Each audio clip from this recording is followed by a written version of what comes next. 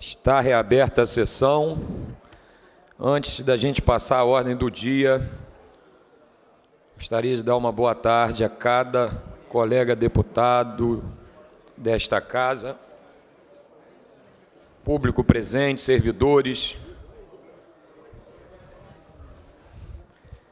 É, e também comunicar aos colegas que eu falei praticamente com quase todos aqui da base do governo, e salvo engano aqui, minha querida amiga deputada Marta Rocha, deputado Carlos Mink, tomamos a liberdade aqui, não de ofício pela presidência, mas pedindo permissão a cada colega que a gente recolocasse Carlos Macedo, estava esperando Vossa Excelência chegar, para a primeira pauta, quando a gente voltar do recesso, é, os PLs da ordem do dia, para a gente enfrentar as matérias, né, uma vez ao que tudo indica, hoje é o nosso último dia de sessão antes do recesso. A gente marcou inclusive uma confraternização nossa aqui ao final. Então, para não avançar a madrugada, que a gente pudesse é, fazer esse apelo e cada colega que teria hoje aqui um projeto de lei concordou. Então, eu agradeço publicamente aqui aos senhores.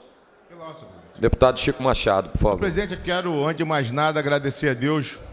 Estamos hoje encerrando o nosso começando o dia para encerrar nosso primeiro semestre, dizer também, é, agradecer a Deus pela vinda, volta do senhor ao nosso trabalho como presidente, parabenizar o senhor que no exercício como governador do estado do Rio de Janeiro assinou um decreto de utilidade pública muito importante para o município de Macaé, mas também para o interior do estado do Rio de Janeiro e todo o estado do Rio de Janeiro, que é a ampliação do aeroporto de Macaé pela concessionária Zurich.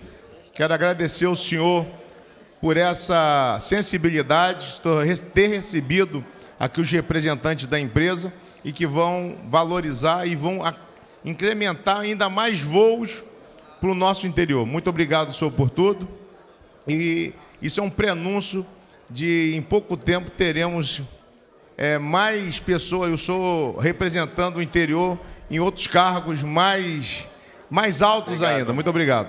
Muito obrigado, deputado Chico Machado. Presidente. Deputado Tandy Vieira, por favor. Presidente, hoje faleceu o ex-ministro da Agricultura, Alisson Paulinelli, em Minas Gerais.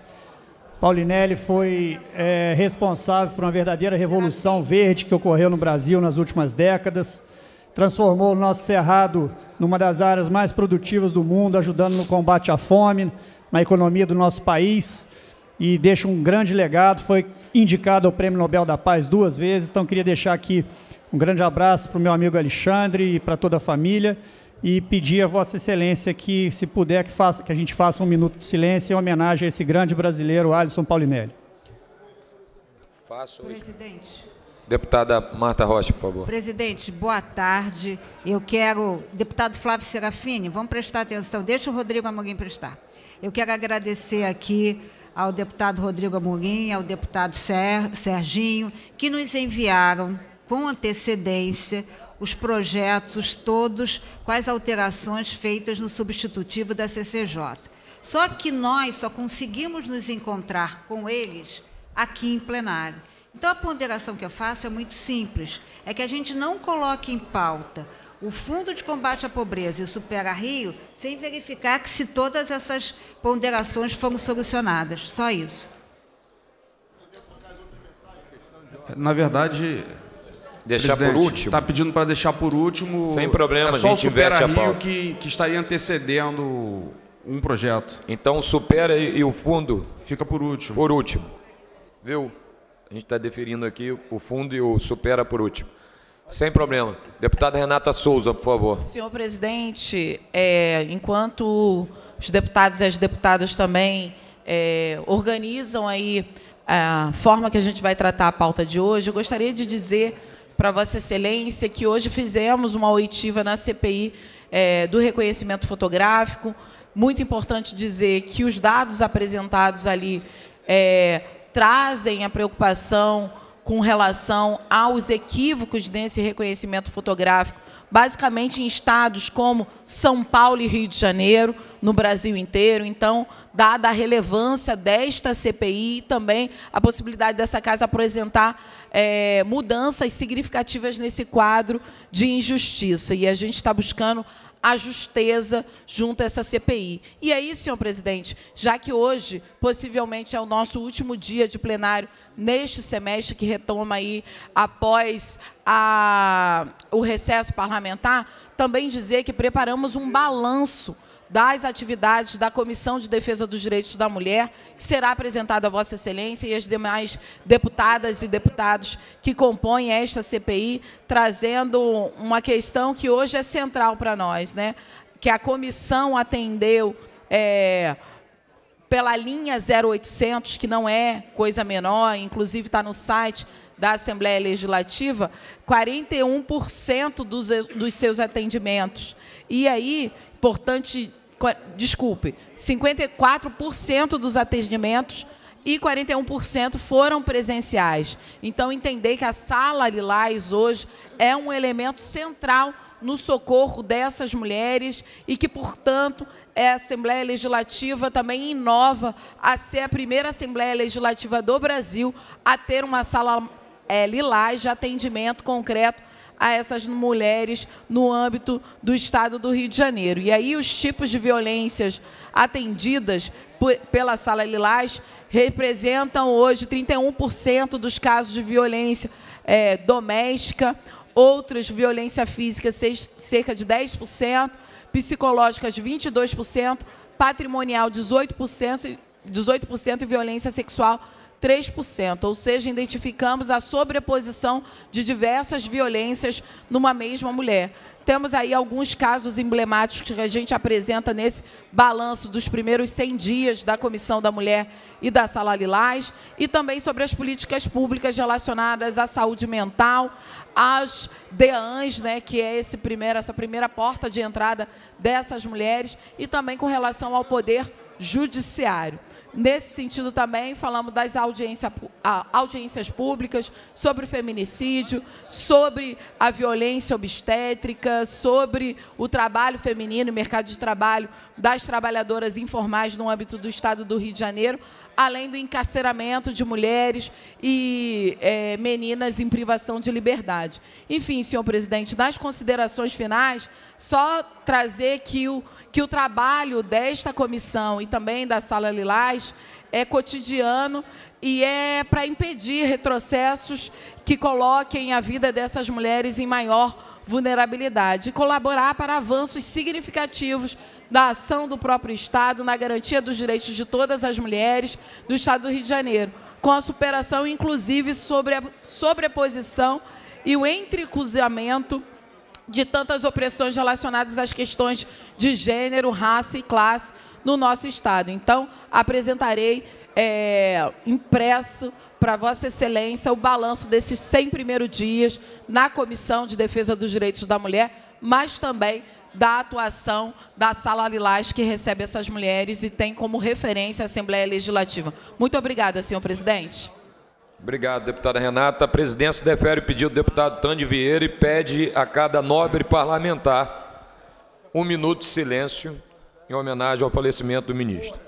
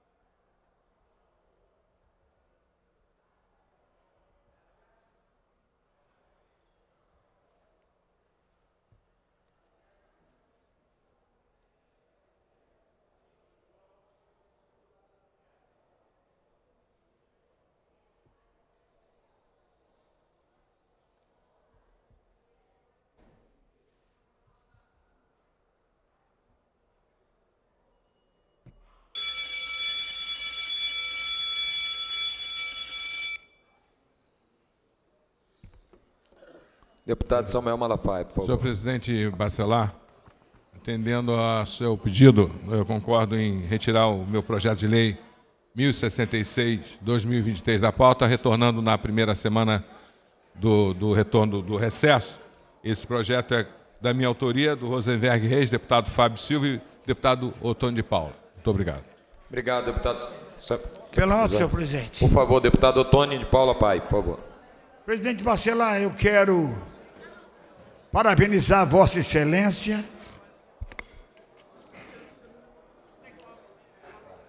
Pelo exercício da governança no nosso Estado, na ausência do governador Cláudio Castro, e dizer que nós, deputados, seus colegas nessa casa, nos sentimos representados, o senhor governador do Estado do Rio de Janeiro, na ausência do nosso governador, e claro, com a do governador, atendendo um pleito nosso, que o senhor fez questão de nos causar forte emoção. E declarando que começamos né, a deixar de perecer. Porque nós, deputados, sempre queremos obter o carinho de Vossa Excelência, bem como do governador Cláudio Castro, que tem sido um parceiro nosso. Então, parabéns, companheiro, pela excelente estada como governador desse estado, representando todos nós aqui da Alerj. Deus o abençoe. Obrigado, deputado Otônio. Sempre que ele precisar, eu estou aqui no banco de reserva. Pela ordem, presidente. Deputado Yuri estava na frente aqui. Claro. Muito obrigado, presidente. O eco-deputado Carlos Bin, que é sempre muito proativo, gosta de fazer boas intervenções. Senhor presidente, queria fazer uma saudação às lideranças da luta pela moradia popular do nosso estado do Rio de Janeiro, em especial à Comissão da Tragédia da região serrana, representada aqui pela Cláudia Renata e várias famílias de Petrópolis, Agradecer ao presidente da Comissão de Política Urbana e Habitacional, Cláudio Caiado, porque a partir de um requerimento do nosso mandato, nós conseguimos realizar uma audiência pública para debater o Minha Casa Minha Vida. A gente sabe que o novo Minha Casa Minha Vida, ele acumula várias experiências da primeira etapa do programa, ainda no governo Dilma, e a gente percebe também que é possível, através de legislações estaduais e municipais, melhorar os critérios, criar um ambiente para a contratação de mais unidades, criar um ambiente para que o governo federal possa trazer mais projetos habitacionais. Então a nossa audiência pública foi nesse intuito. Mas também serviu muito para que cada comunidade, tinha gente do Jacarezinho, do Alemão, dos Jesuítas, de várias comunidades aqui da nossa capital, de trazer as demandas e cobrar o diálogo, principalmente por parte da Secretaria Municipal de Habitação e da Secretaria de Estado de Habitação e Interesse Social. Agradeço também ao secretário Bruno Dawari, que é nosso colega aqui, teve uma postura muito boa. Nós vamos ter mais um encontro para poder alinhar exatamente quais são as nossas propostas, o que vamos trazer para essa casa. E eu fico muito feliz de dizer para eles também que estão na expectativa, já agradecendo a Vossa Excelência pela forma como conduziu esse diálogo com a oposição. Agradecer ao líder do governo, doutor Serginho, e também, com todas as divergências que temos no plenário, em várias disputas, ao presidente da CCJ, Rodrigo Amorim, não tenho problema de fazer isso aqui, a todos os líderes da, da minoria, da oposição dessa casa, e dizer para eles que, com certeza, a gente está conseguindo fechar um bom texto, um bom acordo, e vamos garantir os recursos para a habitação. O Fundo Estadual de Habitação de Interesse Social é aquilo que vai garantir que a gente não tenha mais famílias removidas sem ter onde morar, que a gente não tenha mais famílias há 10, 12, 13 anos dentro do aluguel social, que elas possam ter a sua própria casa e que a gente não tenha mais o que acontece na minha região e na minha cidade. Famílias morrendo, perdendo os seus debaixo da barreira nas inundações. Então hoje é um dia importante para a habitação, para a luta da moradia popular e eu quero dedicar essa luta não aos parlamentares, a mim, ao Caiado, que fizemos o nosso papel lá, mas a essas lideranças e às suas suas comunidades que lutam há muito tempo por isso. Parabéns, contem com a gente, tenho certeza que esse vai ser um ano de avanço em moradia popular. Obrigado, deputado Yuri. Parabéns sempre pela lucidez e pela causa. Eu quero pedir encarecidamente aos colegas qualquer outro tema não pertinente à pauta que a gente possa deixar para discussão, para a gente poder dar início à nossa pauta hoje, que vai ser muito extensa, muita discussão. Então, deputado Mick, por favor, e a gente conclui com o deputado Luiz Paulo, foi o primeiro a pedir e está ali esperando todos pacientemente. Presidente democrático Bacelar, não meu pela ordem, em relação à retirada dos projetos. Eu queria dar uma satisfação que vieram aqui pescadores de Sepetiba, da colônia, que haviam inicialmente pedido o projeto que nós apresentamos e Vossa Excelência colocou na pauta hoje. Então, para a questão da frustração, dizer que já há um entendimento com o governo, que apresentou algumas emendas, inclusive para a CCJ e que Vossa Excelência se comprometeu de logo no início de agosto Perfeito. o projeto vai voltar. Então, para não primeira, frustrar. A primeira sessão nossa após recesso já é. Todos os, que, os, os projetos os de lei que, que saíram hoje, já, imediatamente já estão incluídos. Então, era isso que eu queria falar, porque quanto aos assuntos em si, os acordos da liderança, a questão habitacional, eu vou me pronunciar quando esses projetos entrarem em pauta. Com certeza, vou me pronunciar sobre o acordo que a gente fez de redução de danos, de salvar o que foi possível salvar. Isso tudo eu vou falar mais adiante. Aqui era só, presidente Bacelar, prestar, e foi bom, Vossa Excelência, comentar e já determinar a inclusão, porque é um projeto muito importante que garante que os pescadores que tiverem suas atividades interrompidas por dragagens, que eles sejam compensados por isso enquanto dure a dragagem. Não às custas do governo, mas às custas, claro, dos empreendedores. Então, era esse aviso que eu queria dar. E quanto à habitação e os demais temas, nós não resolvemos 100%, mas reduzimos o dano. E foi uma luta boa, mas vamos falar disso Obrigado. no momento oportuno. Obrigado, deputado Mink. Para concluir, deputado Luiz Paulo, por favor, em seguida a gente dará início primeira mensagem da nossa pauta. Senhor presidente, eu solicitaria a atenção, além do senhor presidente, dos deputados Rodrigo Amorim e doutor Serginho, por favor. Deputado Rodrigo Bacelar, no acordo no seu gabinete, no Colégio de Líderes, está havendo uma contradição, fruto, no meu entendimento, de não aprofundamento de um diálogo. No artigo 5 do Fundo Estadual de Combate à Pobreza, que no artigo 5 não, no artigo 4 inciso 9 parágrafo único, diz o seguinte: que o, governo, o Poder Executivo. Amorim, presta atenção, Amorim, por favor. O Poder Executivo. Estou na pauta integral aqui para acompanhar com o senhor.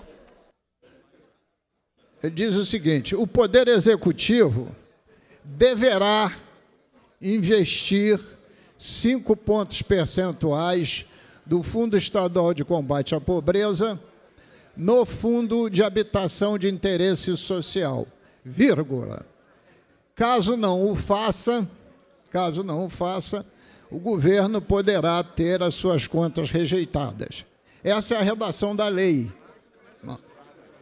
O governo, no projeto que alterou, no, no projeto que alterou, ele escreveu o seguinte: o poder executivo poderá, e não mais deverá, investir cinco pontos percentuais e aí repete. E, evidentemente, se ele botou deverá, ele retirou. Caso não invista, está tá retirado. O que, que nós acordamos e Vossa Excelência foi o autor do acordo? Né?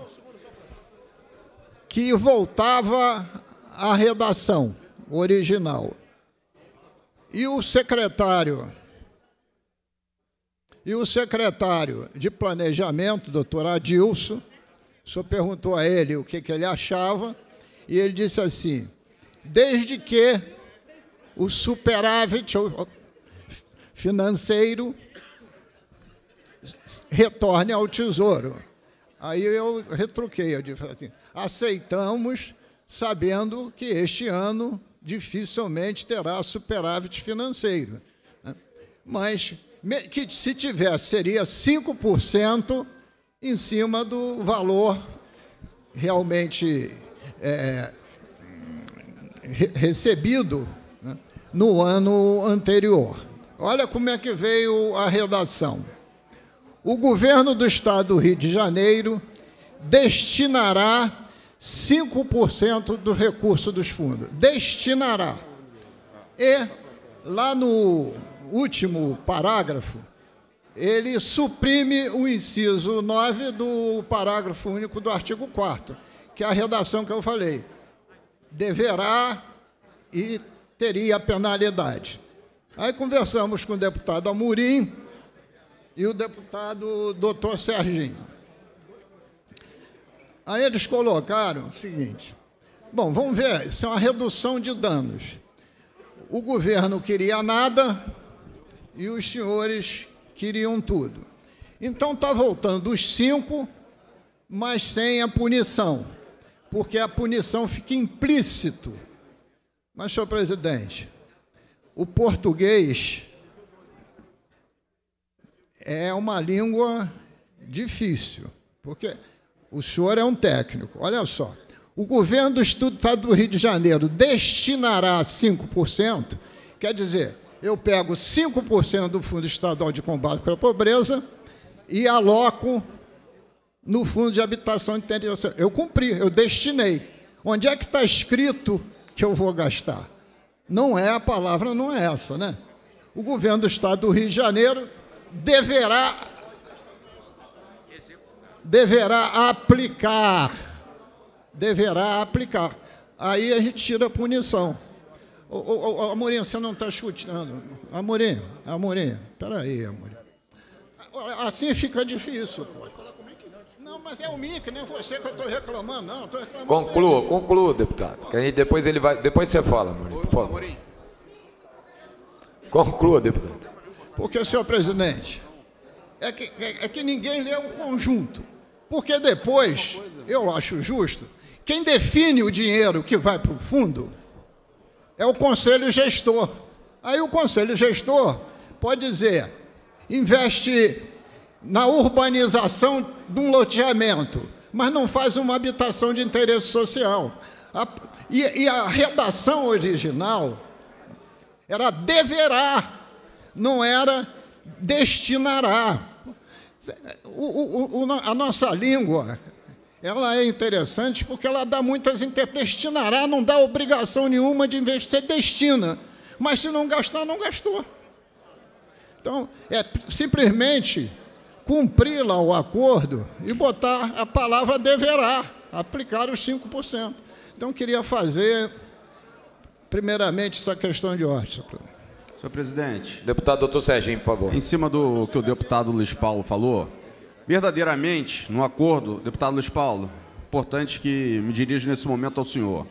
Verdadeiramente, no acordo que entabulamos com a, com a gestão do então governador Rodrigo Bacelar, ficou fixado a vinculação de 5% do FECP para o FIES. FEIS. FEIS. E não se discutiu, em momento algum, que se manteria a redação anterior com a cláusula de punibilidade de descumprimento. Mas se discutiu ali sim, o senhor presidente, a vinculação dos 5%, ressalvando o, o superávit. Então, eu não vejo óbice nenhum de que se atenda ao pleito do deputado Luiz Paulo nesse ponto, sem constar, em hipótese nenhuma, a menção à sanção.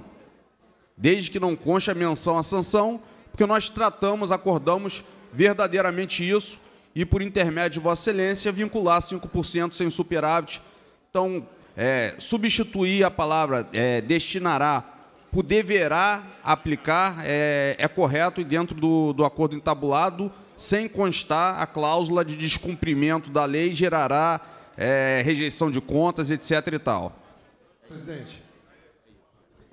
Deputada Amorim, por favor. Eu tenho sido chato e criterioso com o que o deputado Luiz Paulo fala em relação ao vernáculo e considero que o grande ponto crucial aqui, deputado Mink, deputada Marta, inclusive no que torna os projetos autorizativos, é sempre o poderá tirando a parte imperativa do verbo.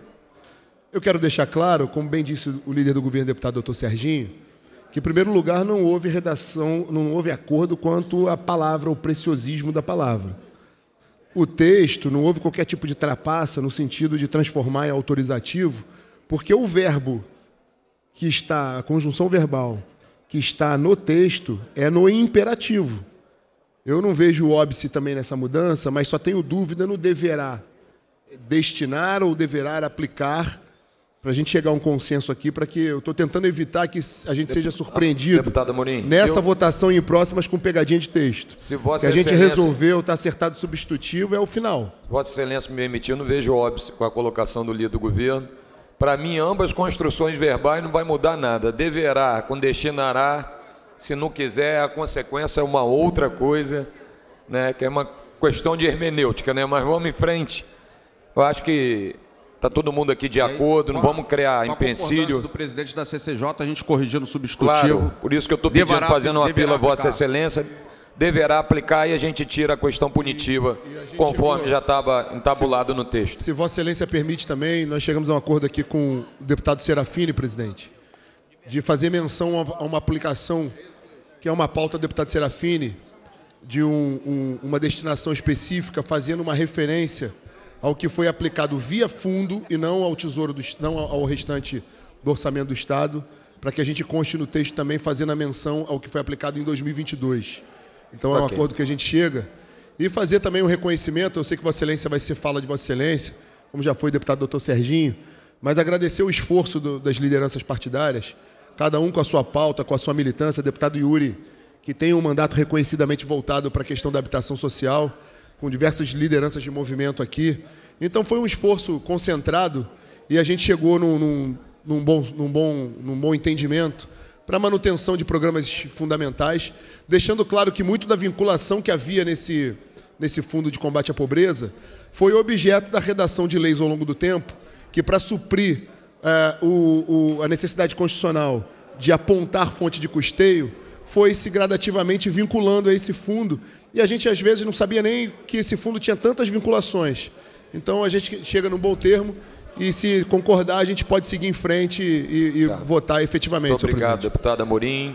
Antes de- da gente cantar a primeira mensagem da pauta, pegando carona aqui na fala do deputado Amorim, eu deixei para quando a gente anunciasse a primeira, agradecer mais uma vez a cada deputado dessa casa, em especial da oposição, pela cordialidade, pela maturidade, acima das divergências políticas e posições partidárias, prevaleceu o bom senso, prevaleceu o equilíbrio e, acima de tudo, o diálogo conversamos, chegamos a um acordo de procedimento, não é isso, deputada Marta Rocha?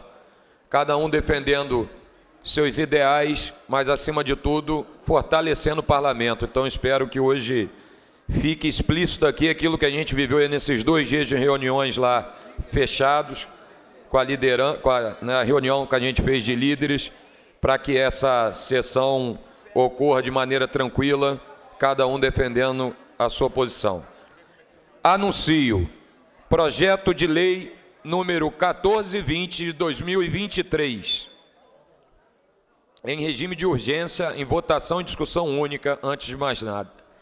De autoria do Poder Executivo, mensagem número 17 de 2023, que dispõe sobre a instituição de regime especial para farinha de trigo e outros e produtos resultantes de sua industrialização, com base no parágrafo 8 do artigo 3 da Lei Complementar número 160, de 7 de agosto de 2017, e na cláusula, e na cláusula 13 do convênio ICMS número 190 de 2017, em adesão ao incentivo fiscal previsto no artigo 22 do anexo 3 do RICMS do Estado de São Paulo. Pareceres das comissões Constituição e Justiça pela constitucionalidade com emendas de Economia, Indústria e Comércio, favorável com as emendas da CCJ, de Tributação, Controle da Arrecadação Estadual e de Fiscalização dos Tributos Estaduais, favorável, e de Orçamento, Finanças, Fiscalização Financeira e Controle, favorável. Relatores, deputados Rodrigo Amorim, Anderson Moraes, Luiz Paulo e André Correia. Verificação nominal. Pendendo de pareceres das comissões, no momento oportuno, a senhora use da palavra, deputado Lucinho, por favor. Sem problema nenhum. estarei aqui. Pendendo de pareceres das comissões de Constituição e Justiça, de Economia, Indústria e Comércio, de Tributação, Controle da Arrecadação Estadual, de Fiscalização de Tributos Estaduais e de Orçamento, Finanças, Fiscalização Financeira e Controle às emendas de plenário. Para emitir parecer pela Comissão de Constituição e Justiça, deputado Rodrigo Amorim. Senhor presidente, o parecer é favorável às emendas 2 e 8, favorável com subemenda à emenda 1, favorável com subemenda aglutinativa às emendas 13 e 15, prejudicada a emenda número 20 pela rejeição da emenda número 18, contrário às demais emendas, concluindo por substitutivo, pedindo forma final de redação, senhor presidente. Muito obrigado, deputado. Pela Comissão de Economia, Indústria e Comércio, deputado Anderson Moraes. Boa tarde, presidente. Acompanho o parecer da CCJ. Muito obrigado. Pela Comissão de Tributação, Controle da Arrecadação Estadual Fiscalização dos Tributos Estaduais, deputado Arthur Monteiro. Boa tarde, senhor presidente. Favorável às emendas número 2 e 8. Favorável como subemenda da CCJ à emenda de número 1. Favorável como subemenda aglutinativa da CCJ às emendas 13 e 15. Contrário às demais emendas. E, por fim, favorável ao substituto da CCJ. Muito obrigado, deputado. Pela Comissão de Orçamento, Finanças, Fiscalização Financeira e Controle, deputado André Correia. Favorável às emendas aprovadas pela CCJ em subemenda. Contrário às demais emendas, acompanhando a CCJ. Com os pareceres emitidos em votação substitutivo. Senhores que aprovam, permaneçam como estão. Aprovado. Verificação solicita- solicitada pela deputada Lucinha. Isso, obrigado.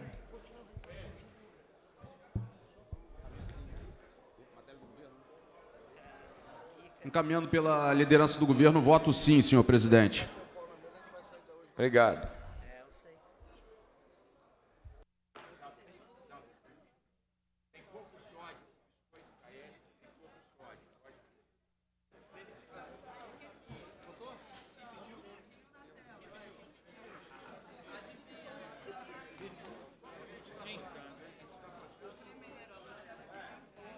Presidente, para encaminhar pela liderança do PL, o voto sim. Senhor presidente,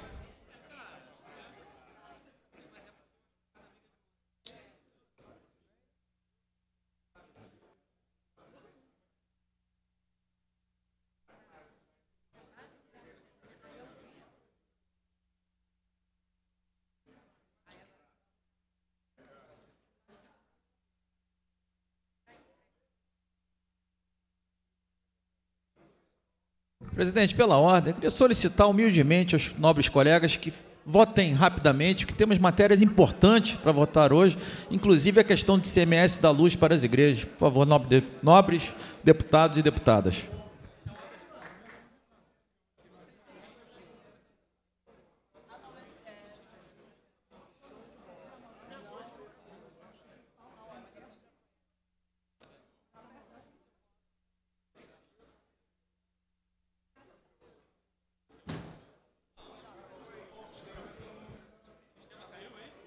Pedir atenção à, à bancada governista.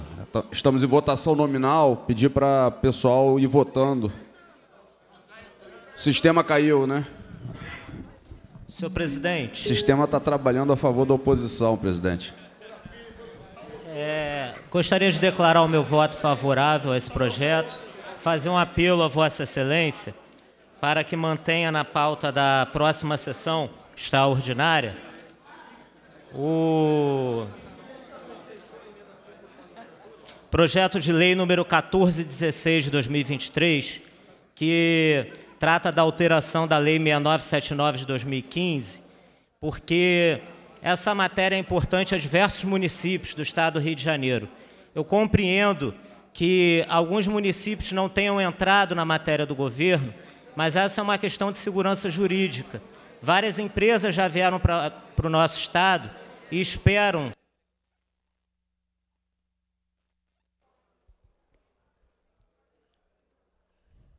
Não, a parte lá. Não, e eu estou falando, deputado que está sem a voz. Fala. Várias empresas que já vieram para o Estado do Rio de Janeiro com a legítima expectativa de gozarem desse benefício fiscal estão à espera que esse projeto seja alterado, a lei seja alterada, por conta de municípios que foram incluídos nesse catálogo nos anos de 2021 e 2022. Essa é uma questão que demanda rápida solução por parte dessa casa. Deputado, eu quero te pedir intervenção, por gentileza. Já foi acordado ontem com todos os líderes que a gente ia retirar. Montar uma comissão para fazer o estudo de impacto e voltar imediatamente quando voltar do excesso. Entendeu? Então, uma vez que já foi tratado com a maioria dos deputados dos líderes, a gente vai seguir o que está acordado. Espero que o senhor entenda, mas foi acordado com todos os líderes e é para o bem comum de todos os municípios, em especial os que não estão fazendo parte aí do projeto citado por Vossa Excelência. Obrigado.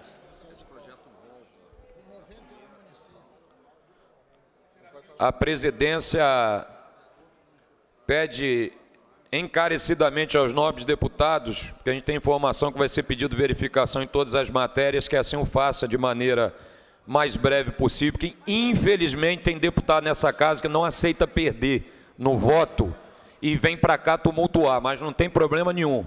Eu não tenho pressa, não tirarei férias. Quem me conhece sabe que se tem uma pessoa que é complicada, que adora trabalhar, sou eu.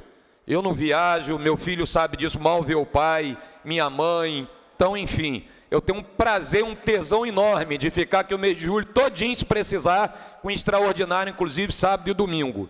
Então, eu quero deixar claro aqui, só tem o seguinte, quem ficar de palhaçada aqui vai sofrer o rigor da presidência também, que pauta o processo, o projeto que quer e toca a casa como bem entende. Que fique bem claro, se é para fazer graça, a presidência também vai agir com o mesmo rigor.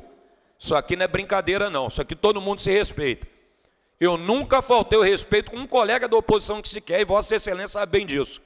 Perdi dois dias, ganhei, melhor dizendo, sentado de maneira madura com vocês. E na vida, qualquer que seja o ato da gente, meu pai e minha mãe me ensinou de berço a saber perder, a saber entender a maioria, a saber entender, inclusive, que às vezes eu estou com uma opinião que nem à frente do palmo do meu nariz eu estou conseguindo enxergar que eu esteja errado. E às vezes é meu filho ou é a faxineira da minha casa que me faz repensar e voltar atrás.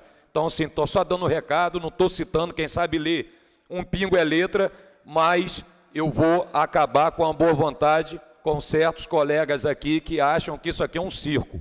É um becinho de criança mimada, porque não tem sua matéria devidamente apreciada ou não ganha pela maioria, que aí tem que fazer um carnaval aqui na casa. Não tem problema nenhum. Vamos fazer. Só quero deixar bem claro, eu não tenho pressa. Podem ficar à vontade e vamos trabalhar. E se precisar, sem recesso. Vamos embora.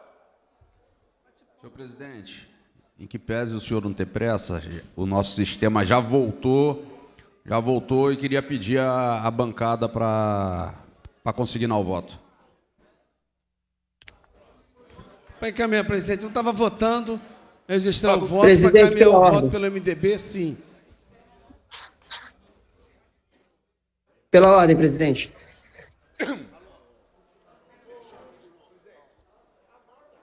Senhor presidente. Tá todo mundo Márcio individual. Alberto. Melhor cantar aqui. Encaminhamos, senhor presidente.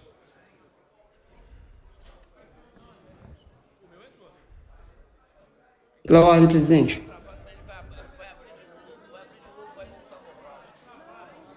Senhor presidente, para encaminhar. Deputado Daniel Bre- Librelon, para encaminhar pelo bloco, por favor. Senhor presidente, Bloco Aliança, eu encaminho o voto sim. Deputada Marta Rocha, por favor. PDT vota sim. Muito obrigado. Senhor presidente, Deputado Tia Tia Ju Ju, por favor. sim. Bancada do PSOL encaminha o voto sim. Muito obrigado, deputado Yuri. Deputada Bancada do Érica. PT, vota sim. Muito obrigado. Sistema está travado, hein, presidente? No sistema aqui já constam 46 sim, Senhor zero presidente. voto não zero abstenção. Deputado. Senhor presidente. Senhor presidente. Deputado Márcio Gualberto no sistema online, por favor. Senhor presidente, é para dizer que o sistema travou quando eu estava votando, mas meu voto é sim. Muito obrigado, deputado Gualberto. Deputada Marina. do- Presidente, por favor. Deputada, pela voz, deputada Franciane, se eu não me falha a memória. Mas Boa não- tarde, presidente. Voto sim. Muito obrigado, deputado. Voto Deputada- sim, presidente. Deputado Jari. Boa tarde. Boa tarde. De consignar meu voto, sim. Não estou conseguindo votar online. Muito obrigado. Deputada Marina do MST. Obrigada, presidente. Eu também quero consignar meu voto sim e não consegui também fazer a votação online. Obrigada.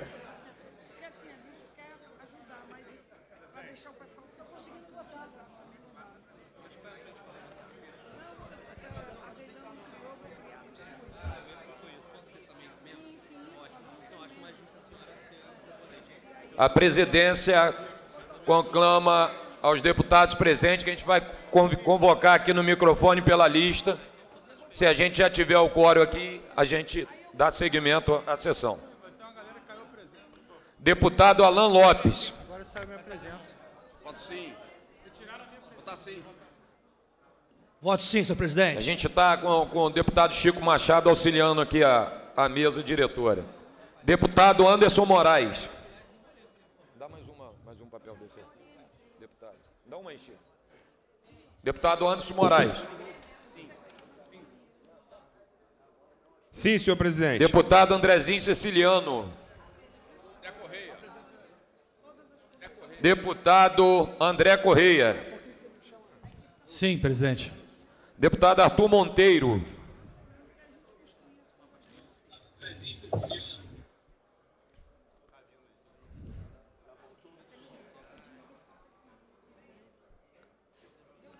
Sim, presidente. Deputado Brazão. Sim, presidente. Quero marcar também minha presença também, porque o aplicativo deu problema aí. Tá bom? Está presidente? registrado, deputado. Muito obrigado. Registrado. Deputada Carla Valeu. Machado. Deputado Carlinhos BNH.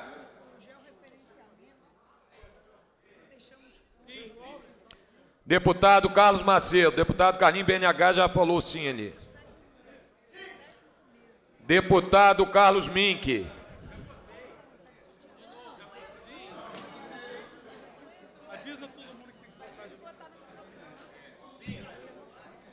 Sim. Deputada Célia Jordão. A licenciada. Deputado Chico Machado. Deputado Cláudio Caiado. Deputado Cláudio Caiado. Deputada Dani Balbi. Voto sim, presidente. Muito obrigado. Deputado, deputada Dani Monteiro.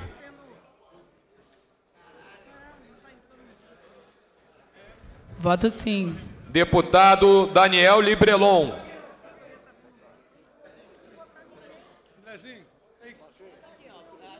Sim, senhor presidente. Deputado Dionísio Lins.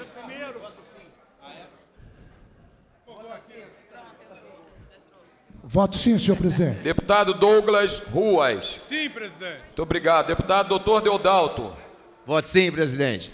Deputado doutor Pedro Ricardo. Sim, presidente. Deputado, deputado doutor Serginho. Sim. Doutor. Vamos terminar. Deputada Élica Takimoto. Sim, presidente. Deputado Elton Cristo.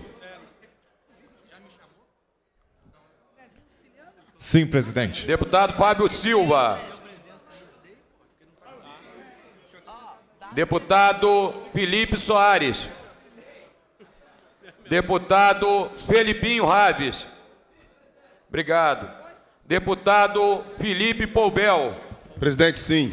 Obrigado. Deputado Flávio Serafini.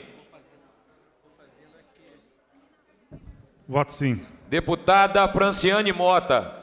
Estava no sistema online já. Voto sim. Muito obrigado, deputado. Deputado Fred Pacheco. Sim, presidente. Deputada Gisele Monteiro.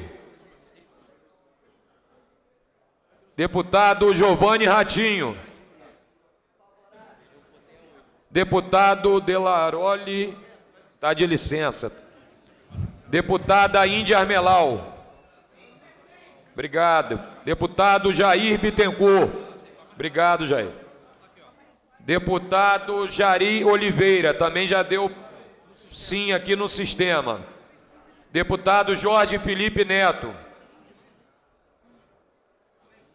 Deputado Jorge Felipe Neto. Deputado Júlio Rocha.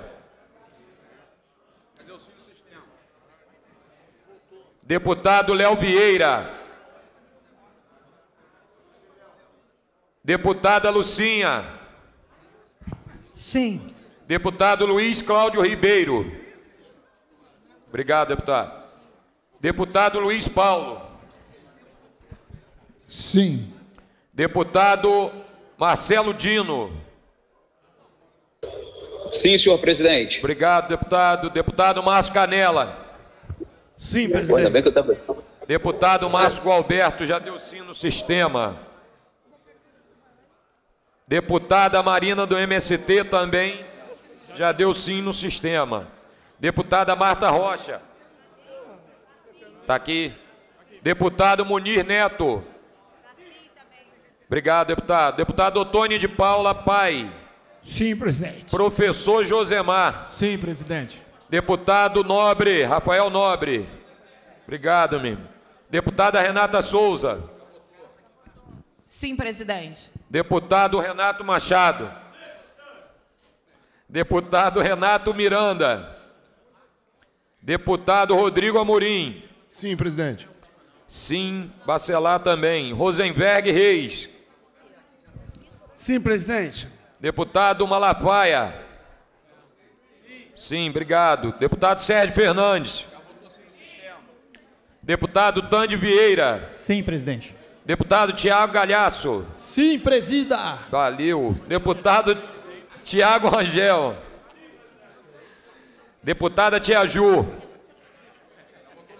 Deputado Valdo Ceasa.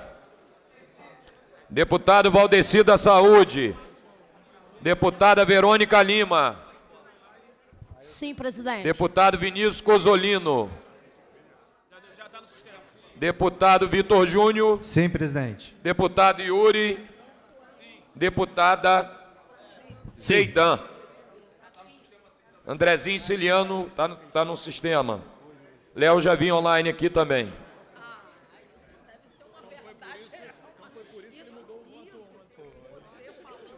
A presidência, segunda chamada, já confirmou Andrezinho, Cláudio Caiado, Carla Machado, Gisele Monteiro, Jorge Felipe Neto, Júlio Rocha. O voto da Gisele está assim. Tá ali. Léo Vieira. Renato Miranda.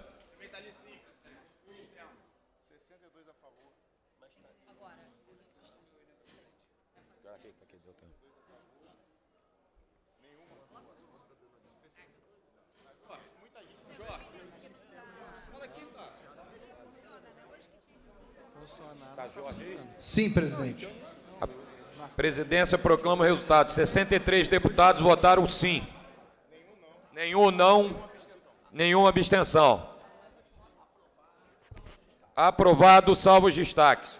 Há sobre a mesa requerimento de destaque. Dois requerimentos de destaque do deputado Luiz Paulo. Vou encaminhar, senhor presidente. Por favor, deputado.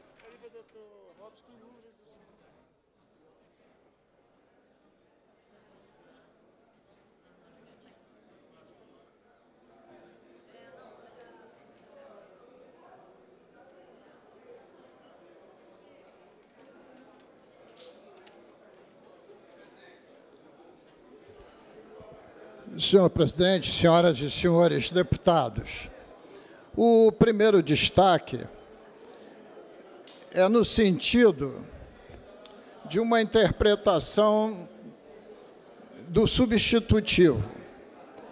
Eu queria que o deputado doutor Serginho prestar atenção para tirar dúvida com a Secretaria de Fazenda. É lá no inciso 4. Nós estamos tratando de um regime especial para farinha de trigo e produtos resultantes da sua industrialização. No inciso 4 do artigo 1 nós estamos tratando do pão francês ou de sal. E lá no texto,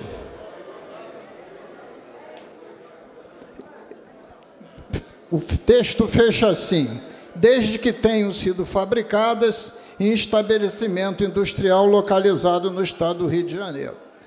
Então, com isso, deputado Chico Machado, nós estaríamos excluindo as padarias. Então, nesse caso específico, no meu entendimento, que teria que ser comercial barra industrial. Porque a grande produção de pão francês são nas padarias. Então, eu queria só que, nesse destaque, a CCJ e a Fazenda tentasse ver se essa interpretação está correta. Somente isso, no primeiro destaque. No segundo destaque, senhor presidente, no segundo destaque, é, eu disse que encaminhar é o que nós intitulamos de bacalhau. Isto é, um destaque que não tem a ver com o tema, mas pode se fazer presente, que é apenas um alerta. E discutimos isso na reunião do Colégio de Líderes. Que a fruição qual é o aditivo? Aditivo A9.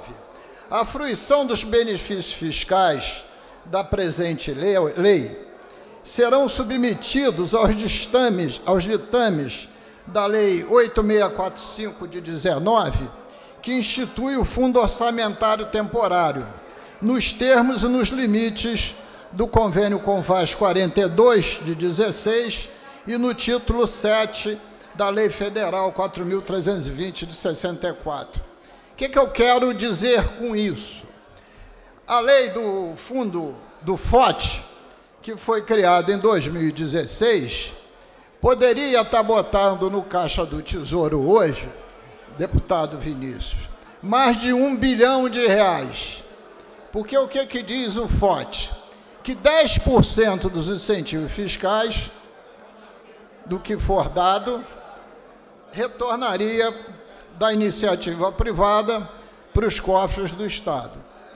E a lei foi aprovada para satisfação geral. Mas quando ela veio à pauta, naquela oportunidade, em 2016, muitos deputados, não o Chico, o Chico Machado, porque não estava aqui, botaram uma série de exclusões e aí a arrecadação do Estado caiu para aproximadamente 500 milhões de reais por ano. Se a gente está precisando de recursos, seria a hora do Poder Executivo rever as exclusões do FOT. Isso já foi colocado, inclusive, para o presidente, né, que vai estudar essa questão. Mas quando a gente faz a emenda, a gente o faz né, antes de qualquer reunião de líderes, etc, etc. E eu, eu disse que hoje encaminharia essa matéria né, no sentido de alertar para essa hipótese. A gente está numa crise de arrecadação. Então, todos os movimentos a favor do aumento da arrecadação são extremamente significativos. Os meus destaques um é de alerta, que é o primeiro da redação do Pão Francês. E este outro é simplesmente também para alertar o governo sobre essa hipótese. Mas eu já tive a oportunidade de fazê-lo na reunião do Colégio de Líderes e fiquei, inclusive, de no recesso, que eu também estarei aqui de plantão, procurar o secretário de Planejamento para também conversar sobre esse tema. Então, não estou nem pedindo que aprove destaque, etc, etc. Eu só quero mostrar que são duas alertas. Porque na hora que for destaque, exatamente para mudança significativa, a gente vai lutar por isso. Esses são dois destaques de alerta. Muito obrigado. Presidente, um breve pela ordem, só anunciar aqui e agradecer a presença da prefeita Marina Rocha, da bucólica e bela cidade de Guapimirim, irmã do meu amigo, meu irmão Júlio Rocha. Muito bem-vindo. Nossa ex-colega de parlamento, né? Em votação, os destaques, a emenda 6 e emenda 9. Senhores que aprovam, permaneçam como estão. Rejeitado. O projeto está aprovado e vai ao toque. Deputado Tiaju. Está tá fechado o microfone, não, porque aqui consta aberto.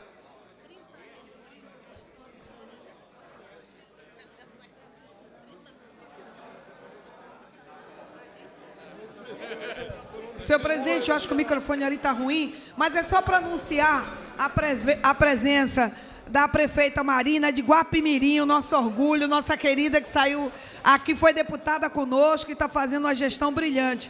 Parabéns, minha querida, você que estava compondo a mesa diretora junto conosco. Vem cá, Marina. É melhor, é melhor do que o Júlio, não vou dizer que, ele, que ela é. Melhor do que o Júlio. Estava na mesa diretora na, na legislatura passada junto comigo. Foi eleita prefeita e está fazendo um belíssimo trabalho. Você muito nos orgulha, Marina. Parabéns. Muito obrigado, Tia Ju. Anuncio. Próxima mensagem, eu gostaria de pedir encarecidamente, em especial a bancada evangélica, que a gente pudesse fazer a declaração ao final. Uma vez que a bancada aqui é um pouco extensa, óbvio que vocês vão ter que fazer cada um a, a sustentação de vossas excelências, mas para a gente deixar o final, para poder dar celeridade à pauta, por favor, agradeço desde já a compreensão de cada um dos senhores e senhoras. Em regime de urgência, em votação, discussão única. Projeto de lei número 1418-2023, de autoria do Poder Executivo. Mensagem número 15-2023, que proíbe a cobrança de ICMS nas contas de serviços públicos estaduais, de energia elétrica e gás de igrejas, templos de qualquer culto e outras entidades. Pareceres das comissões Constituição e Justiça pela constitucionalidade com emendas, de Minas Energia favorável, de Economia, Indústria e Comércio favorável com as emendas da comissão da CCJ, de tributação, controle da arrecadação estadual, de fiscalização dos tributos estaduais, favorável com as emendas da CCJ, e de orçamento, finanças, fiscalização financeira e controle, favorável. Relatores, deputados Rodrigo Amorim, André Correia, Anderson Moraes, Arthur Monteiro e André Correia. Pendendo de pareceres das comissões Constituição e Justiça, de Minas e Energia, de Economia, Indústria e Comércio, de Tributação, Controle da Arrecadação Estadual, de Fiscalização Financeira dos Tributos Estaduais e de Orçamento, Finanças, Fiscalização Financeira e Controle às emendas de plenário. Para emitir parecer pela Comissão de Constituição e Justiça, deputado Rodrigo Amorim. Presidente, só, rapidinho, só para poder anunciar aqui uma honra, uma presença ilustre do pai do nosso deputado Delaroli, pai do prefeito da Barueri Delaroli, seu Zé Delaroli, ex-vereador de Maricá, o grande mentor da família Delaroli. Seja bem-vindo e para satisfação te receber aqui, seu Zé Delaroli. Muito obrigado, deputado Pobel. Deputado Rodrigo Amorim, por favor, parecer. Senhor presidente, completando o que o deputado Pobel falou, dizer que eu falei com o deputado Delaroli algumas horas atrás, ele vai entrar em cirurgia agora às 17 horas. E é a razão da, da ausência dele hoje justificada no, no painel. Que a gente roga a Deus aqui que tudo dê certo na cirurgia quiser. Delaroli. Parecer é favorável à emenda 2. Favorável com subemendas emendas 12 e 20. Prejudicada a emenda 15 pela rejeição da emenda 8. Prejudicada a emenda 16 pela rejeição da emenda 7. Contrário às demais emendas, concluindo por substitutivo. Pedindo forma final de redação, senhor presidente. A presidência defere pedido de Vossa Excelência. Para emitir parecer pela Comissão de Minas e Energia, deputado Tiago Rangel.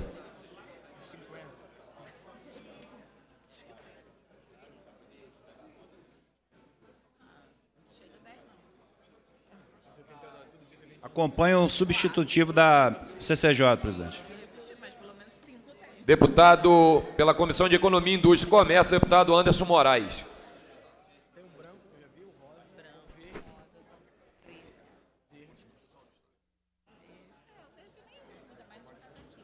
Acompanho o parecer da CCJ, presidente. Muito obrigado. Pela Comissão de Tributação, deputado Arthur Monteiro, por favor.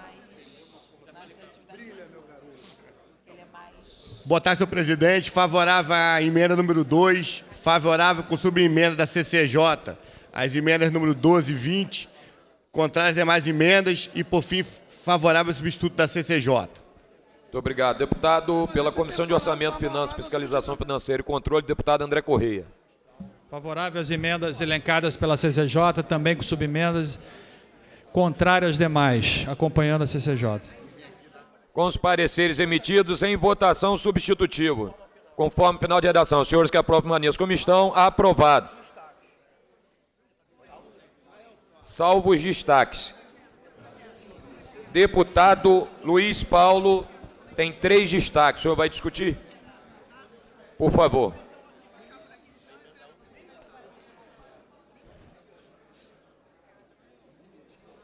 Emenda 1, 3 e 4.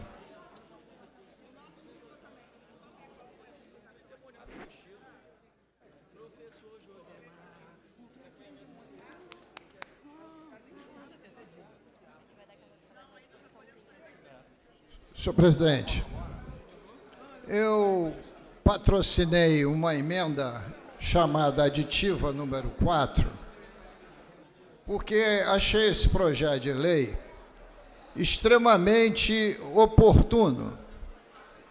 E já quando discuti a matéria, disse que ele era oportuno porque estava tratando de templos de qualquer culto.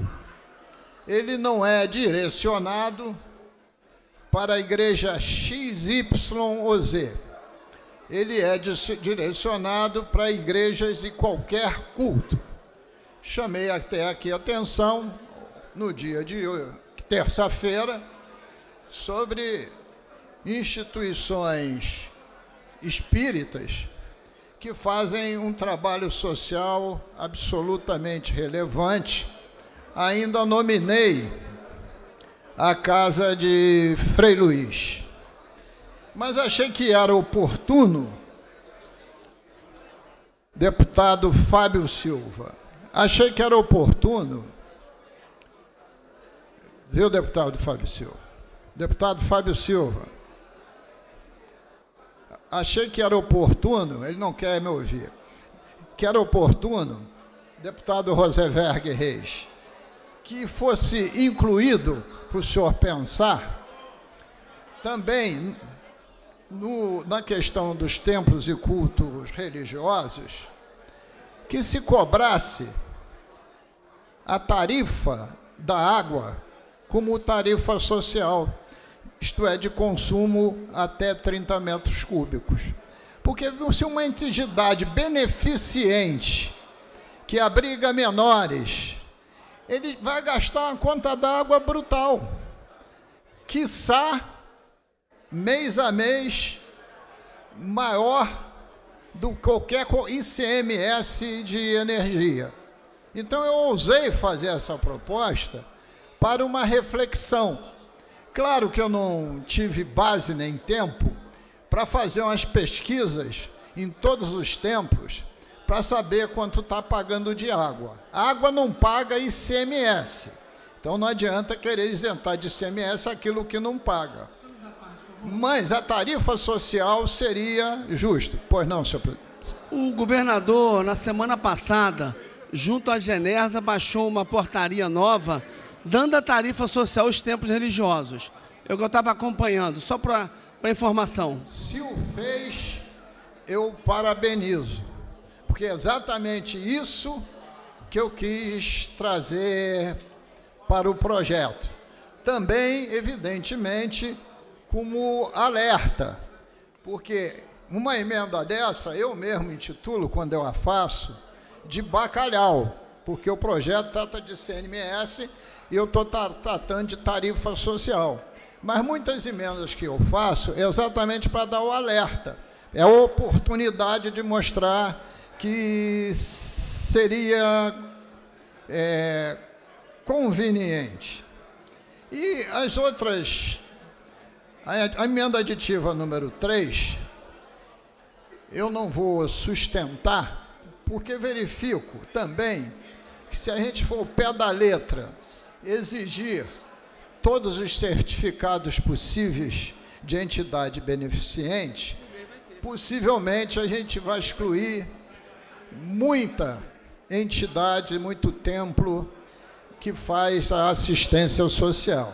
Então eu estou concomitantemente retirando o destaque da aditiva número 3 e o destaque da modificativa número 1 está contemplada no substitutivo da CCJ. Então, por via de consequência, também não há necessidade de eu estar pedindo voto, etc, etc. É só para registrar, visto, visto que há uma normativa da Genersa, como afirmou o deputado Rosenberg Reis, não há porquê, senhor presidente, manter os destaques, nem precisa votar. Eu estou retirando os destaques.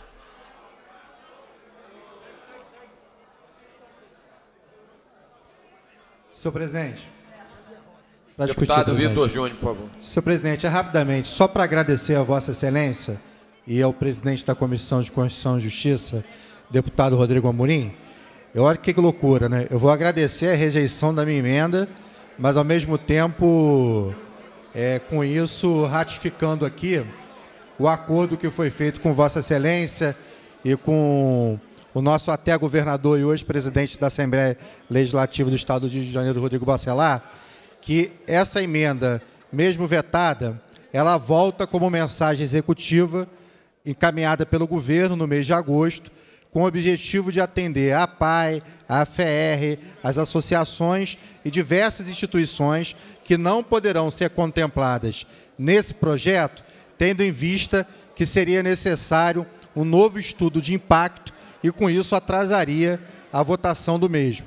Então, eu queria deixar aqui o compromisso com as instituições, através do acordo feito com o deputado Rodrigo Bacelar, com Vossa Excelência, com o conjunto de deputados, que o governo mande no mês de agosto uma mensagem atendendo à necessidade dessas instituições, é, deputados, que ficaram muito fragilizadas ao longo dos anos com a defasagem da tabela do SUS, com tudo que elas sofreram de discriminação e exclusão do projeto permanente que deve, deveria ter sido feito de reconhecimento a essas instituições. Então, quero aqui registrar o meu voto favorável à mensagem, mas tendo em vista que teremos uma nova mensagem no mês de agosto atendendo essas instituições. Permite uma parte, até, é, na verdade, para concluir o que o deputado Vitor Júnior fez, presidente, que, da mesma maneira, queria citar aqui a Andef, porque a Andef também ficou de fora nesse momento, mas também estamos aqui no compromisso de fazer essa luta para incluir na próxima mensagem do Executivo em agosto a Andef, que é essa instituição que a gente luta tanto para que ela seja de fato incluída. As APAES também, é que o Vitor Júnior acabou falando, então só para complementar a mensagem do deputado Vitor Júnior, queria incluir também a Andef nesse mesmo contexto. Muito obrigado. Presidente. Há sobre a mesa presidente, ainda... Presidente. Deputada Verônica Lima, deputada Marta Rocha, por favor. Presidente, muito rapidamente, celebrar a possibilidade de votar essa mensagem na tarde de hoje, porque nós que conhecemos a rede socioassistencial do Estado do Rio de Janeiro, sabemos que a política socioassistencial precisa da sua rede complementar. A gente está falando aí de instituições que desenvolvem um trabalho de acolhimento, de fortalecimento de vínculos das pessoas que mais precisam.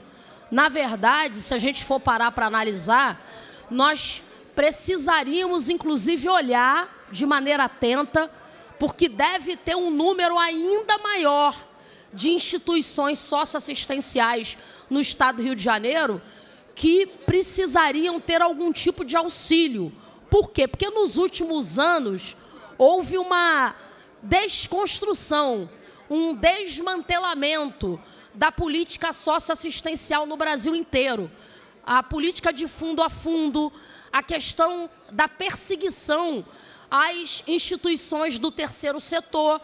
Tudo isso inviabilizou um trabalho que é muito importante. Todo mundo aqui conhece instituições socioassistenciais do terceiro setor que fazem um trabalho de acolhimento que é importante. Então, eu quero manifestar aqui publicamente o meu voto favorável a essa matéria que é muito importante no sentido de acolher aqueles e aquelas que, de alguma maneira, contribuem e têm compromisso com o povo mais pobre do Estado do Rio de Janeiro. Presidente. Deputada Marta Rocha, por favor. Obrigada. Rapidamente, né, dizer da importância dessa mensagem do governo. Nós reconhecemos exatamente essa rede de proteção que muitas vezes é feita pelos templos religiosos. De, é, registrar aqui que nós não estamos falando de uma religião ou de uma fé, e sim da diversidade de todas as fés, de toda e qualquer fé e registrar, agradecer a Vossa Excelência que vai retornar com o projeto em agosto, exatamente porque eu conheci aqui nessa casa, através de uma querida sempre deputada Tânia Rodrigues, o trabalho da Andef. Então, a nossa, a nossa emenda também foi no sentido de acolher nesse projeto uma emenda que pudesse também auxiliar a Associação Niterói de Deficientes. Muito obrigada. Senhor presidente, é, aqui eu estava até é, deputado Antônio de Paula, mas o deputado Rosenberg vai querer falar, mas o deputado Flávio também. É, não, porque a gente está em processo de votação. Isso aí, presidente. Eu, eu pedi para a gente deixar para usar a palavra ao final. Isso, mas tá, é só registrar que a bancada evangélica também agradece muito a essa mensagem e dizer que nós também da bancada evangélica fizemos inclusão da Andef e de outras, é, de outras instituições do terceiro setor, reconhecendo é, o trabalho de todos. Eu fui secretária de assistência social, todo mundo sabe, e reconheço também muito essa rede socioassistencial. Então, muito obrigada. E no final, cada, cada deputado evangélico vai fazer o seu discurso, mas aqui de antemão já deixo o registro do agradecimento, da, do reconhecimento e do, da, correção, da covardia que tinha sido feita, que agora o governo Cláudio faz a correção. Muito obrigado. Há sobre a mesa requerimento de destaque para aprovação da emenda modificativa número 14. Deputada Élica deseja discutir?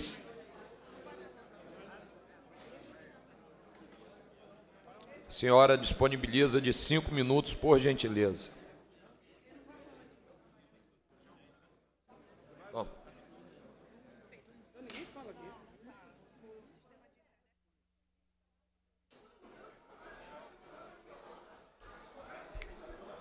Presidente, serei muito breve. Queria pontuar aqui é, a emenda número 14 da autoria da deputada Dani Balbi, que consta explicitamente na lei que terreiros e casas de santo também sejam contemplados é, com, com a lei. E essa emenda foi rejeitada. E a gente entende que o projeto deveria trazer explicitamente a concessão da isenção em virtude da histórica perseguição às religiões de matrizes africanas. A gente lembra, observa e pontua que essa tal emenda, feita pela deputada Dani Balbi, não modifica a atual lei, pois, no nosso entendimento, ao trazer expressamente igrejas e templos de qualquer culto, terreiros e casas de santos já estariam incluídos. Mas a inclusão na lei somente evitaria pessoas mal intencionadas possam excluir dos beneficiários desta lei essas religiões volto a dizer, historicamente perseguidas em nosso país. Obrigada, presidente. Deputada, a senhora me concede uma parte? A, a parte concedida. É, só para reforçar o pleito de Vossa Excelência, em função da necessidade do Estado do Rio de Janeiro entregar uma resposta efetiva à perseguição dos templos e de todas as casas de santo, onde a gente vê materializada a herança dos povos tradicionais que vieram para o Brasil por diáspora forçada e aqui tiveram que além de reestabelecer os seus cultos através de um sincretismo forçado, fundar uma nova religião, duas grandes vertentes religiosas que são o candomblé e a umbanda. E a Delegacia de Combate aos Crimes de Intolerância Religiosa produz já muitos dados que demonstram quanto esses terreiros e essas casas de santo vêm sendo vítimas de perseguição, principalmente em função do aumento da ocupação dos territórios mais vulneráveis, onde há concentração de população que professa essas religiosidades,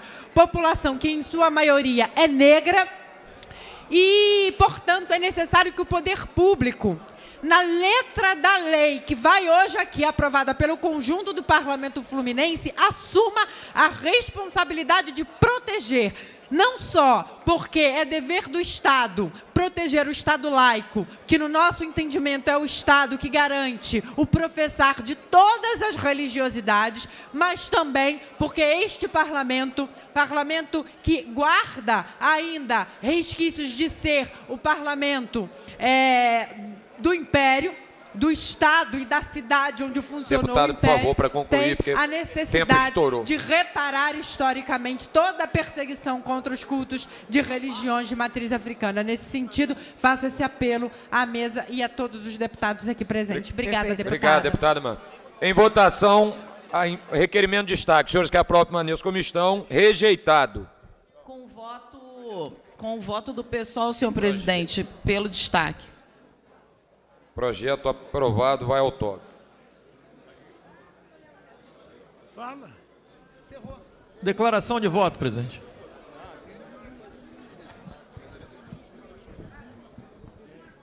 Deputado Fábio, a gente pode fazer ao final? Podemos, Ótimo, podemos. ótimo. Podemos, deputado Rosenberg? Podemos. Muito obrigado. A presidência gostaria de solicitar aos líderes, ali- aliás, a todos os deputados presentes na casa, se a gente pode antecipar extraordinárias. Todos concordam, uma vez que todos abriram mão dos PLs.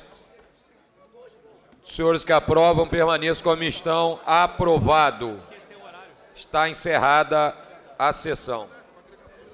Havendo número legal sob a proteção de Deus, iniciamos trabalho. Está aberta a sessão. A presidência convida a deputada Renata Souza para fazer a leitura da ata de sessão anterior. Senhor presidente, a ata reflete com exatidão o ocorrido na 58ª sessão ordinária, que iniciada às 14 horas, encerrou-se às 16 horas e 26 minutos. Muito obrigado, deputada Renata. Lida e aprovada a ata, passa-se a ordem do dia. Anuncio. O projeto de lei número 1416-2023, conforme acordado ontem com todos os líderes e já devidamente exposto aqui aos deputados presentes, a gente tirou de pauta para fazer essa construção conjunta sobre a batuta do deputado Luiz Paulo, inclusive, que vai passar aqui o recesso, trabalhando tecnicamente para a gente. É isso, Mink? Todos que, todos que aprovam permaneçam como estão, mais do que aprovado.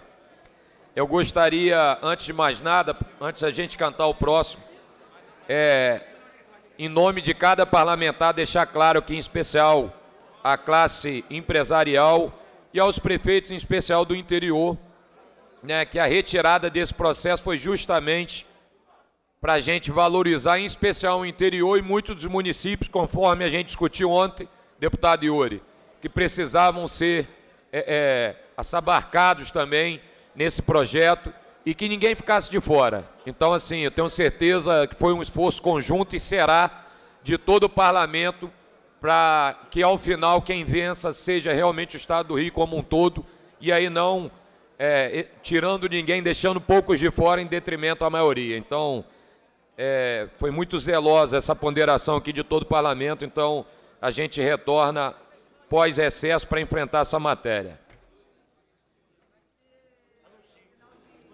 Anuncio, em regime de urgência, em votação, em discussão única, projeto de lei número 1421 de 2023, de autoria do Poder Executivo, mensagem 18 de 2023, que dispõe sobre a instituição de regime diferenciado de tributação para embarcações de recreio ou de esporte com base no parágrafo 8 do artigo 3 da Lei Complementar número 160, de 7 de agosto de 2017, na cláusula 13ª do convênio CMS 190-2017, em adesão ao incentivo fiscal previsto no artigo 26 do anexo 3 do RICMS do Estado de São Paulo.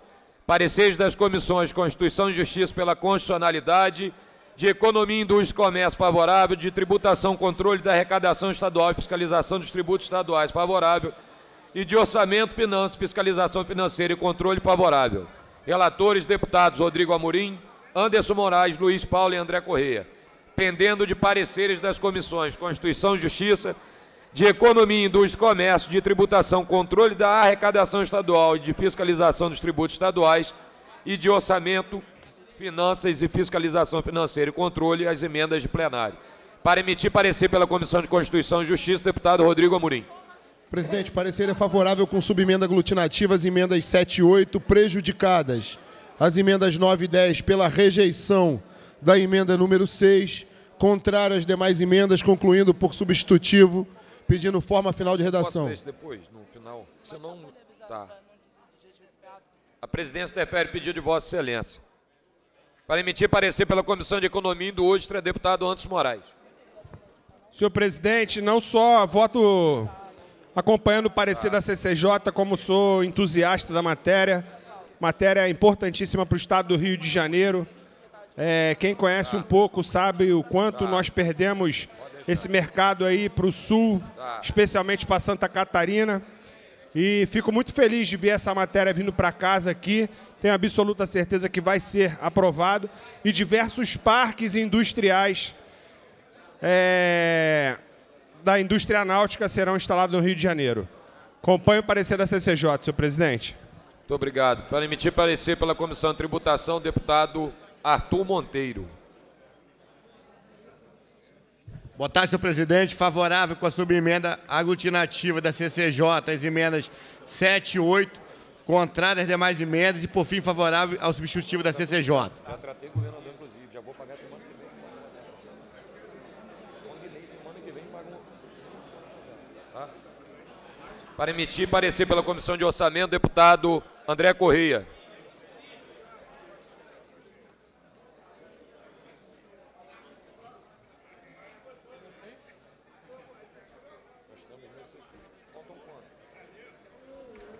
Parecer acompanha as emendas favoráveis da CCJ e também as contrárias. Com os pareceres emitidos em votação substitutivo. Verificação. Senhores que aprovam, permaneçam como estão. Aprovado. Verificação. Verificação solicitada pela deputada Obrigado. Lucinha.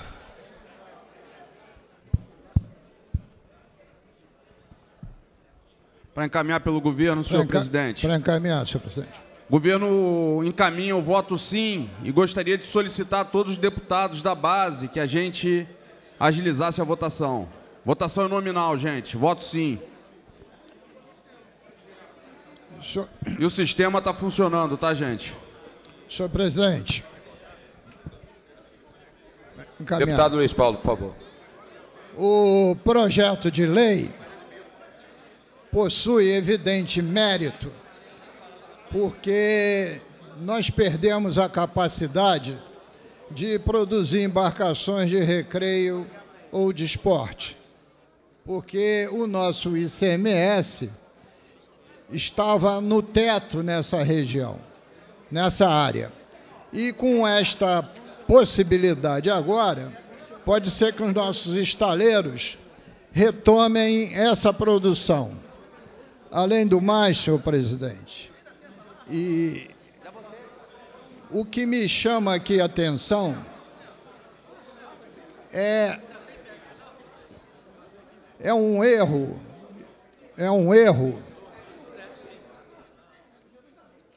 que leva ao desrespeito ao parlamento, senhor presidente. Eu queria dar uma sugestão a Vossa Excelência. Por exemplo, eu vou votar sim. Sabe por quê? Eu já votei sim antes. O projeto está sendo revogado. Aí quando o governo revoga, eu até vou ler aqui, o projeto anterior era dos deputados Márcio Pacheco, Anderson Moraes, Dionísio Lins, Charles Batista, Ronaldo Anquieta, Célia Jordão, Márcio Canela, Valdeci é, Valdeci da Saúde, Marcos Mille, Giovanni Ratinho e Atila Nunes. Então, quando o governo revoga e manda um outro, ele pode fazê-lo? Claro que pode. Mas não seria conveniente. Bastaria ele pegar o mesmo projeto, mantendo as mesmas autorias, e reescrever todos, porque é um desprestígio aos deputados. E, e nenhum desses deputados sou eu. Eu até me ofereço, nesse recesso, fico à disposição da secretária de Fazenda. Se ela vai corrigir outros, eu me proponho fazê-lo. Mas eu queria condenar essa prática, mas, de qualquer forma, estou encaminhando o voto sim.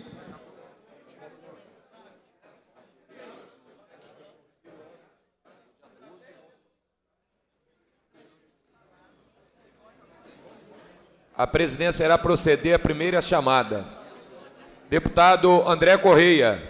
Deputado Andrezinho Siciliano. Deputado Arthur Monteiro. Deputado Brazão. Deputada Carla Machado. Deputado Carlos Mink, para votar.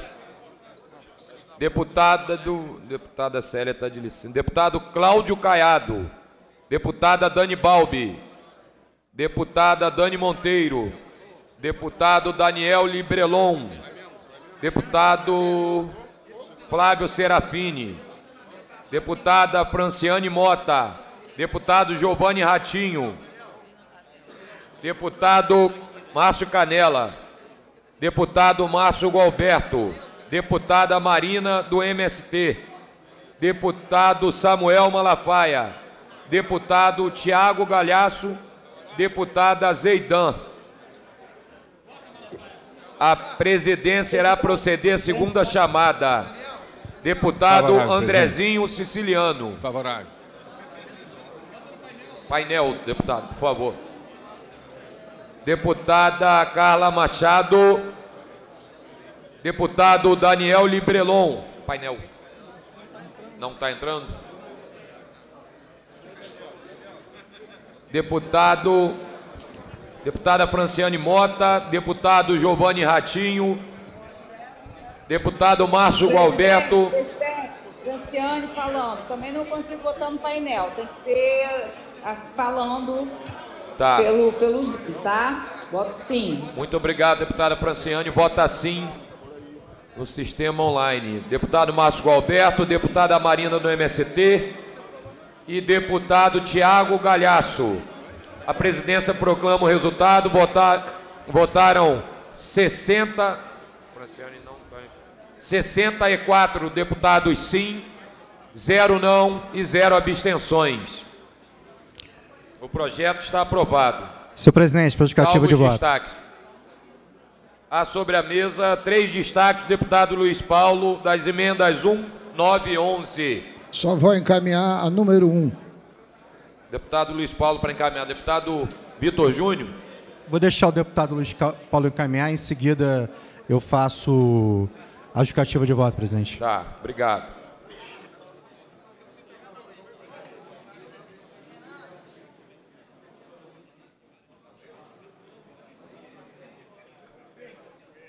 Presidente, senhoras e senhores deputados, Realmente, deputado André Correia, presidente da Comissão de Orçamento, os nossos estaleiros se esvaziaram na medida que a alíquota de CMS ficou muito forte para a construção de embarcações de recreio ou de esporte. Me lembro, inclusive, que ali do lado da maré, naquela aqui do viaduto que pega amarela para vermelha, tinha um estaleiro McLaren que só fazia esse tipo de embarcação. Niterói, deputado Vitor, deve ter sofrido grandiosamente com isso. Então é um sentido fiscal justo, que isso acabou indo para o sul do país, à volta dessa questão. Mas aí eu aproveito para fazer uma alerta, deputado André Correia, porque o senhor vai entender o que eu estou dizendo. O IPVA tinha um voto histórico do, do ministro Marco Aurélio, que dizia o seguinte: IPVA deriva da TRU. TRU é a taxa rodoviária única que já existiu. E se o IPVA deriva TRU, só pode cobrar IPVA dos veículos rodoviários. Me lembro que o ex-governador de saudosa memória, Leonel de Moura Brizola, tentou ampliar o IPVA para tudo e judicialmente perdeu. O Supremo já reviu essa interpretação para ser mais abrangente. Então, o que eu estou aqui destacando, novamente em sentido de alerta, e não no sentido de entrar no texto, é que o Poder Executivo poderia enviar uma mensagem à Assembleia Legislativa para cobrar IPVA das embarcações de recreio ou de esportes registradas no estado do Rio de Janeiro. Porque há de convir, e até o deputado Vitor vai concordar comigo, que pobre não tem embarcação de recreio, nem tampouco nenhum tipo de iate seria extremamente importante para aumentar a arrecadação do Estado. E eu tenho aproveitado esses projetos de incentivo para marcar exatamente temas que podem aumentar a nossa receita e parece que a gente está de olho fechado. Já falei aqui anteriormente no FOT com as suas exceções, e o senhor deputado André Ciliano sabe que isso aconteceu. O FOT foi um projeto de minha autoria proposto pelo governador Dornelles e a Casa montou uma pilha de exceções. Estamos arrecadando 500 mil, podíamos estar arrecadando mais de um bilhão de tanta exceção que tem. E essa é outra possibilidade. Eu acho que quando o cinto está apertado, como está agora, é necessário ver todas as hipóteses possíveis. Muito obrigado, está encaminhado. Senhor presidente, para discutir, presidente. Para discussão, presidente. Aliás, para justificativa de Deputado voto. Vitor Júnior, por favor. É, na verdade, eu vou, eu vou discutir a proposta colocada pelo deputado Luiz Paulo e, ao mesmo tempo, justificar o voto, presidente. Só para ratificar a importância da aprovação desse projeto na tarde de hoje, para a geração de emprego tá, e para o aumento de arrecadação no Estado do Rio de Janeiro. Há 30, 40 anos atrás, na década de 70, 80, 90, deputado Galhaço, o Estado do Rio de Janeiro despontava no setor naval. A gente tinha todos os principais estaleiros, como o deputado Luiz Paulo aqui acabou de falar, ali naquela reta ali é, da linha vermelha em direção à Ilha do Governador. você ter uma ideia, era uma bagunça. Mas todos os estaleiros tinham ali as suas bases voltadas para a produção, para a produção de embarcações de esporte e recreio. Os grandes estaleiros na região de Angra dos Reis, Niterói, Rio de Janeiro, nas grandes áreas, faziam ali as, ali as produções de embarcação voltada para o setor naval e para a operação offshore. E naquela região ali ficava a construção, construção de pequenas embarcações para recreio e atividades esportivas. Quando o Estado do Rio de Janeiro achou que poderia aumentar a arrecadação aumentando a carga de CMS para poder melhorar com isso a performance orçamentária do Estado, o que, que aconteceu? A primeira atividade que foi embora para Itaguaí para outros estados foi construção de embarcação de recreio e embarcação esportiva. Ali foi a primeira queda. E depois, ao longo do tempo, os estaleiros passaram a perceber a importância que seria econômica para eles levar as suas instalações para outros estados do Rio de Janeiro. E com isso, nós entramos numa decadência do setor naval e da produção dos estaleiros em nosso estado. Agora a gente tem a oportunidade de começar a fazer correções. Quando a gente reduz a carga de CMS para 7%, a gente está saindo de 39% para 7%. Só para vocês terem uma ideia, Itaguaí, Santa, na região de, no estado de Santa Catarina, Itaguaí, os estaleiros localizados lá, eles, eles pagam 12% de CMS. Então não tem cabimento, não tem condição financeira vantajosa para nenhum estaleiro do estado do Rio de Janeiro produzir aqui, porque a carga tributária não permite lucro para eles. Então a gente está fazendo uma correção. Eu quero só me somar na fala do deputado Luiz Paulo, que eu sou a favor, sim, da cobrança de PVA para as embarcações. Só que a gente tem que cobrar com o objetivo de utilizar esse recurso para a limpeza dos mares. Aí me somar aqui aos projetos do deputado Carlos Mink, porque da mesma maneira que esses, esse, esse, essas embarcações geram resíduos, poluem os mares, acontece também com os veículos e com as atividades que é, na, nas vias de tráfego que nós temos na, no estado do Rio de Janeiro. Também a gente tem essa situação de poluência nos mares do nosso estado. Então, se tiver isso, eu aprovo. Só que tem um problema.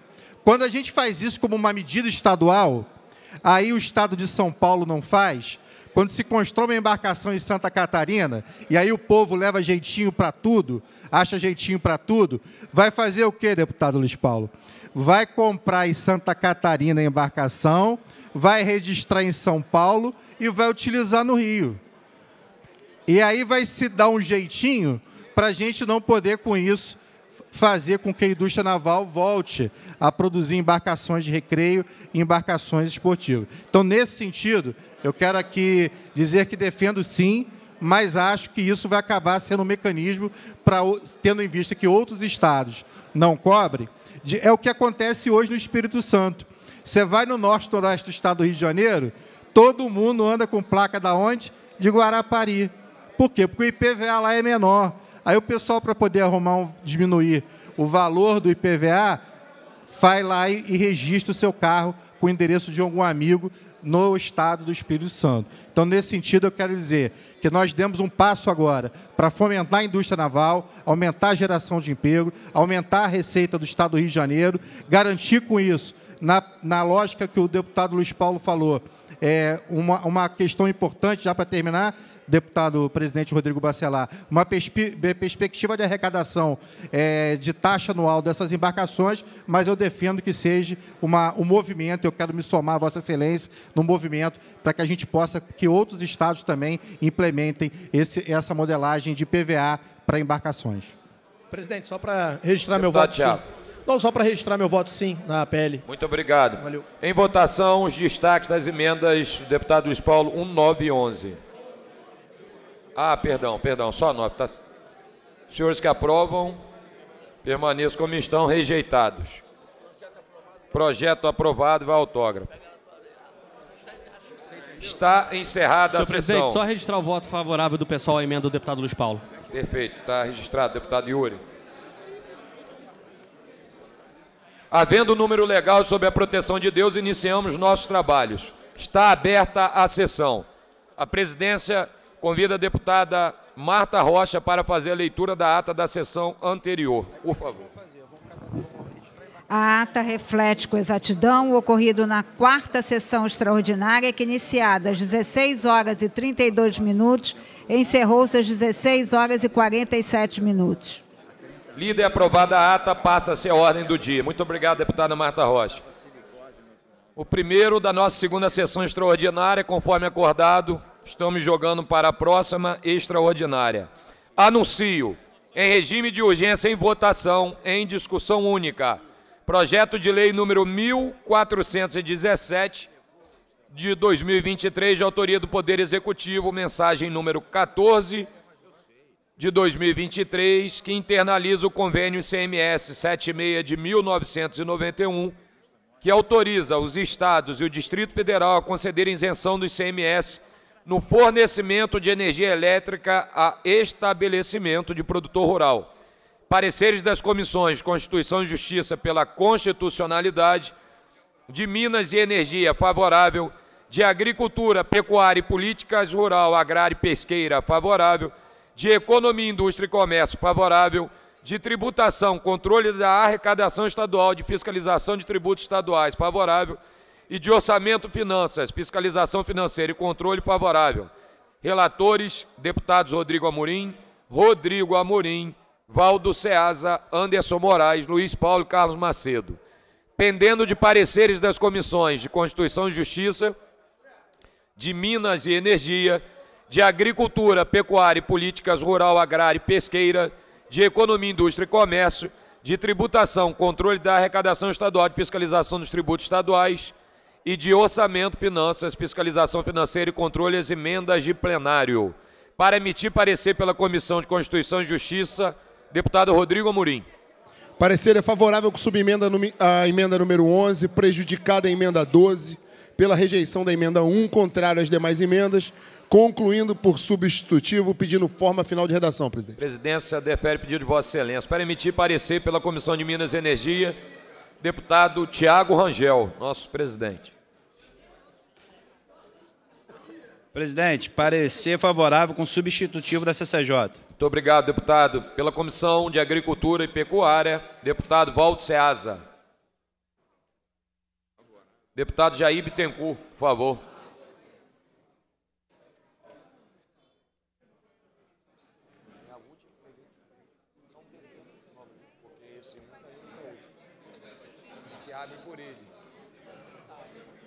Voto favorável, presidente. Obrigado, deputado. Pela Comissão de Economia e dos Comércios, deputado Anderson Moraes. Presidente, favorável, acompanho, acompanhando a CCJ. Muito obrigado, deputado. Pela Comissão de Tributação, deputado Arthur Monteiro. Senhor presidente, favorável com a subemenda da CCJ, emenda de número 11, contrário de mais emendas e, por fim, favorável ao substitutivo da CCJ. Pela Comissão de Orçamento e Finanças, deputado presidente André Correia, por favor. O presidente, parecer favorável a todas as emendas que a CCJ considerou favorável e contrária às mesmas que a CCJ considerou. Muito obrigado, deputado. Com os pareceres emitidos em votação substitutivo. Verificação nominal, por gentileza. Conforme a final de redação. Os senhores que aprovam permaneçam como estão. Aprovado. Verificação solicitado pela deputada Obrigado. Lucinha. Caminhar a votação, senhor presidente. Por favor, deputado Luiz Paulo. Senhor presidente, esse projeto revoga a Lei 9451, de 5 de novembro de 21.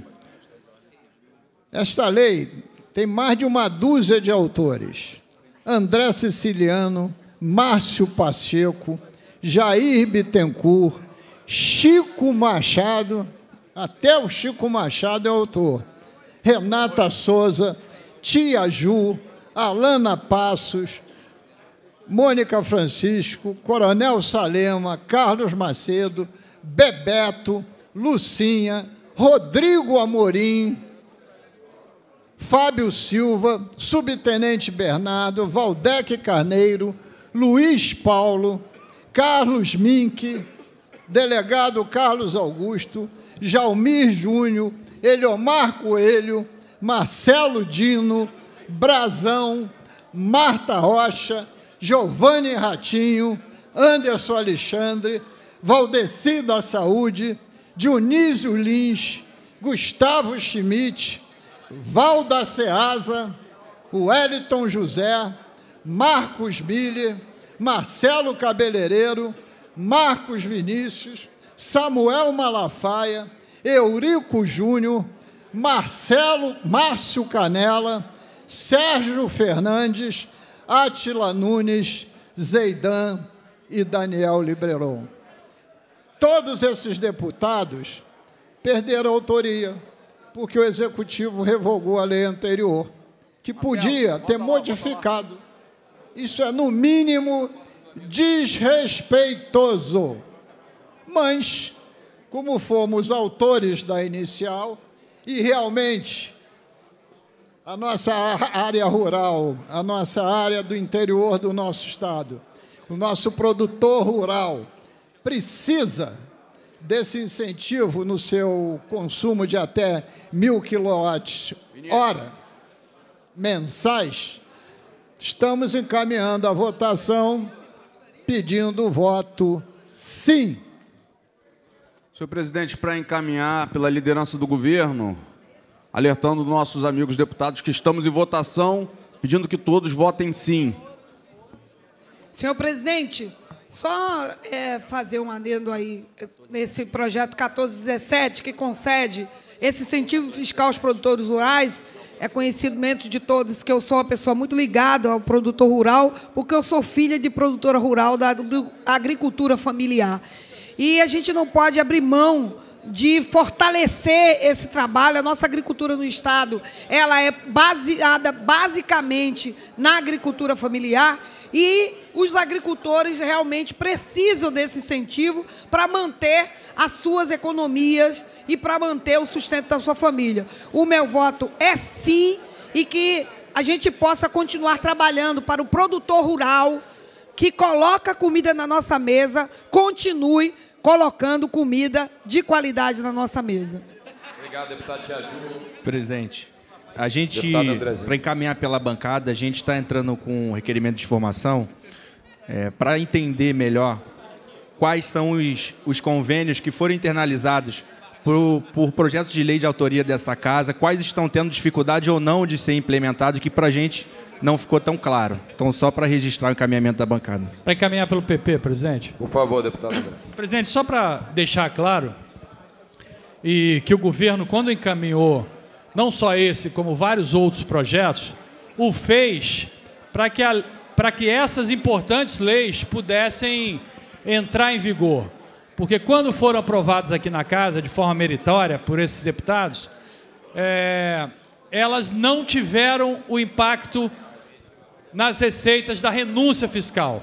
Então, o governo não teve o objetivo de retirar as autorias ou deixar de valorizar a iniciativa intelectual dos deputados, mas, pelo contrário, de fazer valer os interesses né, do parlamento. Então, pelo PP, encaminho o voto favorável. Para encaminhar pelo MDB, senhor presidente. Deputado meu primeiro secretário, Rosenberg. É uma honra, presidente. Presidente, a Baixada Fluminense tem muita área rural. O MDB encaminha o voto sim, senhor presidente. Muito obrigado, deputado. A presidência procederá à primeira chamada. Deputado Andrezinho Ceciliano, deputado Carlos Mink, deputada Dani Balbi, deputado Doutor Deodalto, deputado Fábio Silva, deputado Flávio Serafini, deputada Franciane Mota, deputado Jair Bittencourt, deputado Jari Oliveira, deputado Léo Vieira, deputado Luiz Paulo, deputado Márcio Canela, deputado Márcio Gualberto, deputada Marina do MST, deputado professor Josemar, deputado Renato Miranda,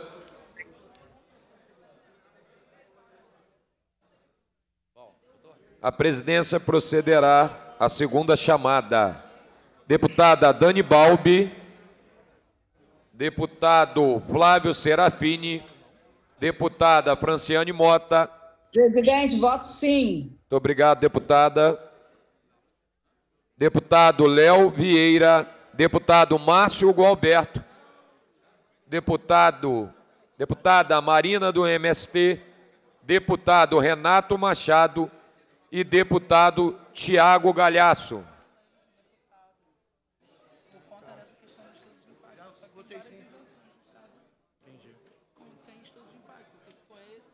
Entendi. Não, não, não. Entendi, entendi. Já contando.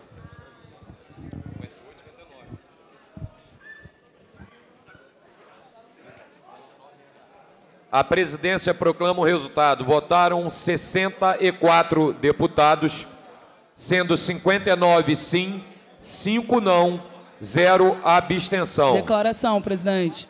O projeto foi aprovado, salvo os destaques do deputado Luiz Paulo nas emendas aditivas 2, 3 e 13. Deputada, vai discutir? Vai. Não, a minha Deputado... é declaração de voto, mas é depois do destaque, Perfeito. né? Ou, é. Deixa o deputado Luiz Paulo no tempo regimental dele.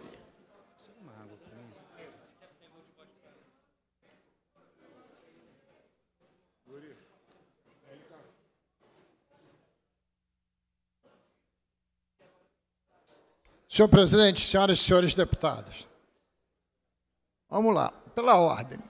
Destaquei a emenda aditiva número 13 da deputada Marina do MST, do Partido dos Trabalhadores, porque achei extremamente justa o que ela deseja incluir no artigo 2 um parágrafo terceiro com a seguinte redação. O projeto diz respeito a fornecimento de energia elétrica a estabelecimento de produtor rural. Mas produtor rural é um nome muito vago.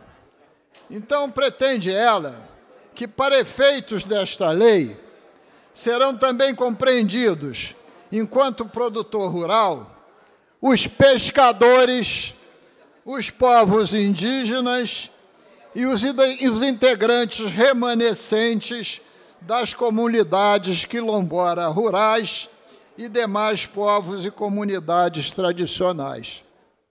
Então, senhor presidente, eu queria pedir reflexão ao deputado Amorim, que me, me parece bastante pertinente a observação dessa emenda da deputada Marina do PST, do MST, mas que pertence ao Partido dos Trabalhadores, para ampliar a compreensão do produtor rural.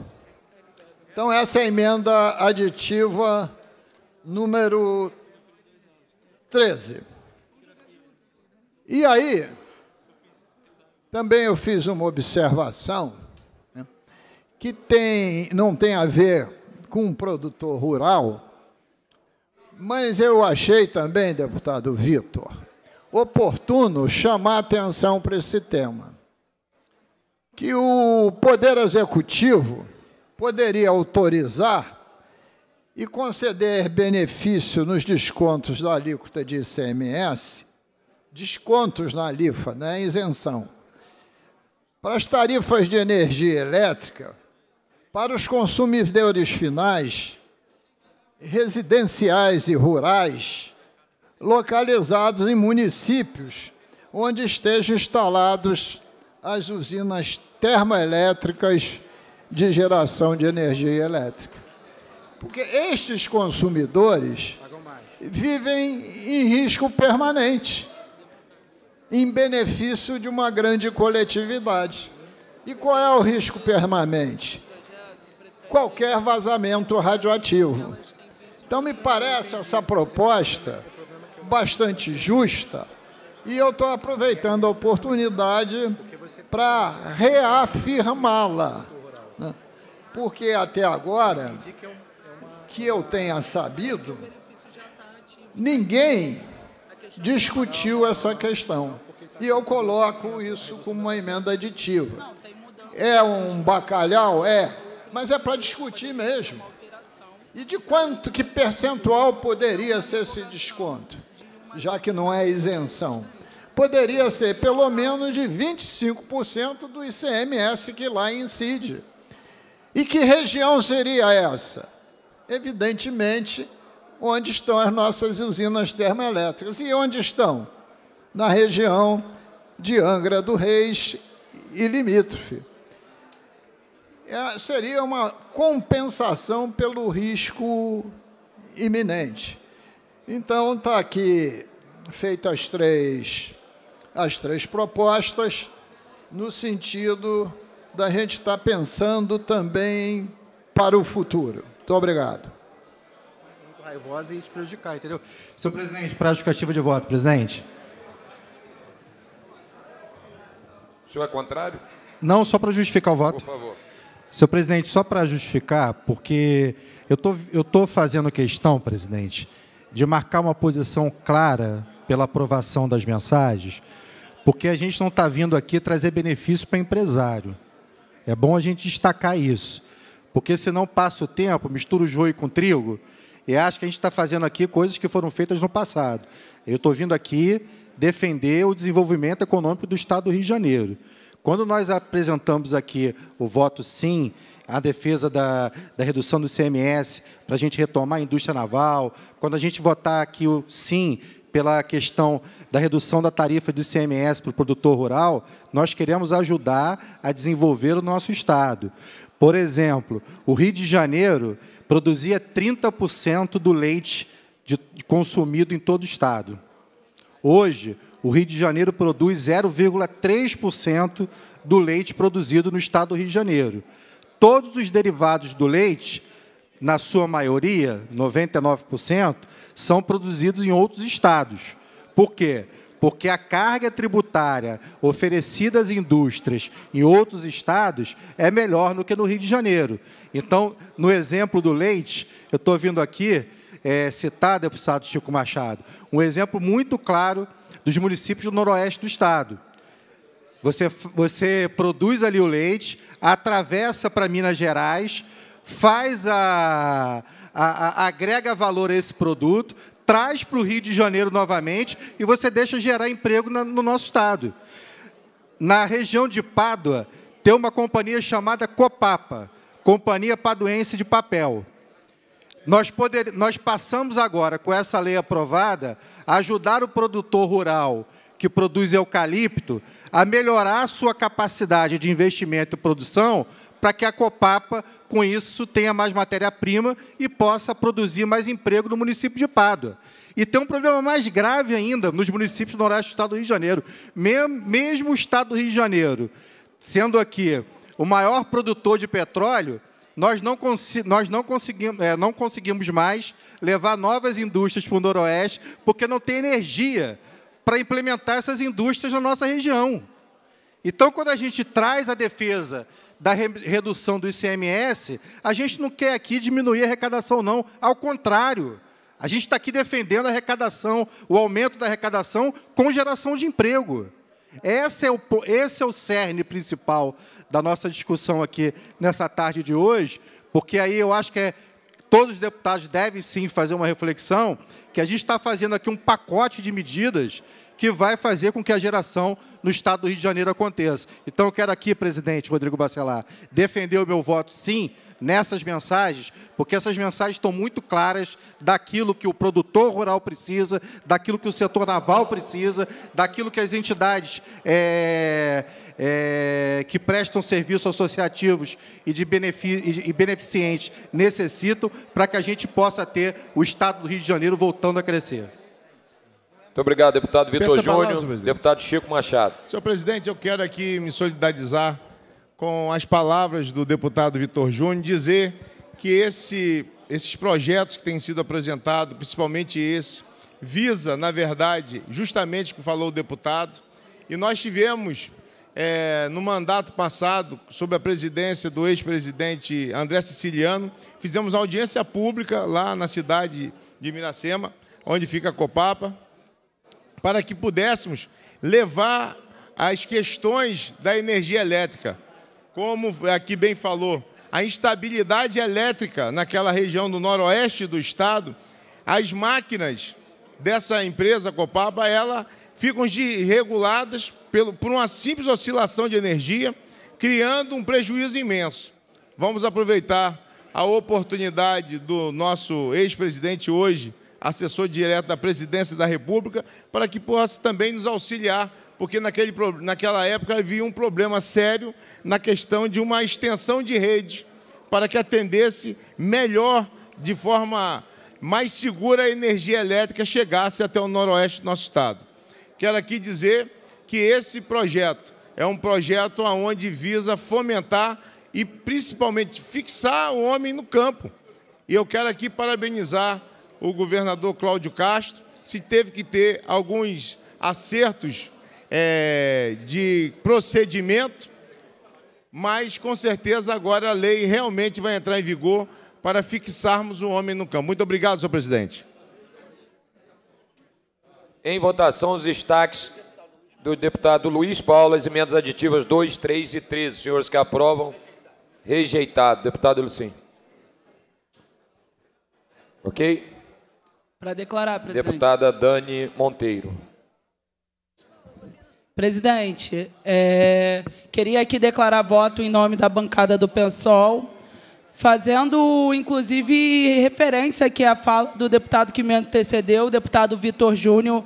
A gente acredita que quando falamos de isenção fiscal, que trazem contrapartida social, é, de, no caso, né, traz possibilidade de geração de emprego e renda, desenvolve a cadeia produtiva, elas são meritórias e salutar. Inclusive, são os estudos de impacto que nos levam a enxergar isso.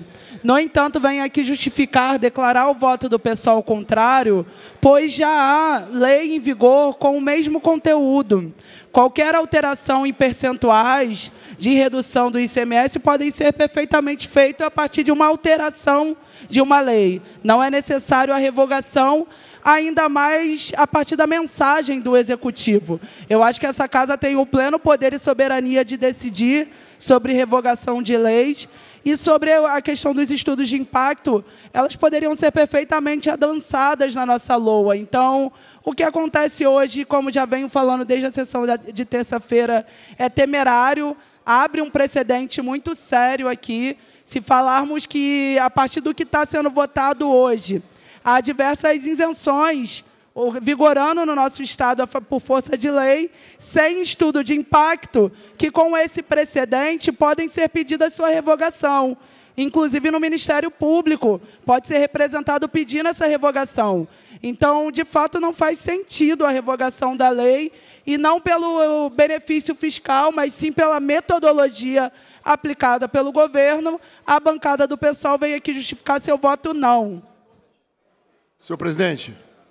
Deputado Amorim, por favor. Para responder a questão de ordem colocada pela deputada Dani Monteiro, esse assunto, a declaração de voto que seja, presidente, esse assunto foi exaustivamente discutido há duas sessões atrás. Me perdoe com todo o carinho que tenho pela deputada Dani, que é público, respeito o mandato da deputada Dani, mas o que a deputada Dani está colocando não está sendo, é, eu diria, é, honesto com a Assembleia Legislativa da qual ela faz parte. Dizer que a Casa Legislativa não tem autoridade para revogar lei é jogar contra o próprio parlamento. É importante deixar claro, deputada, é importante deixar claro que cumprir um mandato e legislar não é só defender pauta e fazer discurso no microfone. Sobretudo no que diz respeito às questões tributárias, é necessário o um entendimento das regras, inclusive para legislar. Qualquer projeto que envolva a temática que nós estamos discutindo exaustivamente há três dias ela tem um critério básico. Primeiro, o critério de competência. Vossa Excelência e qualquer deputado é competente para propor não só qualquer incentivo, bem como pela revogação de qualquer lei aprovada nessa casa, seja ela mensagem do Executivo, do Judiciário ou autoria do próprio deputado.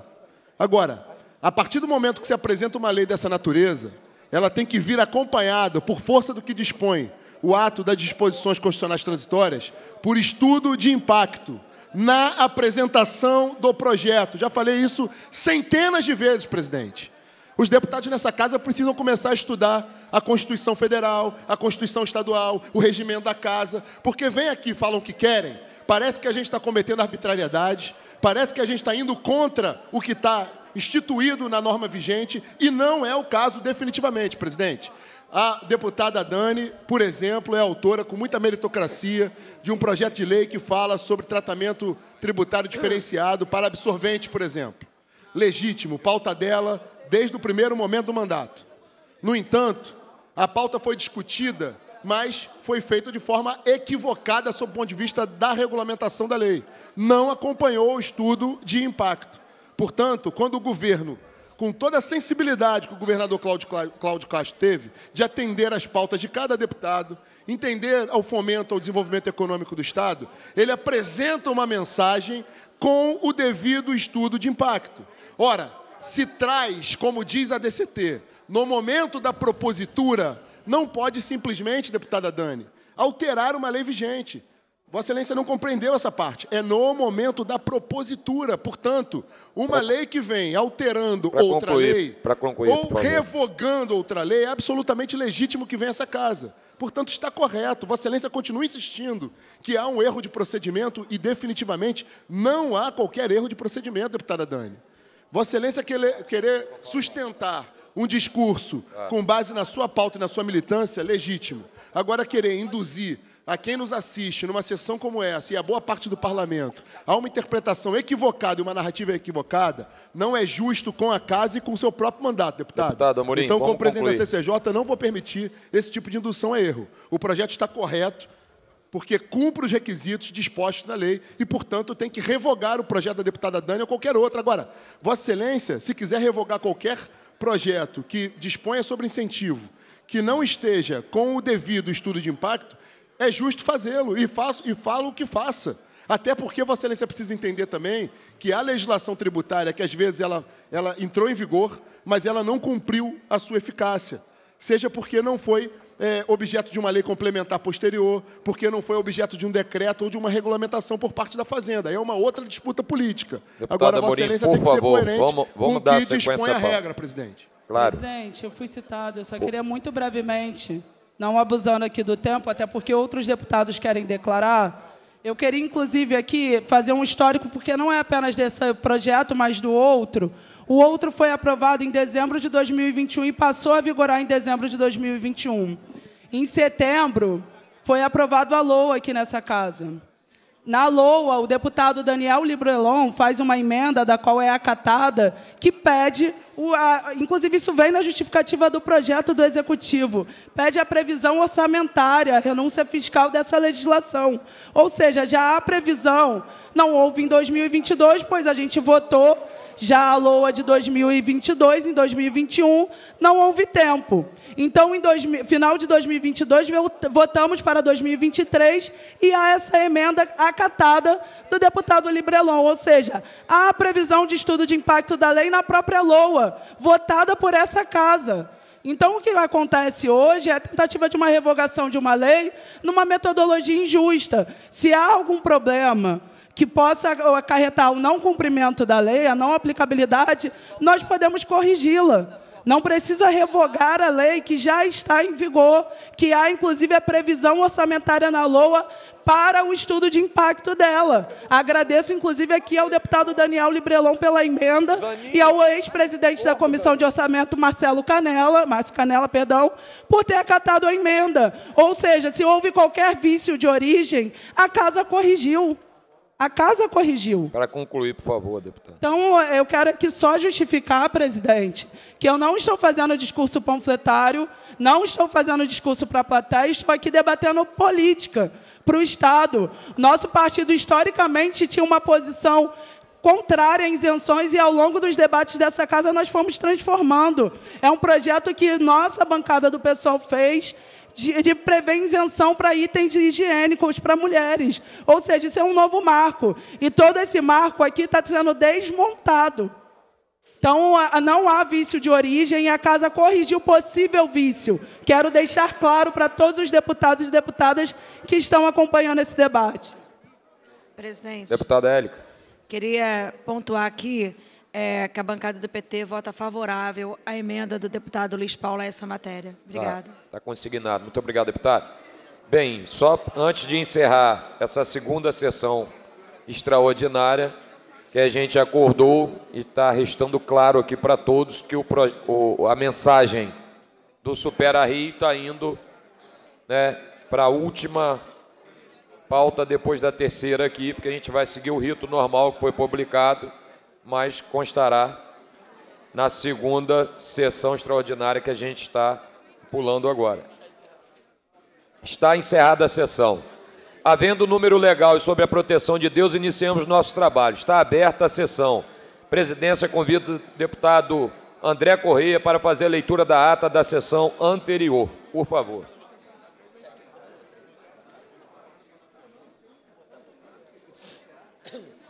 A ata, ref...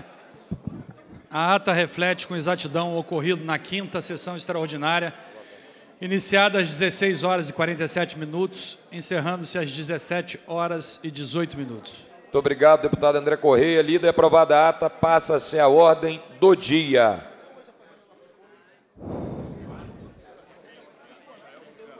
Estamos pulando a primeira mensagem, indo à segunda, em regime de urgência, em votação, discussão única, projeto de lei número 1419, de 23, de autoria do Poder Executivo, mensagem número 16 de 23, que internaliza o convênio ICMS número 187/21, que concede isenção de imposto sobre circulação de mercadorias e prestação de serviços, transporte estadual de comunicação, ICMS, nas operações realizadas com absorvente íntimos, destinados a órgãos da administração pública direta e indireta, federal, estadual e municipal e suas fundações públicas.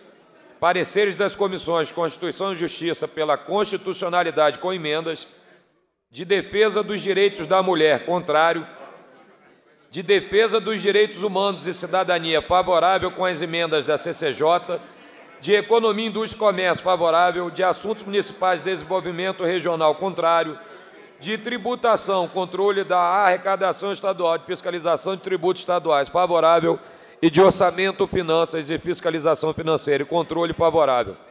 Relatores, deputados Rodrigo Amorim, Renata Souza, Fred Pacheco, Douglas Ruas, Yuri deputado Luiz Paulo e deputado Douglas Ruas, pendendo de pareceres das comissões Constituição e Justiça, de defesa dos direitos da mulher, de defesa dos direitos humanos e cidadania, de economia, indústria e comércio, de assuntos municipais de desenvolvimento regional, de tributação, controle da arrecadação estadual e fiscalização dos tributos estaduais e de orçamento, finanças, fiscalização financeira e controle, as emendas de plenário para emitir parecer pela Comissão de Constituição e Justiça, deputado Rodrigo Amorim.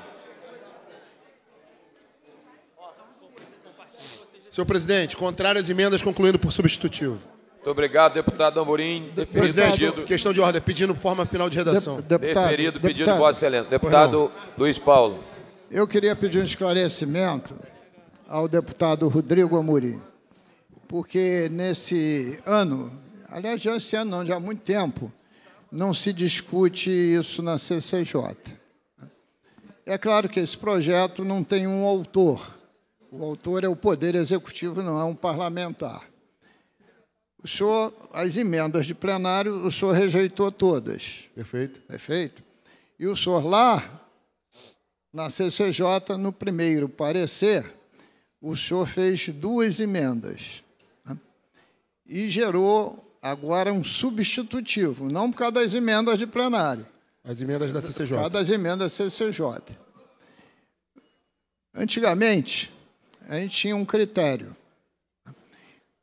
Para virar substitutivo, em respeito à autoria dos parlamentares, a gente fixava um limite mínimo de alterações no projeto original, né? para que não se perdesse a autoria.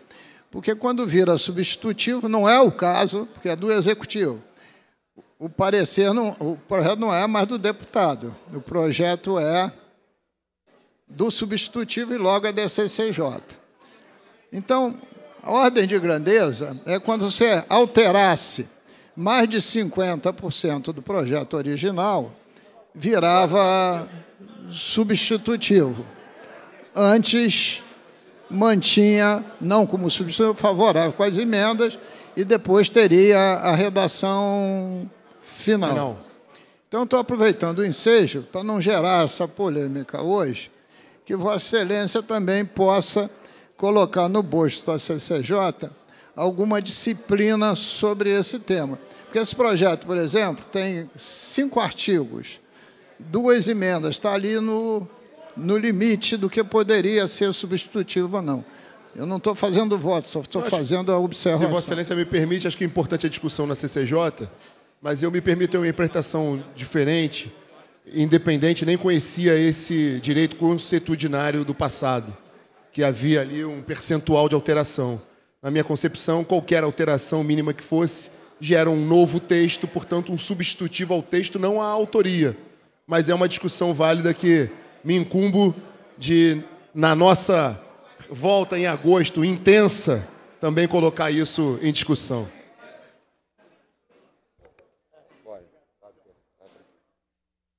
Para emitir parecer pela Comissão de Defesa dos Direitos da Mulher, deputada Renata Souza, por favor.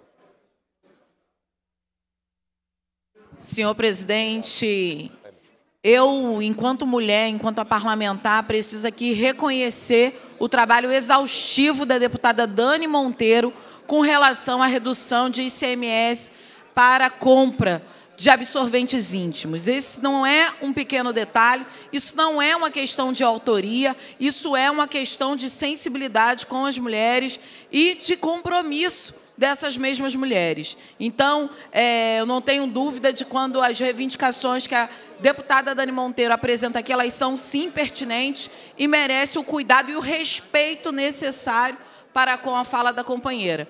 Então, senhor presidente, nós votaremos sim é, em consonância aí também o que a Comissão de Defesa dos Direitos Humanos, que a própria, não sei se a própria Dani Monteiro vai, vai mostrar, porque é claro, é uma mensagem do, do Executivo, mas que dará é, as presentes emendas. Então, parabenizando de novo a deputada Dani Monteiro, que sim estimulou o debate dentro dessa casa e mantém a sua é, atuação firme para que nenhuma criança, nenhuma adolescente pobre não tenha acesso a absorventes íntimos, em especial dentro das escolas do Estado do Rio de Janeiro. Muito obrigada, presidente. Obrigado, deputada Renata. Para emitir parecer pela Comissão de Defesa dos Direitos Humanos e Cidadania, nossa querida amiga Dani Monteiro. Senhor presidente, muitas novidades né, que essa casa está enfrentando. Agora a gente até conclui por substitutivo sem emendas. Sejam parecer sem emendas vira concluído por substitutivo. Excelência não leu o regimento, definitivamente.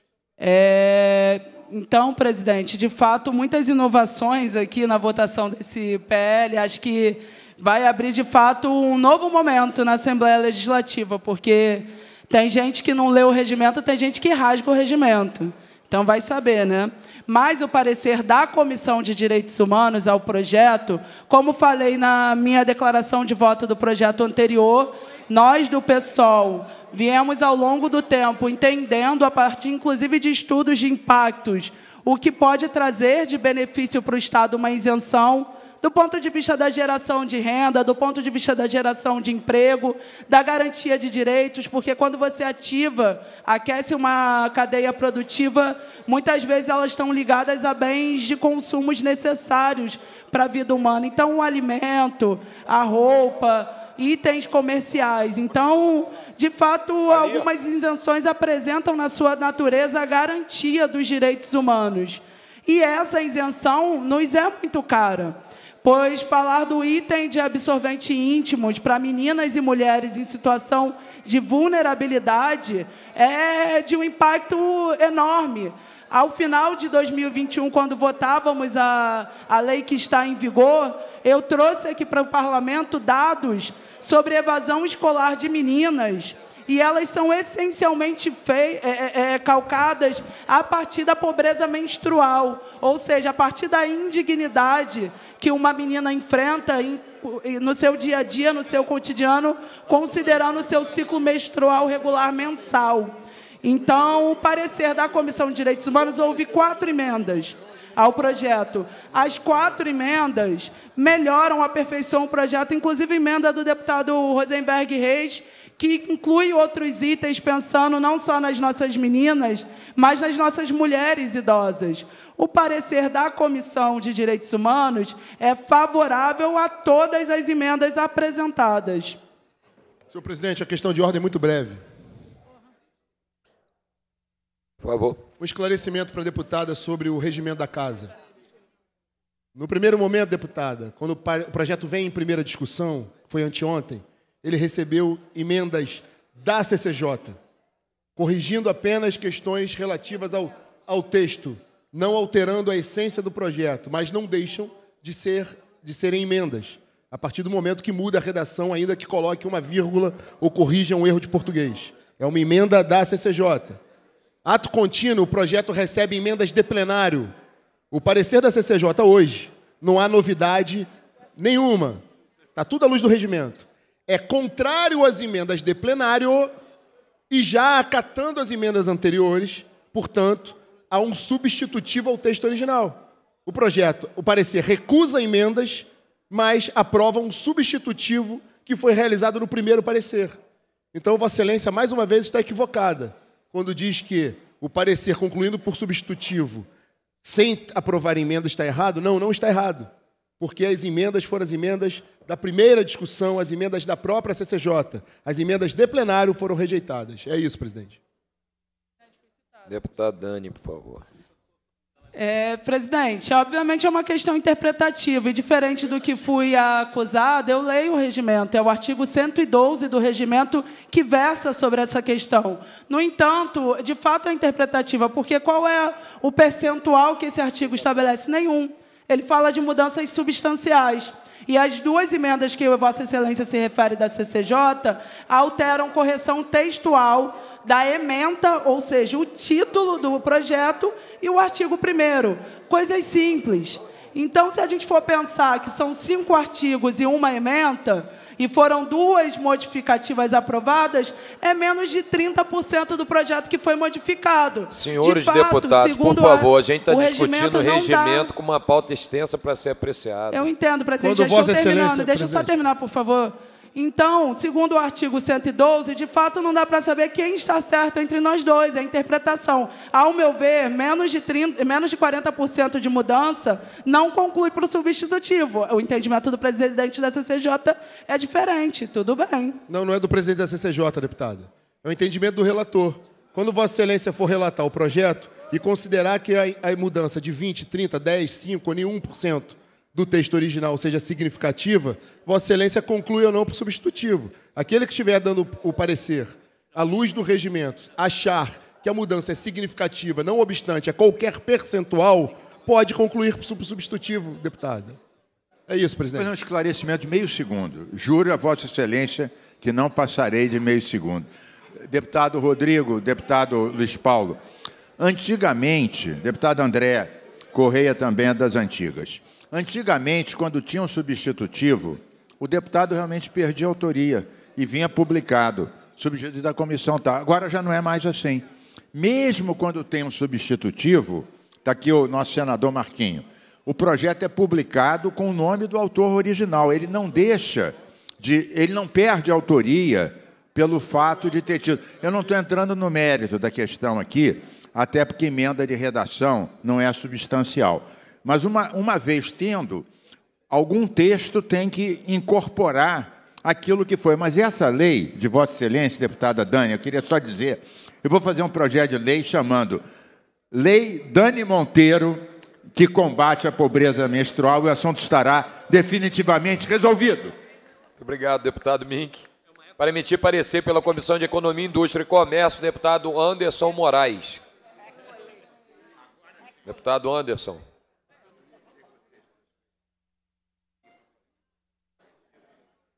Senhor presidente, favorável acompanhando o parecer da CCJ. Muito obrigado. Deputado, para emitir parecer pela Comissão de Assuntos Municipais, deputado Renato Machado. Deputado Carlos Macedo. Deputado Yuri, por favor. Senhor presidente, favorável acompanhando parecer da Comissão de Direitos Humanos, só queria aproveitar para dizer a importância desse tema. Eu me junto, obviamente, à leitura da minha companheira Dani Monteiro, mas queria mandar um recado à Prefeitura de Petrópolis. Eu fui vereador naquela cidade por dois anos, a cidade que eu amo, a cidade que eu nasci, e eu consegui, junto do vereador Maurinho Branco, que tenho certeza que Vossas Excelências conhecem, flamenguista querido de todos nós, nós aprovamos uma lei de combate à pobreza menstrual na rede municipal de ensino. No governo interino do então prefeito, vereador Ingo Rames, nós conseguimos, com o professor Zé Luiz, secretário, garantir a entrega de mais de 11 mil absorventes para meninas e mulheres da rede municipal de ensino. o combate à pobreza menstrual sendo debatido nas salas de aula, quebrando esse tabu a partir de uma lei de minha autoria junto do então vereador Maurinho Branco. E eu fico muito triste que mais de um ano e meio depois, a Secretaria de Educação ainda não deu continuidade ao nosso projeto. Estou sendo procurado por diretoras, estou sendo procurado por estudantes, todo mundo querendo entender o porquê a Secretaria de Educação não cumpre a lei e não exerce a entrega dos absorventes higiênicos na rede municipal de ensino. Eu vou oficiar de novo a Secretaria de Educação cobrando o cumprimento da minha lei e quero lembrar que o governo federal já percebeu isso. O governo Lula já anunciou que vai criar um grande programa para além da educação, inclusive, envolvendo saúde e assistência. Petrópolis tem uma lei, saímos na frente, infelizmente o governo não está tendo compromisso. Muito obrigado. Muito obrigado, deputado Yuri. Para emitir parecer pela Comissão de Tributação, deputado Arthur Monteiro.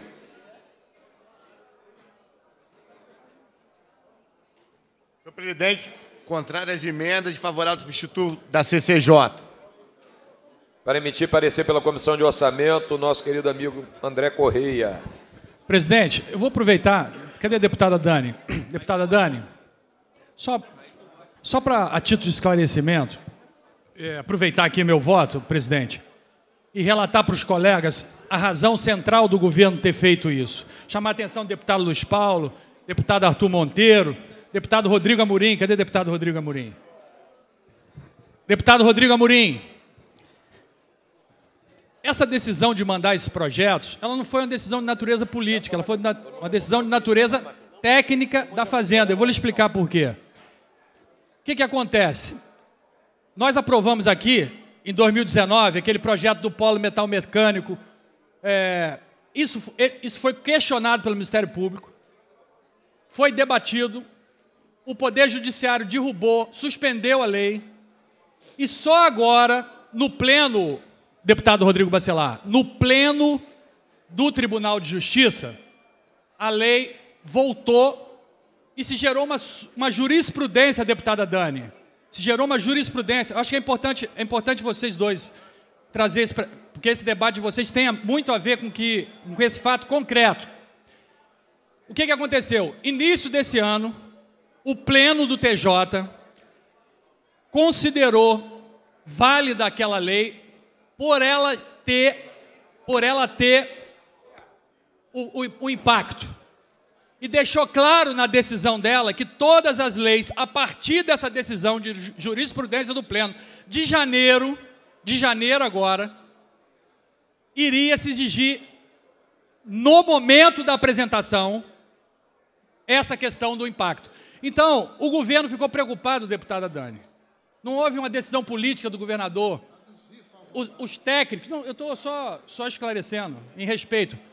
Os técnicos da Fazenda entenderam, para dar segurança jurídica e a lei não ser questionada e a lei não ser derrubada, que ela voltasse a tramitar na casa com essas características. Foi uma decisão, pra, pelo contrário, para garantir a efetividade.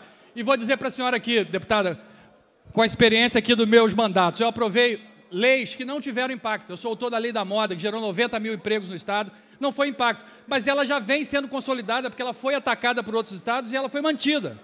Então, o objetivo é justamente que a sua bandeira, e essa é uma bandeira que ninguém vai lhe tirar, é reconhecida publicamente a sua bandeira nesse tema específico, é justamente para garantir que ela seja efetiva, porque até então ela não está sendo efetiva. Não houve isenção para os absorventes a partir de agora vai haver com segurança jurídica, porque ninguém está fazendo a partir da decisão do pleno do TJ. Então era o um esclarecimento acompanhando o parecer da CCJ.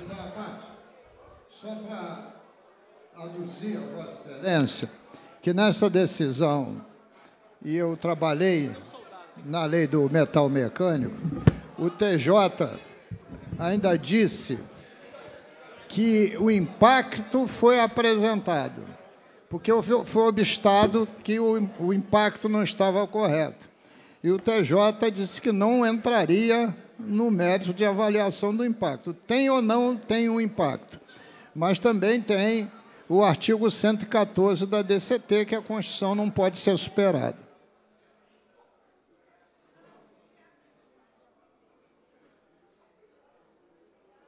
Com os pareceres emitidos, em votação substitutivo. Senhores que aprovam, Permaneço com a Verificação- mistão. verificação Aprovado. Verificação Verificação solicitado pela nobre deputada Lucinha. Obrigado.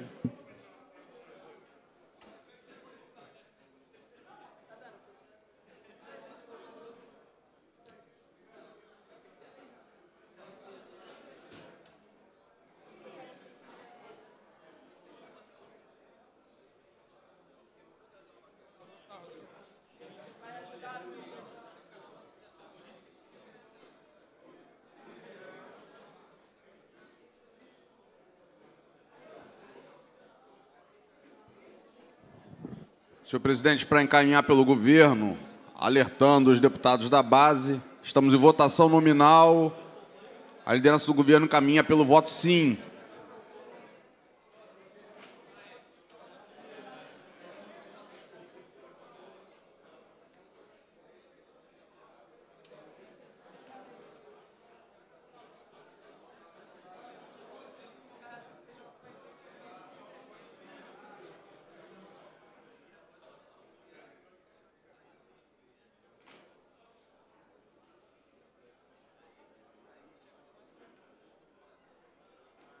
A presidência proce- procederá à primeira chamada. Deputado Andrezinho Siciliano. Deputado Arthur Monteiro. Deputado Brazão. Deputado Chico Machado. Deputado Cláudio Caiado.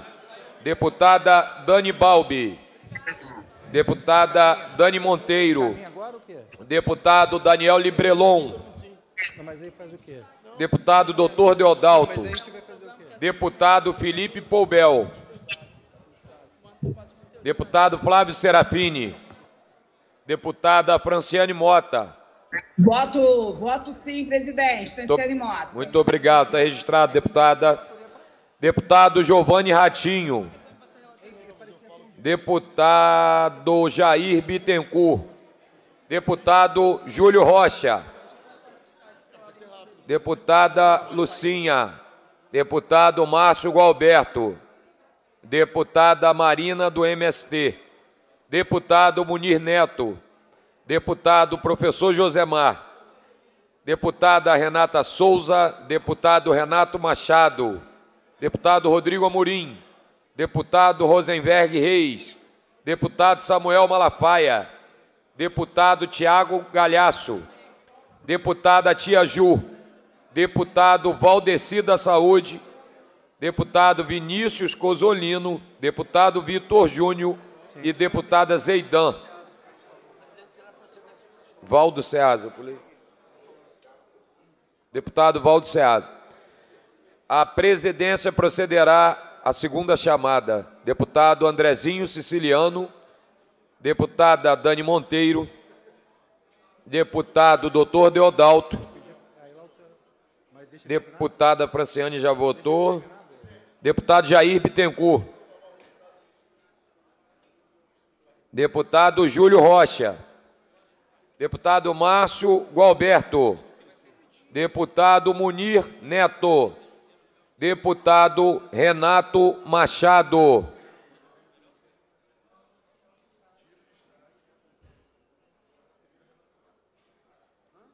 Deputado Samuel Malafaia, deputado Tiago Galhaço, deputado Valdo Ceasa, deputado Valdeci da Saúde, deputado Vinícius Cosolino.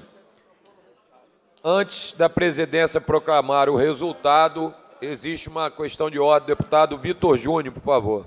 Senhor presidente, só para a gente não perder esse clima diário aqui, permanente, de alegria, de amor entre a Dani Monteiro e o Rodrigo Amorim, a gente aqui, conversando aqui com os dois deputados, presidente, a gente conseguiu chegar no consenso e que o deputado Rodrigo Amorim e a comissão é, é, que faz parte, a deputada Dani, vai alterar o parecer da comissão, vai passar a assinar em conjunto com a Comissão de Constituição e Justiça e ela passa a ser a relatora dessa, desse projeto e com isso a gente dá a devida autoria à, à ideia inicial da deputada Dani Monteiro e eu acho que isso é, uma, é, uma, é um gesto fundamental do deputado Rodrigo Amorim, de todos os deputados dessa casa, deputada Dani Monteiro, onde a gente reconhece a ideia inicial, aquele deputado que defendeu, que trouxe a, questão à tona,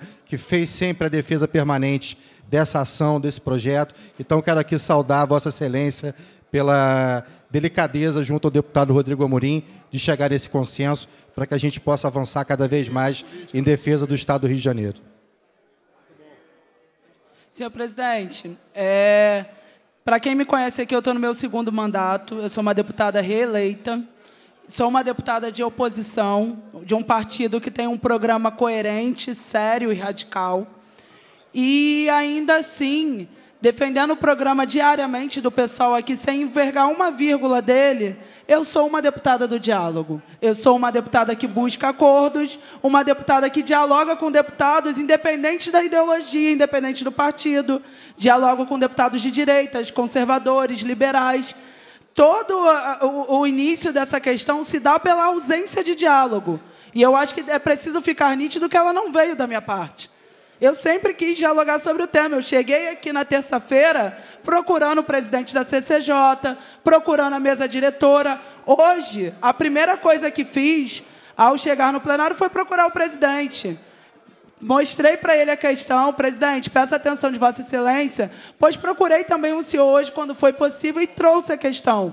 Ou seja, quero deixar nítido a todos os deputados e deputadas que jamais faltou diálogo da nossa parte, jamais faltou de nós o, a, o desejo de produzir um acordo. Disse, inclusive, ao deputado Rodrigo Amorim que, desde o início, desde a terça-feira, se dedicou a dialogar longamente comigo sobre o tema disse ao deputado Rodrigo Amorim: acho excelente que o governo adote uma postura de pedir, contra, é, pedir o estudo de impacto de todas as isenções fiscais para deputados, inclusive o deputado André Correia, que é um deputado antigo aqui na casa, conheceu a nossa bancada desde épocas primórdias.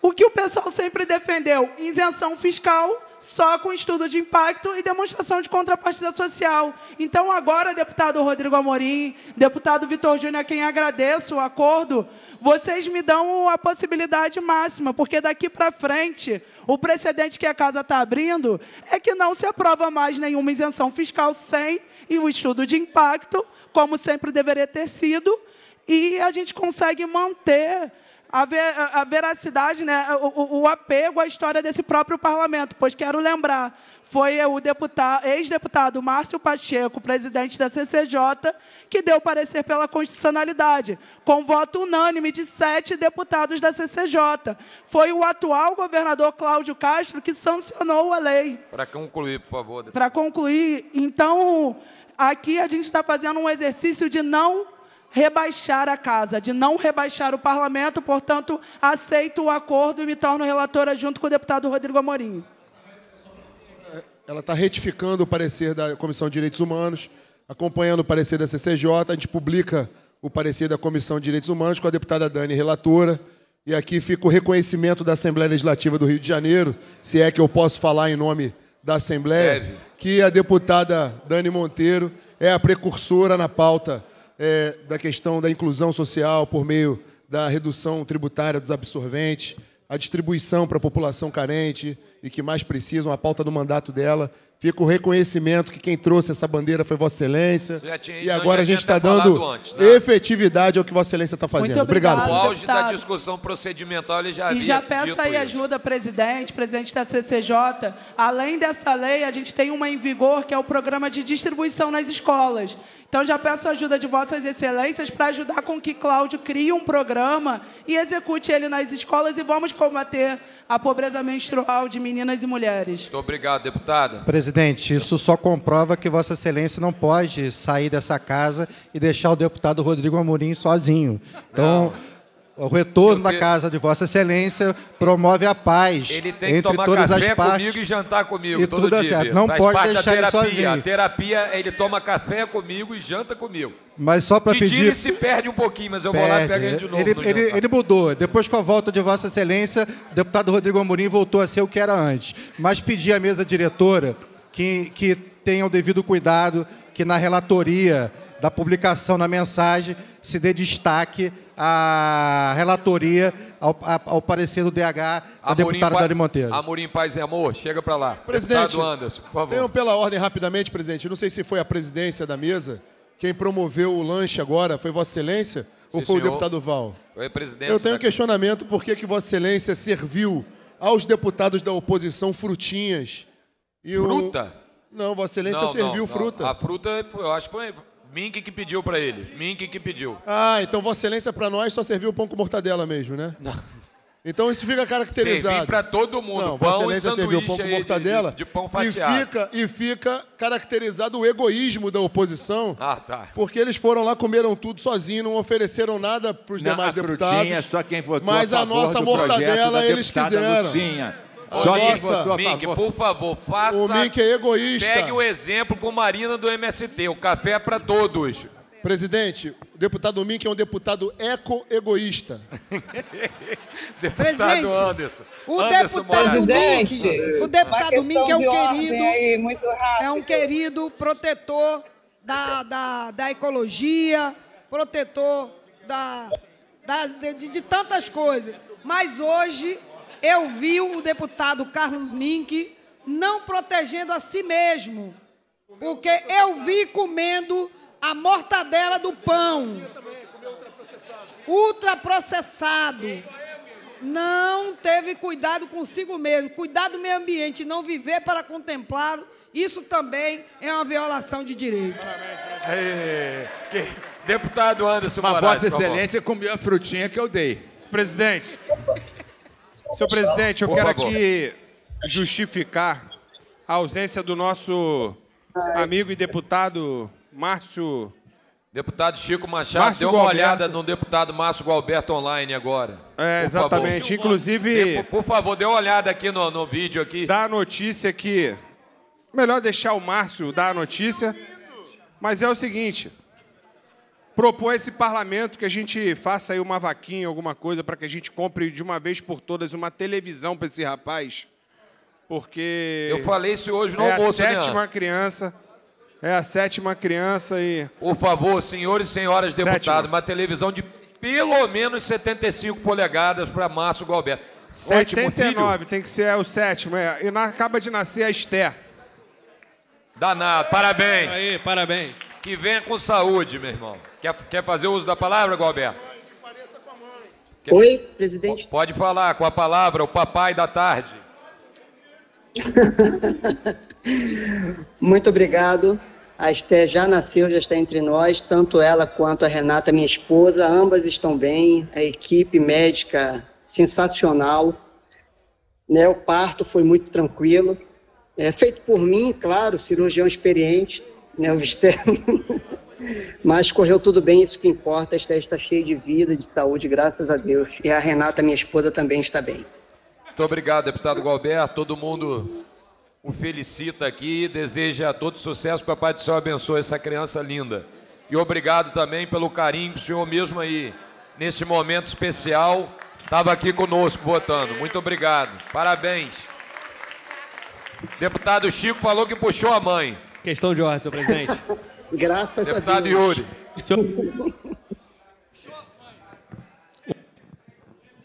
Senhor presidente, pela ordem. Oi. Ah, antes de fazer a questão de ordem, queria mandar um abraço pro deputado Márcio Galberto, para a esposa dele, Renata, e dizer com todo o carinho e respeito que tenho por ele. Se ele tem sete filhos, a chance, oito, a chance de um deles ou dela ser esquerda está crescendo.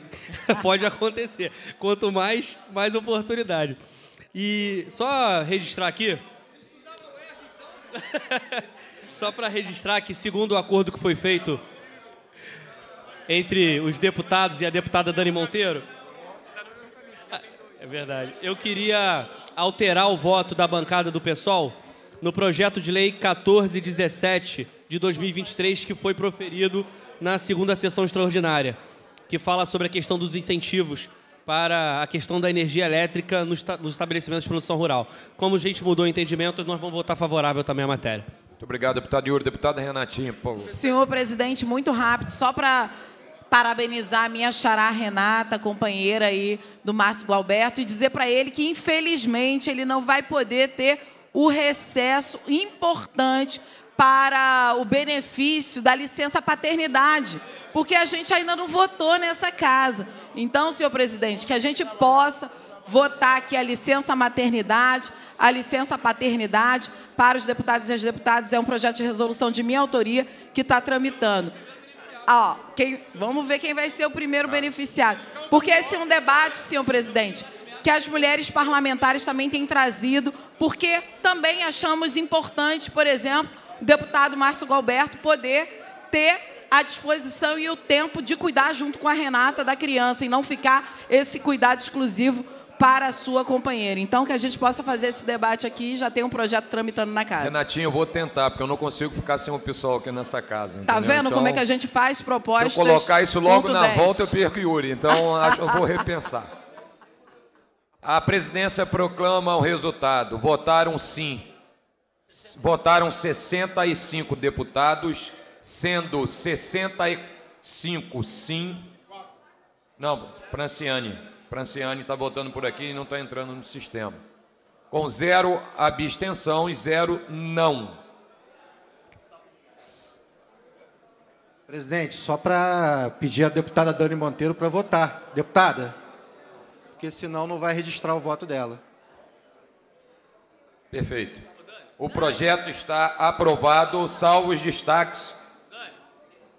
Tem quatro destaques do deputado Luiz Paulo, com as emendas supressivas 2, 4, 5 e 3, e quatro emendas também do deputado Yuri. Senhor presidente. São as mesmas.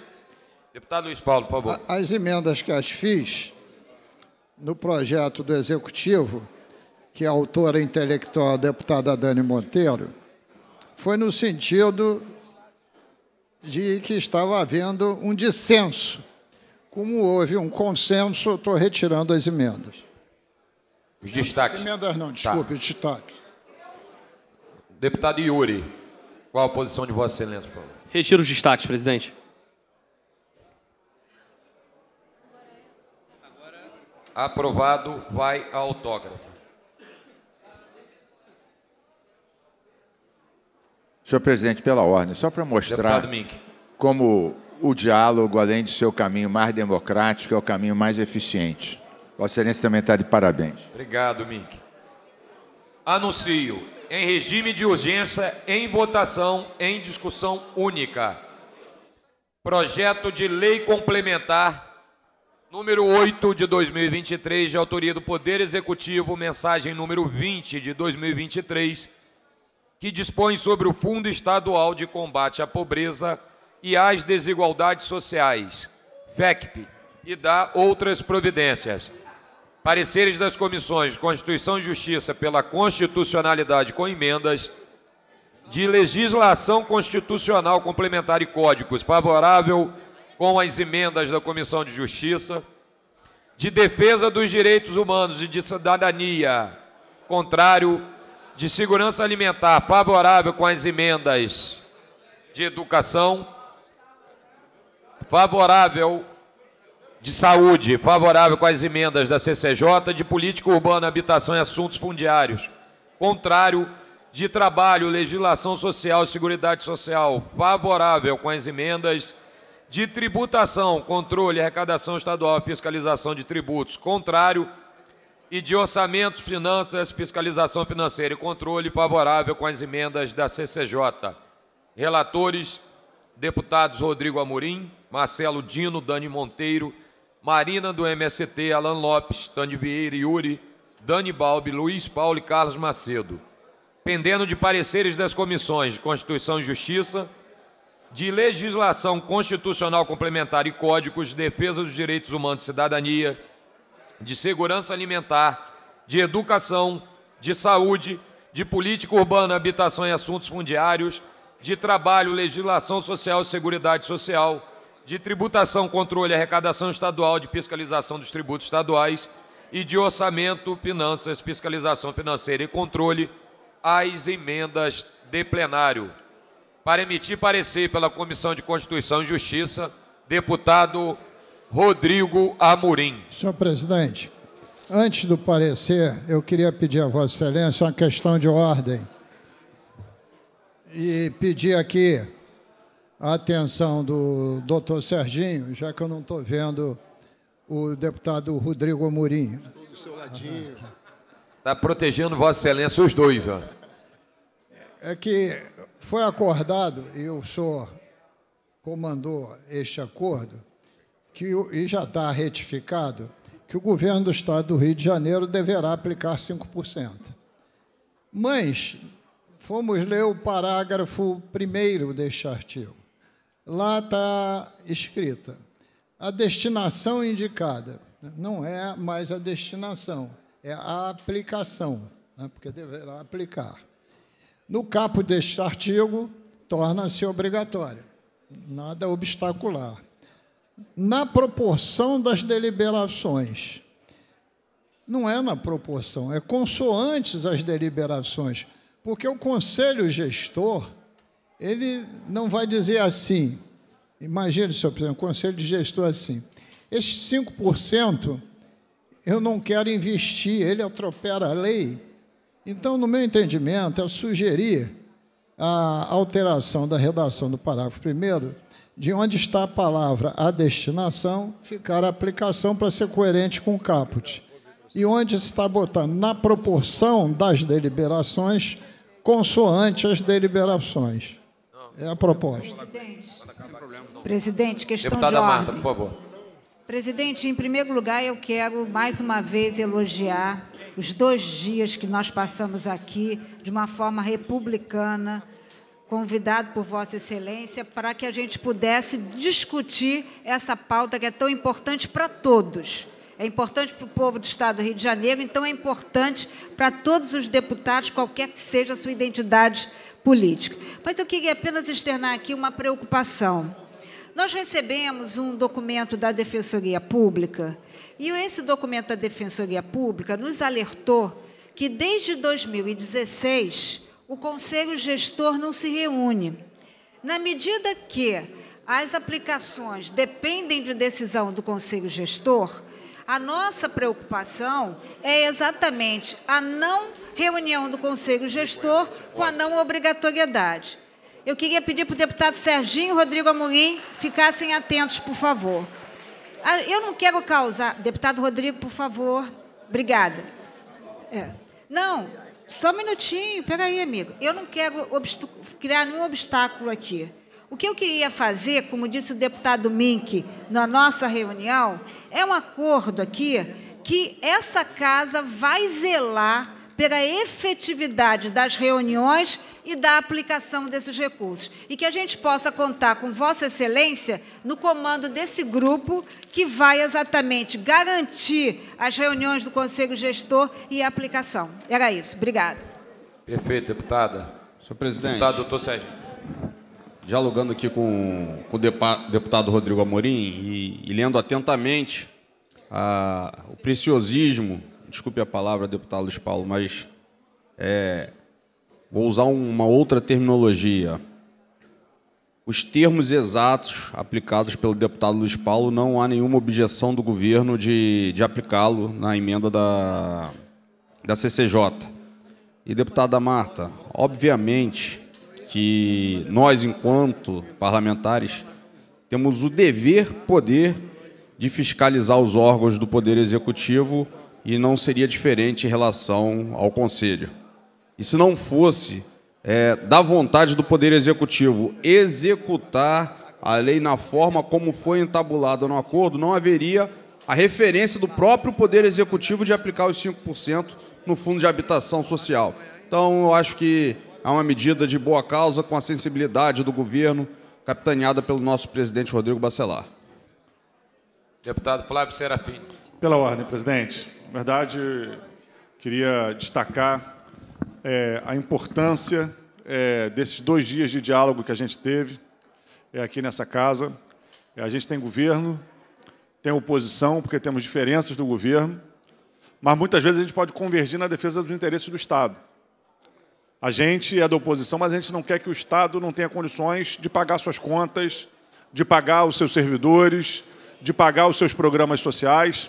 Pelo contrário, a diferença que a gente tinha aqui é porque a gente queria preservar projetos, programas que são políticas públicas desse Estado, que a gente quer que sejam, inclusive, políticas de Estado, não só políticas de governo, como é o caso do Fundo Estadual de Habitação de Interesse Social. A gente colocou desde o início, somos favoráveis ao Fundo Estadual de Combate à Pobreza, mas que se não houvesse nenhuma vinculação, ele perderia o seu caráter de ser um fundo de combate à pobreza e se tornaria o incremento do caixa do governo. A gente conseguiu superar isso com um acordo, a manutenção do Fundo Estadual de Habitação de Interesse Social. Eu quero valorizar esse acordo. Por isso, é, a gente vinha aqui conversando que é importante que não haja dubiedades na redação, é, embora não tenha sido essa a intenção do relator, à medida que vai mexendo no texto, obviamente ele vai perdendo né, uma cadência. E a gente conseguiu mexer no texto. Então, essa mudança sugerida pelo deputado Luiz Paulo é uma mudança que a gente vinha aqui conversando, que a gente acha fundamental para que não haja dúvida. É 5% para habitação de interesse social no Estado do Rio de Janeiro, sim, para que a gente tenha política de moradia no nosso Estado. Presidente, bem rapidamente, muito rapidamente, dizer o seguinte, deputado doutor Serginho, a partir do que disse a deputada Marta Rocha sobre o fato do Conselho não se reunir, Vossa Excelência prontamente falou que essa era a vontade do governo. A comissão do Cumpra-se convoca Vossa Excelência também o presidente Bacelar para, passado alguns meses, nós fazemos um cumpra-se para que o Conselho se reúna e cumpra o que a gente está acordando hoje aqui. Então, estão ambos convocados para fazermos um cumpra-se conjunto dentro da linha do que a deputada Marta Rocha e a Defensoria do Estado sinalizaram. Sintam-se democraticamente convocados. Senhor presidente, só me dá um pela ordem? Por favor. Senhor presidente, eu queria aqui, com toda sinceridade, elogiar, e eu não sou de fazer isso publicamente, as cortesias dos deputados Amorim e doutor Serginho, com quem eu já tive muito embate, porque eles têm sido absolutamente compreensivos sobre a sua liderança, no sentido de que um, haja um acordo justo né, em relação aos pleitos da oposição, mas principalmente justo para a nossa população, porque a habitação de interesse social é fundamental para o nosso Estado do Rio de Janeiro. E o autor desta, desta lei, fui eu, Gilberto Palmares, e o terceiro autor está aqui na minha frente, foi o André Correia, no ano 2006. Pela ordem, senhor presidente. Obrigado, deputado Luiz Paulo. É, deputado Yuri. Senhor presidente, queria também reforçar o quanto que foi importante esse diálogo entre a base do governo e a oposição. Citei nominalmente todos os envolvidos, mas faço referência novamente pela sua liderança nesse processo e aos meus colegas, líderes e bancadas da oposição, da esquerda, da minoria. E colocar aqui o quanto que eu fico feliz de ver que o movimento de luta nos bairros, o MNLM, o Movimento Nacional de Luta pela Moradia, estão mobilizados para acompanhar a votação que poderia retirar, mas que agora não retira mais, que garante os 5% do Fundo de Combate à Pobreza para o Fundo Estadual de Habitação Interesse Social. E reforçar o nosso compromisso e aí queria, com toda a vênia, até fazer a citação aqui ao nosso presidente da Comissão de Política Urbana e Habitacional, Cláudio Caiado, não falo por ele, mas tenho certeza que, que ele vai concordar, que é o nosso compromisso é, cumprido ali em audiência pública, que a gente possa, a partir da garantia desse recurso, presidente, fazer uma discussão nessa casa sobre o cumprimento do sistema estadual de habitação de interesse social. A gente precisa de um plano estadual de habitação de interesse social, a gente precisa tirar do papel iniciativas como assistência técnica, como loteamento urbano, como locação social, como aproveitamento de vários terrenos e imóveis e prédios que ainda não foram inventariados no Estado e que podem servir de moradia digna e segura para o nosso povo. Então, o que aconteceu aqui hoje foi um grande passo para que a gente constitua de verdade uma política estadual de habitação de interesse social. E Vossa Excelência contribuiu muito para isso e eu tenho certeza que os movimentos vão reconhecer. Muito obrigado. Obrigado a você, deputado Yuri. Deputado Chico Machado. Quero, antes de mais nada, dizer que hoje é um dia muito importante para o Estado do Rio de Janeiro e um dia, eu que sou católico, hoje é dia de São Pedro. São Pedro era, foi o primeiro Papa e o símbolo dele era a chave de abrir a porta do céu. E hoje, com esse grande entendimento entre o governo e a oposição, estaremos abrindo a casa daqueles que mais necessitam, porque nós temos um governador que tem essa sensibilidade e com auxílio e com a parceria que nós temos através do senhor, com diálogo com a oposição, nós iremos abrir a porta da casa daqueles que mais precisam no dia de São Pedro, que tem como, por intercessão de São Pedro, com a sua chave que abriu a porta do céu. Muito obrigado, senhor presidente. Obrigado, deputado Chico. Deputada Renata. Senhor presidente, muito rápido aqui, concordando com todos os colegas aqui que me antecederam. Essa, sem dúvida nenhuma, foi uma tentativa de, de tentar salvaguardar aquilo que é tão essencial no combate à pobreza, que é exatamente a garantia do fundo é, para as habitações de especial interesse social. Eu não tenho dúvida de que, que hoje, essa casa, até essa hora, tem movimentos aqui fundamentais do Estado do Rio de Janeiro. O Movimento Nacional de Luta por Moradia aqui presente, também ah, o MLB. Eu não tenho dúvida, senhor presidente, que a população, quando chega nessa casa, reivindicando algo que é tão fundamental e importante, também tem o interesse dessa casa e conseguir dar uma resposta positiva para essa mesma população. Então, não tenho dúvida de que o déficit habitacional é importante no Rio de Janeiro e que, portanto, ter vinculado o Fundo de, de Combate à Pobreza à garantia de habitação de especial interesse social é fundamental. Então, saudar esse entendimento que aqui teve e saudar também e pensar em conjunto, senhor presidente, que falava aqui da vinculação é, de recursos para o combate à violência contra a mulher. Esse foi um debate que nós trouxemos aqui. Pude observar que na, re, na redação final ficou a cargo da Secretaria Estadual de Políticas para as Mulheres poder consultar, inclusive, outros fundos e, a, e ampliar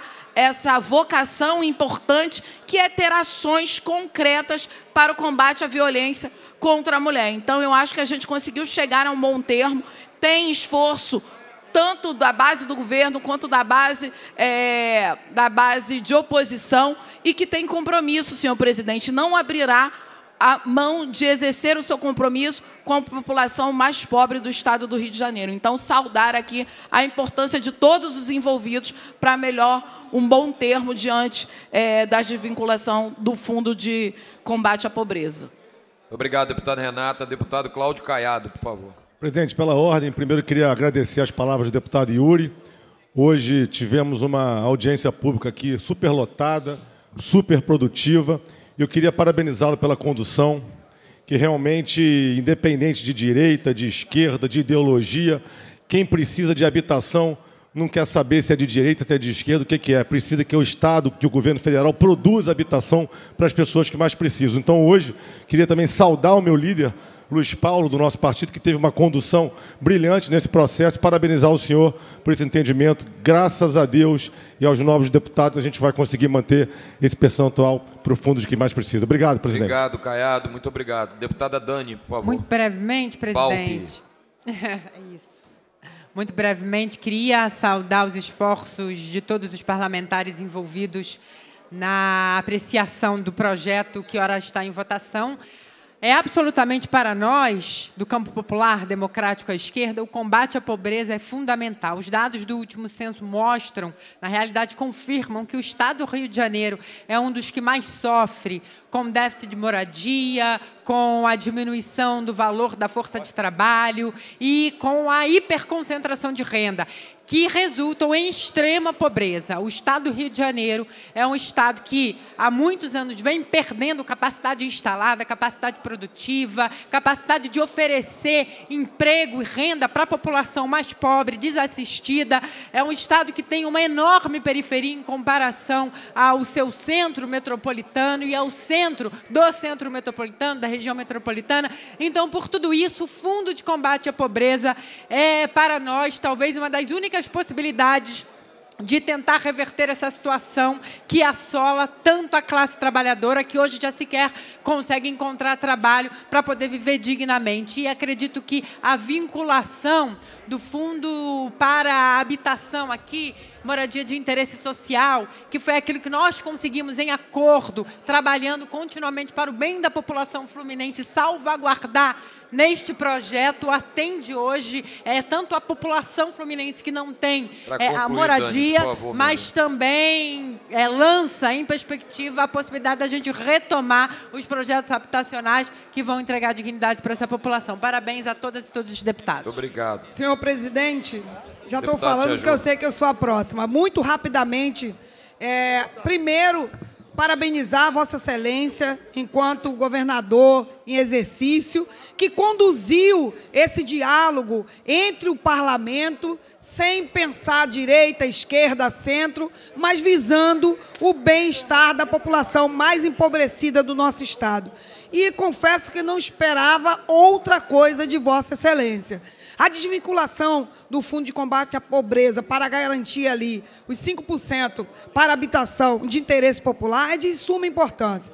Todos sabem que eu, eu, eu sou uma deputada de centro-direita, mas não abro mão das pautas sociais que são pautas da minha vida. Eu vim da pobreza, sendo assim, nunca deixarei de pensar na população mais empobrecida. Então, parabenizar o conjunto dos deputados e deputadas dessa casa, da construção do diálogo, do entendimento e da condução de Vossa Excelência. Que possamos continuar desta forma, com as nossas diferenças e divergências ideológicas, mas pensando o bem-estar do povo e daqueles que mais precisam. Parabéns a todo o conjunto dessa casa e a condução de Vossa Excelência. Muito obrigado, meu irmão. Deputada Verônica, por favor. Presidente, assim como já fizeram os outros colegas, eu também queria parabenizar Vossa Excelência e celebrar a possibilidade da gente construir um acordo, um acordo para proteger a população mais vulnerável do estado do Rio de Janeiro.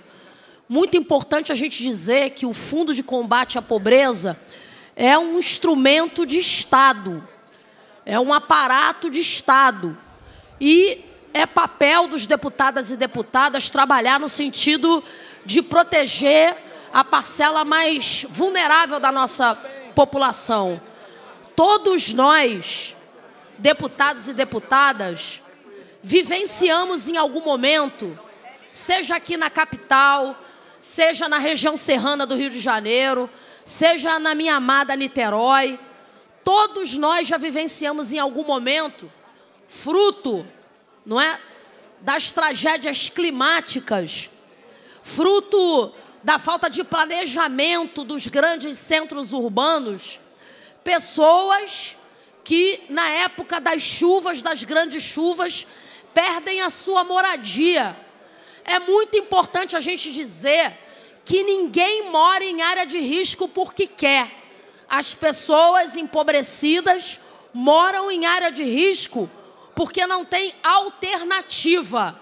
E é muito importante que a gente consiga legislar, que a gente consiga criar e produzir políticas públicas para minimizar, mitigar o que é um dos grandes desafios dos centros urbanos do Brasil inteiro, o enorme déficit habitacional. Tem muito mais gente precisando de moradia, um número muito maior do que a gente imagina. E a gente precisa também dar sofisticação a essa política pública, a recuperação de moradias insalubres, a cobrança para que haja uma política de fundo a fundo, precisa ter os fundos municipais de habitação, os fundos estaduais de habitação.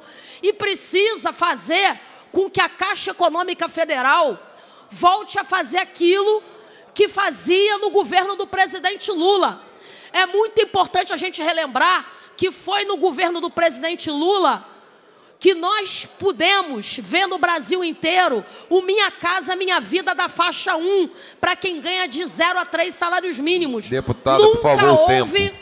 tanta entrega de moradia popular para quem ganha de 0 a 3 salários mínimos como no presidente Lula. Que bom que ele voltou e que bom que a gente pôde proteger a temática da habitação popular para quem ganha de 0 a 3 salários mínimos. Obrigado, presidente. Obrigado, deputado Verônica. Deputado professor Zé Mar, por favor. Obrigado. Primeiro é saudar todos os envolvidos no acordo, a presidência, os líderes. Eu queria também a oportunidade de saudar os movimentos sociais que nos acompanham, o movimento de luta nos bairros que está aqui, o movimento nacional de luta pela moradia. Quero fazer isso em nome da Lourdinha, que também aqui é uma importante liderança, é, importante liderança, e dizer que o acordo firmado ele garante é, os investimentos em habitação, os investimentos sociais, os investimentos na área de saúde mental. Eu acho que nós damos um exemplo importante à sociedade fluminense e carioca, damos um exemplo de conjunto. Então fica aqui o nosso registro, o nosso apoio e a saudação por esse evento e garantindo que políticas públicas de Estado sejam efetivadas. Muito obrigado, professor Josemar. Vamos continuar colhendo os votos. É, Para emitir parecer pela Comissão de Constituição e Justiça, deputado Rodrigo Amorim, por favor.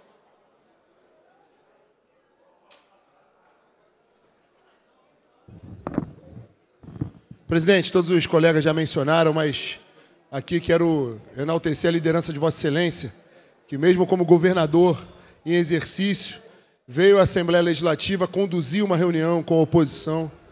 É, parabenizar também a atuação do deputado doutor Serginho, líder do governo, e aos deputados líderes dos partidos, principalmente aos deputados líderes do bloco de oposição. A sensibilidade do governador Cláudio Castro também, do secretário de Planejamento, Adilson, que teve é, ali a sensatez de trazer a, aqui à baila uma política importante. Então, parabenizo aqueles que fazem a política em nome do presidente da Comissão de Habitação, deputado Cláudio Caiado. Parabenizo o deputado Yuri, que faz a política, trouxe os movimentos populares hoje. E aí é o olhar que consegue convergir não só o aspecto político, que é necessário para aqueles que são da base do governo, de uma política de gradativamente desvincular fundos, que a gente já exaustivamente comentou aqui, dando maior autonomia, flexibilidade ao governo do Estado para poder fazer os investimentos necessários, inclusive na assistência social. A mensagem do governo preserva todo o aspecto e valoriza os investimentos em assistência social. Então, parabenizar todos os agentes envolvidos, parabenizar o deputado Luiz Paulo, agradecer a fala e dizer que foi um esforço do Parlamento Fluminense, conduzido por Vossa Excelência, para que a gente pudesse chegar nesse parecer, nesse consenso e contribuir de forma de braços dados para um grande passo aqui para o desenvolvimento do Rio.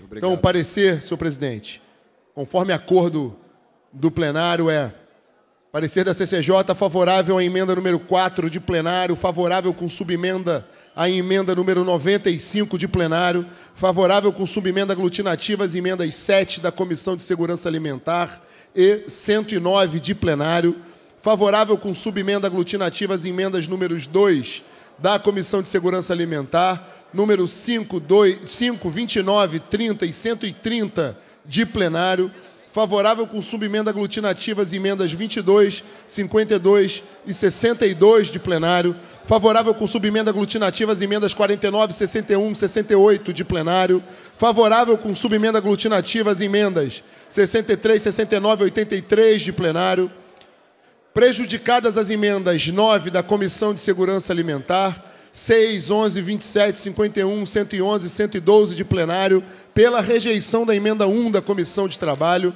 prejudicada a emenda número 39 de plenário, pela rejeição da emenda número 15 de plenário, prejudicada a emenda 90 de plenário, pela emenda 3 da Comissão de Constituição e Justiça, prejudicada a emenda 114 de plenário, pela rejeição da emenda número 12 da Comissão de Segurança Alimentar, prejudicadas as emendas 33 e 119 de plenário pela rejeição da emenda 2 da Comissão de Trabalho, contrário às demais emendas, concluindo por substitutivo, pedindo forma final de redação, senhor presidente. E aqui termino a leitura do parecer, trazendo aqui a colação também a fala do deputado Chico Machado, que traz à baila a questão da, da, da da reconhecimento do dia de São Pedro, quem traz as chaves, as chaves da habitação, a chave do céu. Chico Machado que se recupera da cirurgia de preenchimento labial que fez recentemente. O deputado Chico Machado passou por uma cirurgia estética de harmonização facial e preenchimento labial, mas está aqui conosco votando um tema importante, fundamental para o desenvolvimento do Estado. Não podia deixar de fazer a menção ao nosso querido deputado Chico Machado. Obrigado, presidente. A presidência defere o pedido de Vossa Excelência. Para emitir parecer pela Comissão de Legislação Constitucional, o deputado Marcelo Dino.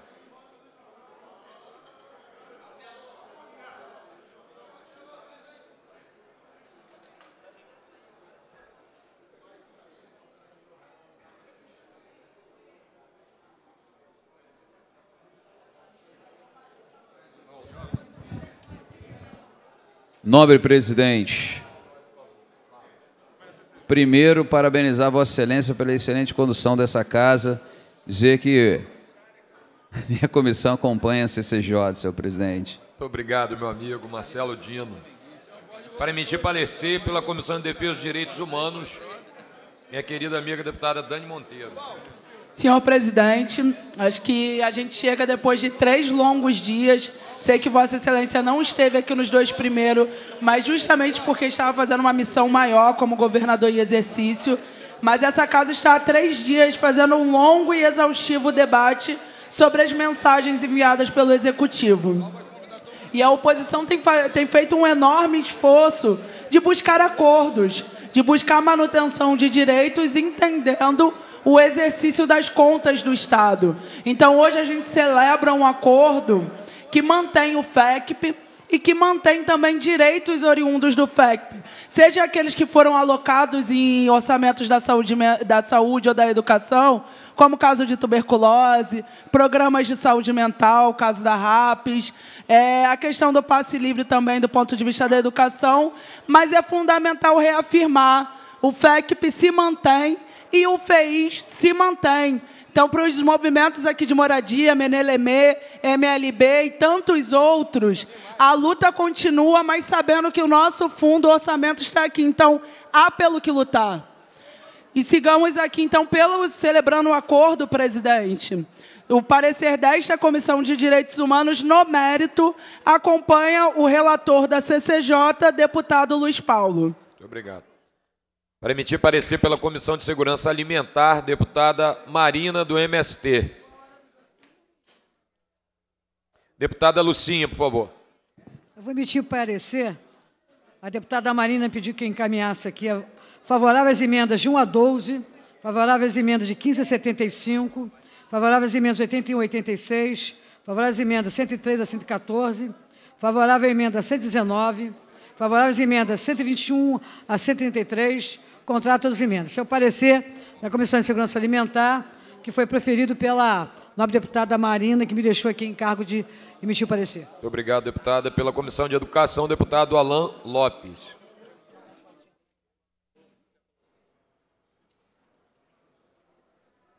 Comissão acompanha a CCJ, presidente. Obrigado, deputado. Pela Comissão de Saúde, deputado Tande Vieira.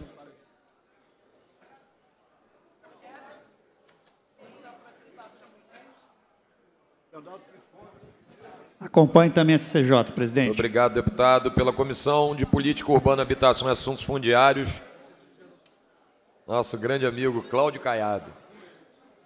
Meu nobre presidente, acompanha a CCJ. O rei do cavalo. Aqui tem o rei do gado, tem o rei do cavalo. Que isso, presidente. Pela Comissão de Trabalho, Legislação Social. Presidente. Por favor, deputado Luiz Paulo. Eu queria que o deputado Cláudio Caiado, ah. como líder da bancada, o que é raro a bancada votar comigo, mas sugeri a ele que vote favorável acompanhando o parecer da CCJ, porque ele está votando mérito, ele não está votando forma. Por favor. Parecer da CCJ, segundo o meu líder. Obrigado, deputado Gaiado. Pela Comissão de Trabalho, minha querida amiga deputada Dani Balbi. Em defesa dos interesses da classe trabalhadora, a comissão é favorável às emendas 1 a 21, favorável às emendas 23 a 28, favorável às emendas de 30 a 33 e 35 a 53, favorável às emendas 58 a 54, favorável às emendas de 70 a 79, favorável às emendas 88, 92, 99, 103, 104, 107, Favorável às emendas 110, 114, 116 e 117. Favorável às emendas 119 a 133 e contrária às outras emendas. Presidente. Obrigado, deputada. Pela Comissão de Tributação, o deputado Arthur Monteiro, por favor.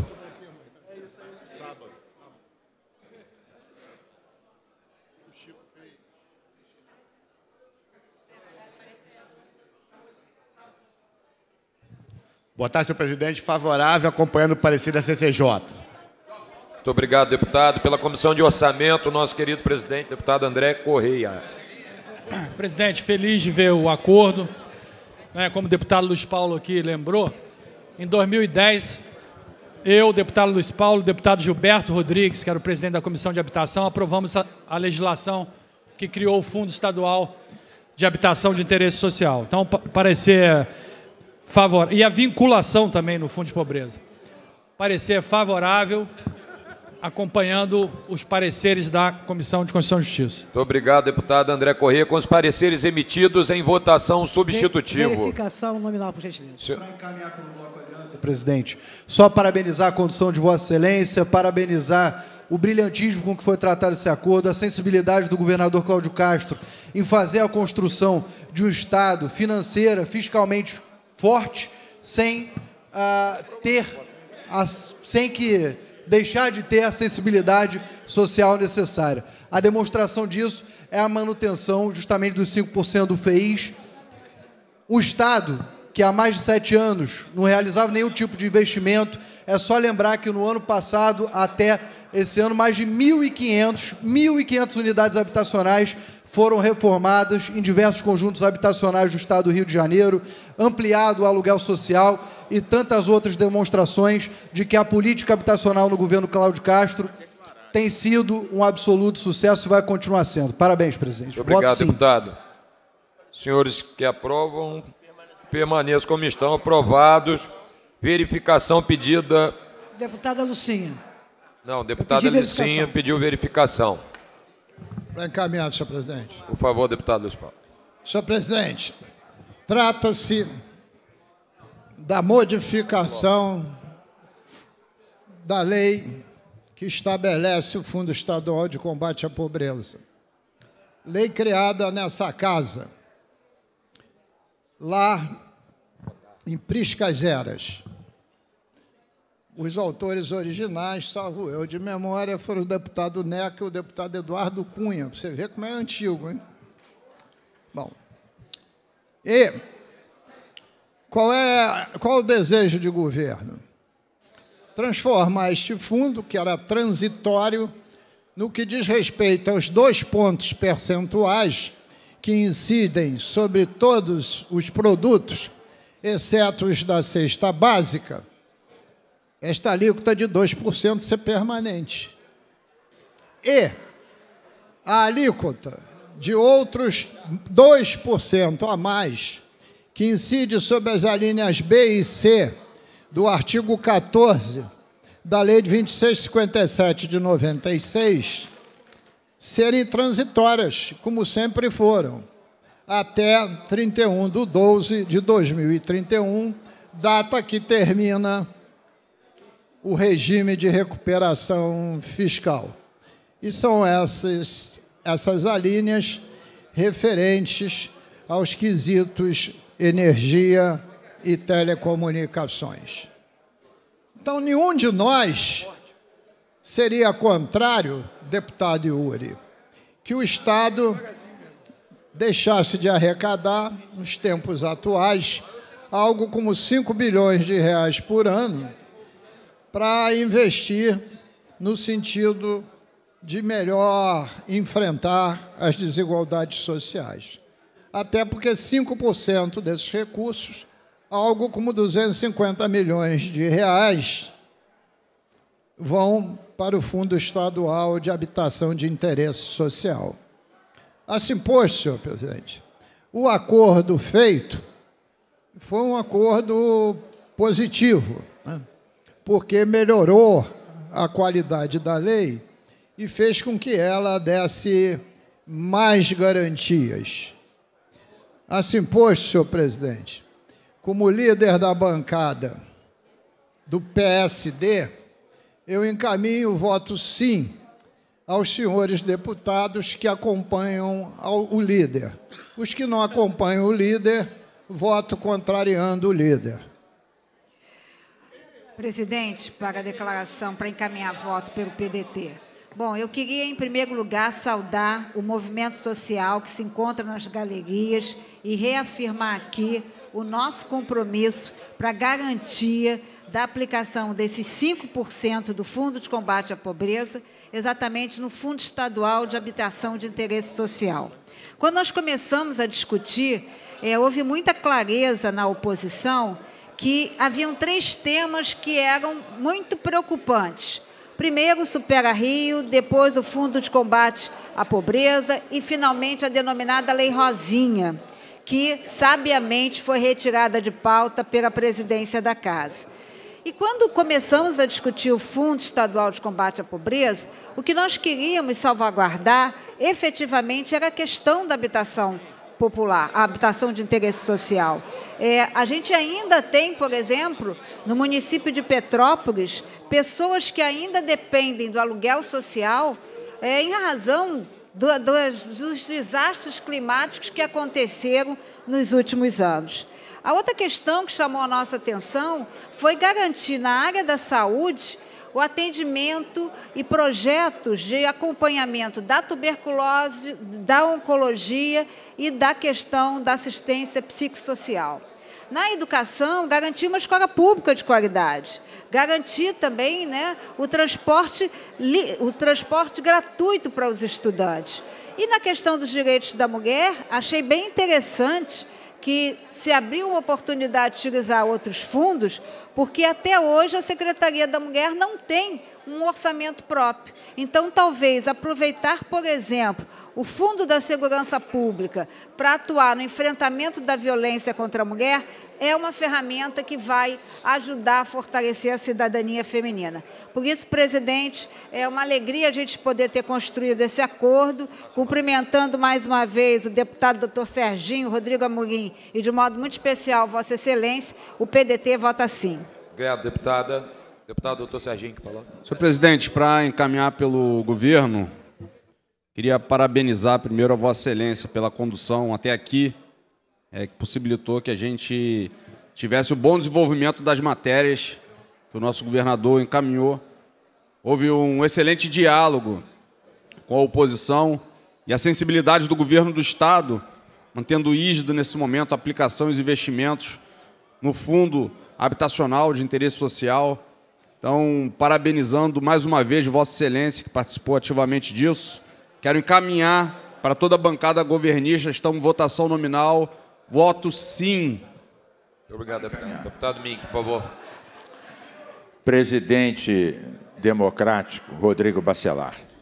Primeiro, estou convencido que Vossa Excelência vai fazer uma análise profunda do clima que hoje essa Assembleia vive.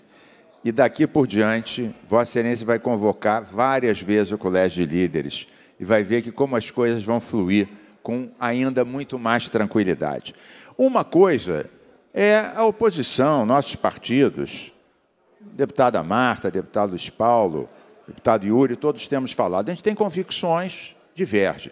Mas ninguém pode fazer oposição ao meio ambiente, ninguém pode fazer oposição habitação popular, ninguém pode fazer oposição à política que combate a violência em relação às mulheres. Então, eu acho que hoje Vossa Excelência deu um exemplo, e a oposição também deu um exemplo. Você pode divergir sem prejudicar a governabilidade. Você pode divergir profundamente em várias questões e ter o bom senso de dar instrumentos. O deputado Luiz Paulo sempre fala isso. Nós somos oposição e votamos um imposto pesado de 2% que garante 5 bilhões e meio para o governo uma oposição irracível ia dizer: por que, que eu vou me queimar aumentando imposto para dar recurso para o governo? Só que sem recurso não tem política social, não tem saneamento. Sem recurso não tem habitação, não tem aumento do salário dos professores, que aliás espero que se resolva, etc.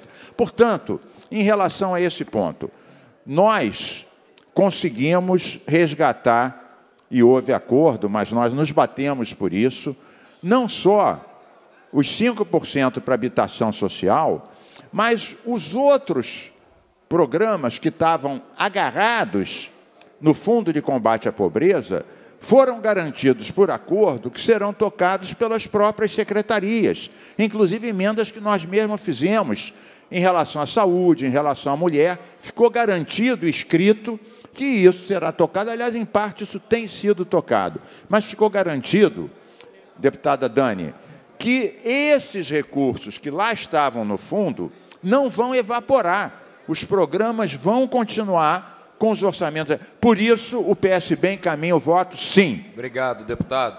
A presidência procederá à primeira chamada. Deputada Carla Machado, deputada, deputado Daniel Librelon, deputada Marina do MST, deputado Renato Machado. A presidência procederá à segunda chamada. Oi?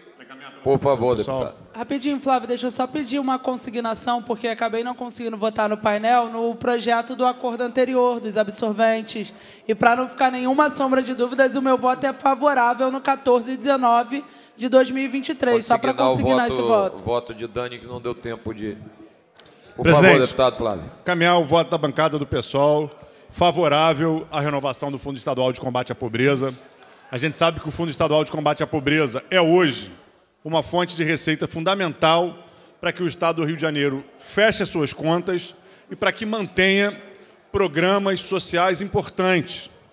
A gente tem falado muito, e eu quero destacar mais uma vez, a importância da renovação do Fundo Estadual de Habitação de Interesse Social com a vinculação da obrigatoriedade de investir 5%, né, 5 do Fundo Estadual de Combate à Pobreza nesse fundo para que a gente tenha, de fato, política habitacional no Estado do Rio de Janeiro.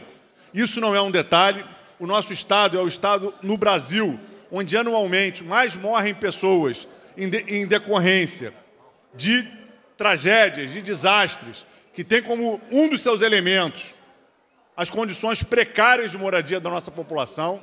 Temos mais de 500 mil famílias vivendo em condições precárias. Então, ter o FEIS é o mínimo que a gente pode ter para garantir que a habitação seja uma política de Estado, permanente.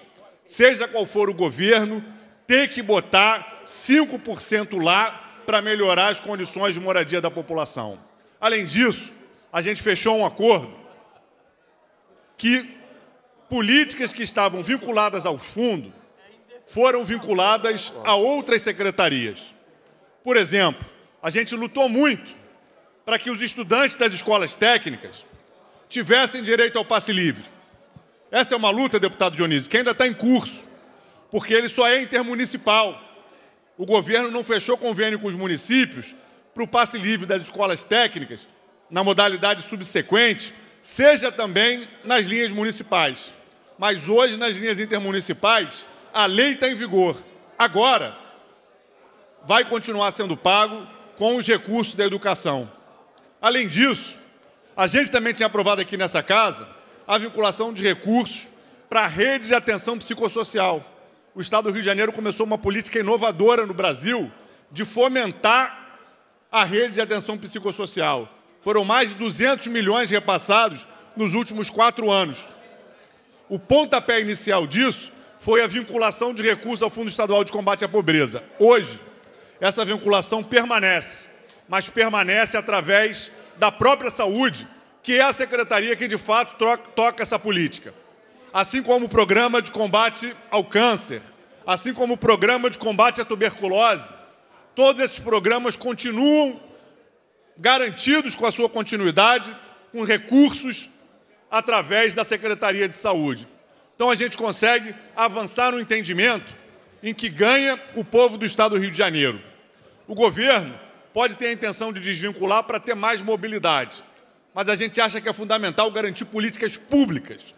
E dessa forma, essas políticas públicas continuaram garantidas, continuaram carimbadas e a gente vai lutar para que elas sejam executadas da melhor maneira possível, sempre para atender aos direitos da população. Por isso, a bancada do PSOL está votando sim no Fundo Estadual de Combate à Pobreza. Obrigado, deputado Flávio Serafini. A presidência procederá à segunda chamada nominal. Deputada. Deputada, não, estou só no quem fez. Deputada Marina do MST, deputado Renato Machado e deputado Vinícius Cosolino. A presidência proclama o resultado. Votaram 65 deputados, sim, 65, não, zero, zero abstenções também. Está aprovado o projeto, salvo os destaques. Deputado Luiz Paulo, quatro emendas, deputada, quatro destaques, melhor dizendo, deputada Érica, deputada André Corrêa. Vai discutir, né, deputado? Vou, vou encaminhar o destaque e, e lá digo os que eu vou retirar, tá? Deputado Rodrigo Amorim, conversei com o deputado Rodrigo Amorim, estou tirando os destaques a pedido do nosso... Vossa Excelência sempre pediu, já, né, eu sou um cara disciplinado, e, e deputado Rodrigo Amorim vai me ajudar aí na... É isso. Muito obrigado, deputado Correia. Veja só como o tempo e a idade faz efeito. Deputado André Correia sempre foi um insubordinado. Agora ele declara publicamente que é disciplinado. Aí, o tempo não é fácil. Mas, senhor presidente, o destaque da modificativa número 3, eu já tinha dito à CCJ, inclusive a Vossa Excelência, que visava é, dar um, um alento ao governo da necessidade imperiosa de que houvesse um artigo que garantisse que ele pudesse subsidiar as tarifas de transporte coletivo de passageiros por trilhos, principalmente o metrô e os trens, porque ambos esse subsídio já existe e pode ter que ser aumentado. E o inciso 5 do parágrafo 1 do artigo 3 de transporte acessível diz iniciativas com foco na ampliação do acesso. E subsídio de tarifa não é ampliação de acesso aos sistemas de transporte. Mas a CCJ consultou o governo e o governo diz que fica confortável com a redação 5, que ele fez. Mais tarde vai ficar claro que o governo vai ficar profundamente desconfortável. Mas, se não quer, quis ajudar, eu estou retirando o destaque à emenda modificativa número 3. O segundo destaque é da emenda aditiva número 10, que tive a oportunidade, na reunião de colégio de líderes, falar sobre esse tema, e repetindo. E já marquei, mês que vem, mês de recesso, que muitos estarão no exterior e eu não. Inclusive o presidente também não estará. Nós estaremos aqui no parlamento exatamente para ver se esse tema pode ser tratado nesse recesso, que é ser encaminhado exatamente a revisão do artigo 4 da Lei 8645 de 2019,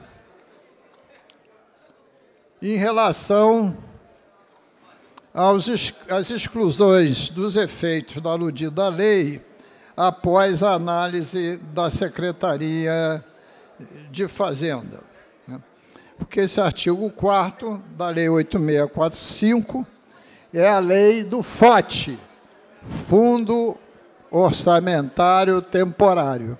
E este artigo 4 tem relação com essa lei. Então, ele precisaria ter essa redação revista. E, por último, por último não, por penúltimo, senhor presidente, eu queria chamar a atenção por, esses dois últimos destaques. Deputado, deputado Dionísio Lins, deputado presidente. A dívida ativa do Estado monta em mais de 180 bilhões de reais. E somente a Petrobras e a Refit têm inscritos na dívida ativa mais de 20 bilhões de reais. Porque essas instituições usam o estatuto de ir à justiça para postergar o pagamento. Entra ano e sai ano. Esta atitude, deputado Dionísio Lins, configura um efeito fiscal perverso, configura uma sonegação indireta. Por isso, nós temos que evitar. E evita-se como? Com o Poder Executivo mandando para casa um projeto de lei escrito pela douta Procuradoria-Geral do Estado e definindo o que, que é devedor quanto mais. Devedor quanto mais é exatamente quem pratica esse artifício. E o devedor quanto mais, quando assim caracterizado, né, dentro da lei, dado o direito do contraditório, ampla defesa, etc., não tem direito a gozar de benefício fiscal nenhum. Por exemplo, a nossa amada Petrobras, que está sempre burlando o Estado do Rio de Janeiro, perderia os benefícios do Repetro. Então, eu estou afirmando esta emenda aditiva número 11, que não tem a ver com este tema, eu reconheço, mas é a oportunidade de chamar atenção sobre o mesmo. Até porque tem o projeto de lei tramitando na casa sobre esse tema. Mas teria uma força muito grande se o governo, em regime de urgência, mandasse para casa. E eu não posso jurar, mas sei que nos escaninhos do Executivo já tem esse projeto de lei. E não manda por quê? Um grande mistério. Tem que verificar em que escaninho ele ficou paralisado. Garanto que não foi do escaninho do deputado Yuri, que nem do Poder Executivo o é. E se o fosse, eu romperia relações com ele. E, finalmente, deputado Yuri, também botei aqui uma emenda que também é um bacalhau, mas é absolutamente provocativa. O que eu escrevi nesta emenda? Fica o Poder Executivo autorizado a utilizar, a utilizar recursos oriundos do Fundo Estadual de Combate à Pobreza e Desigualdades Sociais para, na área da educação, e ele pode usar, pagar parceladamente o piso nacional de educação em consonância com o plano de cargos e salários definido na Lei 1614, de 24 de janeiro de 1980. Então, senhor presidente, eu aqui cumpri, dentro desse projeto que estamos votando, todos, é unânime, tem 68 votos. Duas ausências, por licença, porque senão teria 70 votos favoráveis às hipóteses presentes, que são de aumento de arrecadação e de destinação e de prioridade para discutir a questão da educação e o piso nacional da educação. Muito obrigado, senhor presidente. Eu que agradeço, deputado Luiz Paulo. Em votação, os destaques do deputado Luiz Paulo. Os senhores que aprovam maneiras como estão rejeitados. Senhor É. presidente, o pessoal vota a favor aos destaques do deputado Luiz Paulo. Tá bom. É, há um também seis destaques. Tá. Presidente, Da bancada, deputada Érica Takimoto. bancada do PT vota a favor as emendas do deputado Luiz Paulo Deputado Amatéria. Luiz Paulo. O Deputada PCdoB Rocha, o PCdoB também vota a favor. Bancada do PSB votou favorável. A bancada do PSD também vota favoravelmente às, às, ao destaque às emendas do deputado Luiz Paulo. Presidente, é só para alertar que da bancada do PSD só está votando os que seguem os líderes. Né? Tá. Os que não seguem líder não estão votando, não.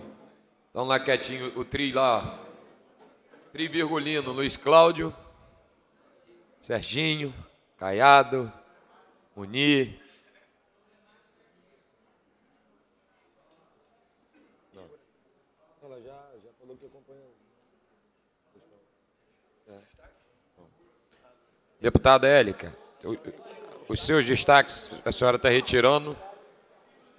Presidente, eu retiro de destaque a emenda 124, mas os outros eu mantenho, eu queria discutir, posso? Então, por gentileza, para discutir as emendas 125, 126, os destaques, melhor dizendo, 127, 131, 132, deputada Élica Takimoto. Senhor presidente, pela ordem, rapidamente, só para registrar meu voto favorável ao projeto de lei complementar 8 de 2023. Tá, pre- presidente, é, é, falando sobre o destaque à emenda 125.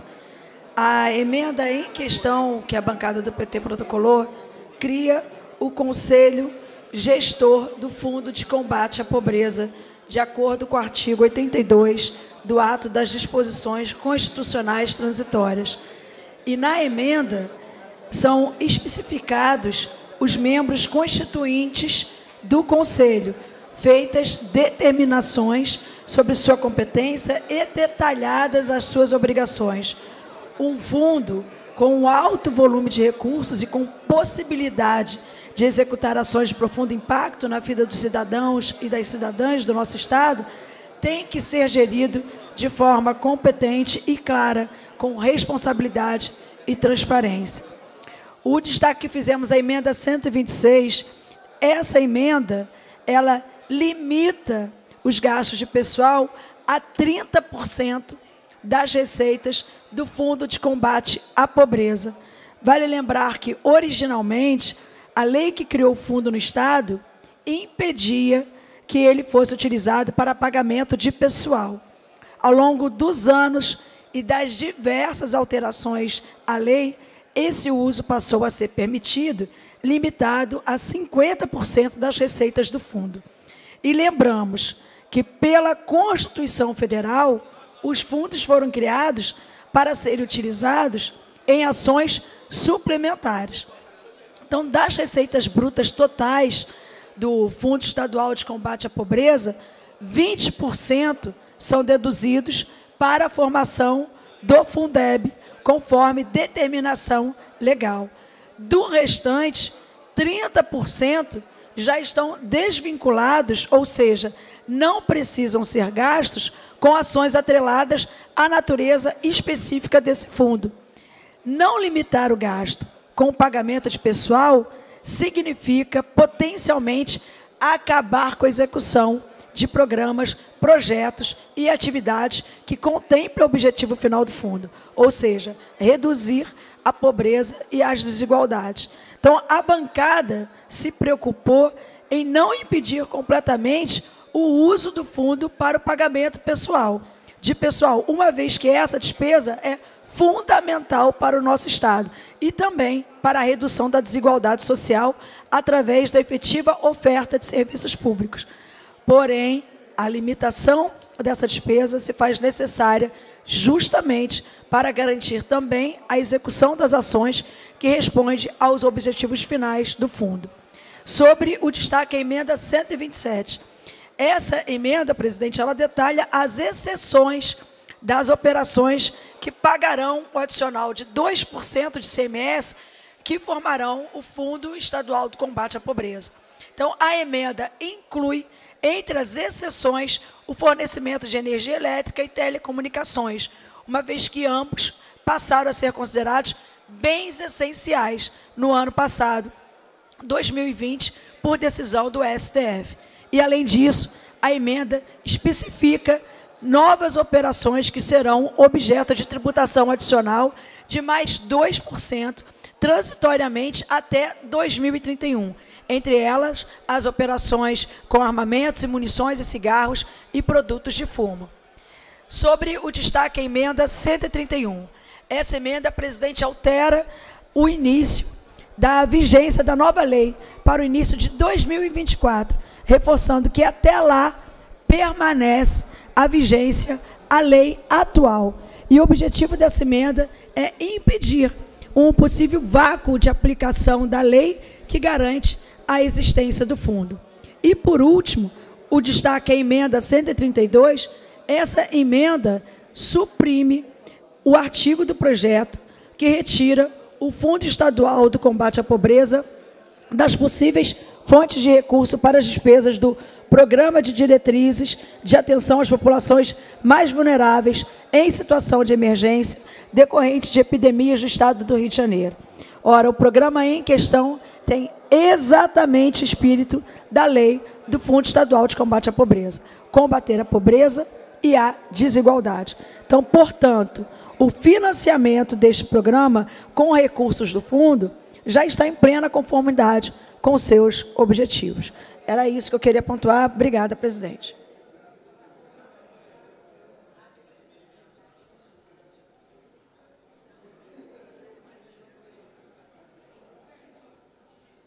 Em votação, os destaques da deputada Élica Takimoto. Senhores que aprovam, permaneçam como estão. Rejeitados. Projeto aprovado, vai autógrafo. Favoravelmente destaque, senhor presidente. Bancada do PCdoB e do PSOL. PSOL favorável. Conforme acordado na mudança no final da segunda sessão extraordinária,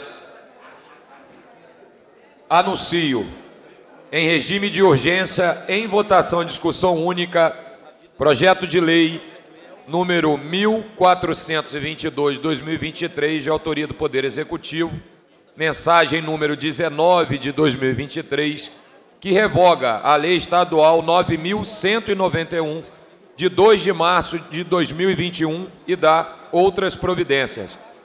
Pareceres das comissões Constituição e Justiça pela constitucionalidade com emenda, com voto em separado pela inconstitucionalidade da deputada Verônica Lima. De Economia, Indústria e Comércio, favorável com a emenda da Comissão de Constituição e Justiça. E de Orçamento, Finanças, Fiscalização Financeira e Controle, favorável com a emenda da Comissão de Constituição e Justiça. Relatores, deputados Rodrigo Amorim, Anderson Moraes e Carlos Macedo. Pendendo de pareceres das comissões de Constituição e Justiça, de Economia, Indústria e Comércio e de Orçamento, Finanças, Fiscalização Financeira e Controle, as emendas de plenário. Para emitir parecer pela Comissão de Constituição e Justiça, deputado Rodrigo Amorim.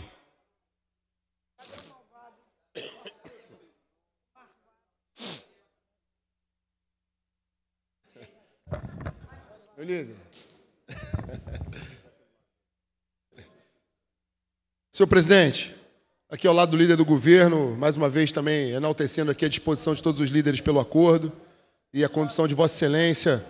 O parecer é favorável com subemenda à emenda 14, favorável com subemenda às emendas 5, 16, 22, 24, 25 e 27, contrário às demais emendas, concluindo por substitutivo, pedindo forma final de redação. Presidência defere o pedido de Vossa Excelência. Para emitir parecer pela Comissão de Economia, Indústria e Comércio, deputado Anderson Moraes.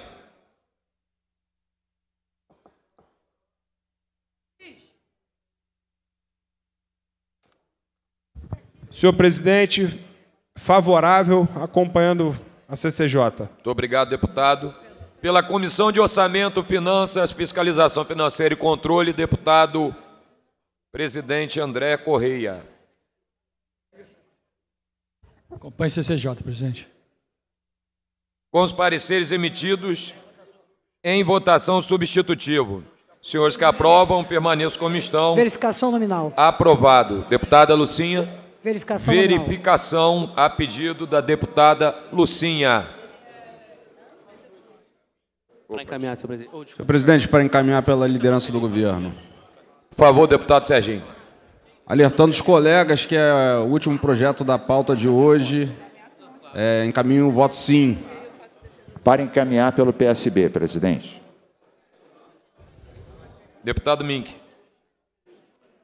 Senhor presidente, não vou repetir a louvação que fiz ao espírito democrático, vão dizer que eu vou deixar de ser oposição, o que nunca acontecerá. Eu Louvar a- a democracia não significa deixar Eu, ace- eu o aceito de braços abertos, igual o Cristian. Então louvo outra vez só para sua satisfação, para o seu ego ficar bem inflado.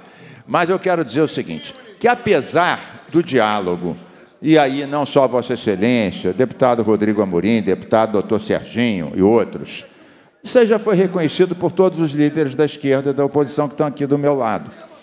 Agora, neste, no caso anterior, nós votamos favoravelmente, porque a gente conseguiu reconstituir, entre outros, o Fundo da Habitação. Nesse caso, a gente conseguiu o que a gente chama de política de redução de danos. O que é redução de danos? Tem uma maldade muito grande, deputada Dani Balbi, e você consegue fazer com que ela fique uma maldade um pouquinho menor. Mas uma maldade um pouquinho menor, deputada Marta Rocha, não deixa de ser uma maldade. Então, reconhecendo que, do jeito que estava, deputado Bacelar, era um massacre. Mesmo os deputados da base do governo estavam desconfortáveis para votar isso. Por quê? Não pagavam os dois meses atrasados, não garantia uma transição, e essas 65 mil pessoas ou famílias sequer tinham outros benefícios, porque essa era uma condição para terem acesso ao Supera. Então, nós conseguimos sim um acordo, e com base nesse acordo, nós não estamos obstruindo, não estamos levantando a questão dos vetos, não estamos. Até porque o clima mudou, é verdade. Então, nós queremos dizer que nós reduzimos a maldade, mas ela não deixa de ser maldade. Por isso, o PSB vota não, vota contra o projeto. É, presidente, para encaminhar pela bancada do Deputada Dani Bal, por favor. Partido Comunista do Brasil. Queria dizer que, em nome das 65 mil famílias que recebem o benefício do Super RJ, queria dizer que, em nome da solidariedade às famílias que ficaram por dois meses sem receber, queria dizer que, em nome da classe trabalhadora fluminense, sobretudo num cenário de desemprego, de desassistência, de vulnerabilidade, o PCdoB encaminha voto contrário.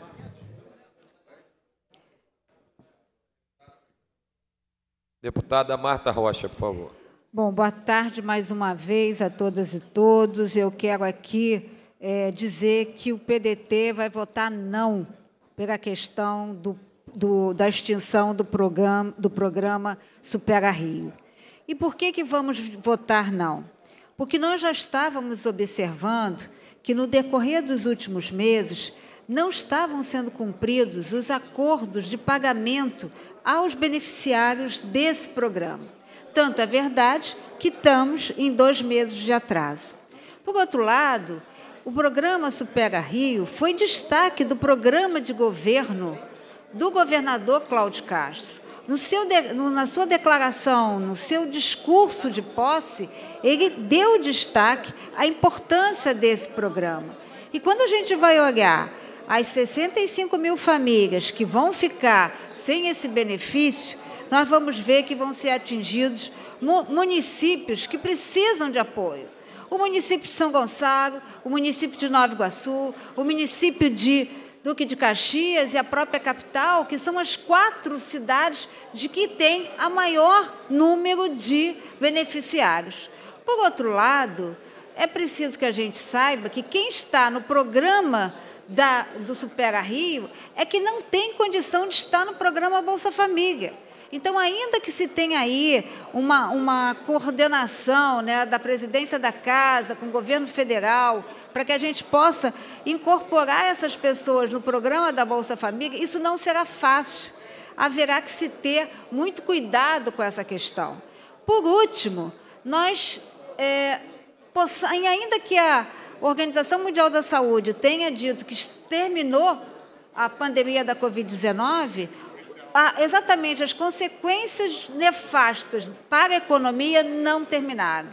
Então, o Estado do Rio de Janeiro tem 3, 3 milhões de pessoas em situação de pobreza, o Estado do Rio de Janeiro precisa fazer com que essa economia local seja diversificada e, nesse sentido, o programa Supera Rio acabava dando a capilaridade dessa economia.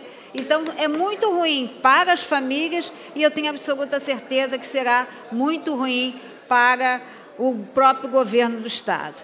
Por último, senhor presidente, eu queria só lembrar aqui aos nossos queridos deputados, doutor Serginho Rodrigo Amorim, que no meio dos nossos debates nós fizemos um acordo a respeito da emenda 5 do projeto de Supera Rio e da emenda 5 do projeto do Fundo de Combate Estadual de Combate à Pobreza. E foi solicitado que a bancada da oposição, que debateu e buscou, né, tirou dos 90 dias para 60 dias, conseguiu articular um termo de, de ajuste, né, que ficou então confirmado que nós faríamos, teríamos os nossos nomes lançados nessas emendas. Então, pedi aos dois deputados, que é os que têm atuação, que podem determinar a mesa a inclusão desses nomes, que não se esqueça de lançar o nome dos deputados da oposição. Muito obrigada. Obrigado, deputada Marta. Deputado Yuri, por favor. Senhor presidente, dizer que é um dia muito triste para mim. A gente conseguiu avançar num diálogo entre oposição e situação, entre a bancada do governo e a bancada da esquerda, da minoria, mas infelizmente a votação já está dada e a gente não conseguiu salvar o Super RJ até o final de 2023. Pelo menos, como disse o deputado Carlos Mink, tivemos uma política de redução de danos. E aí mostra que a Assembleia Legislativa teve mais responsabilidade do que o governo. Os deputados perceberam que é um absurdo encerrar um, um programa de transferência de renda que foi muito falado durante o período eleitoral, que foi colocado como programa, inclusive citado na posse do próprio governador, de uma maneira tão repentina. As famílias que contavam em receber o recurso até o final do ano, na semana passada, tiveram um anúncio de que não receberiam mais. Para muita gente aqui do plenário, eu me incluo, porque nós somos deputados e o nosso prolabore aqui, nosso subsídio vem dinheiro público, 300 reais pelo subsídio que a gente recebe, talvez não seja muito. Mas para muitas famílias, 300 reais pode ser a oportunidade de comer ou não, de melhorar ou não aquilo que o seu filho e sua filha vai comer. Então, perder esse benefício até o final de 2023, o que estava garantido em lei até hoje, é quase que um crime. É um absurdo. É um desrespeito. É algo que eu não quero participar.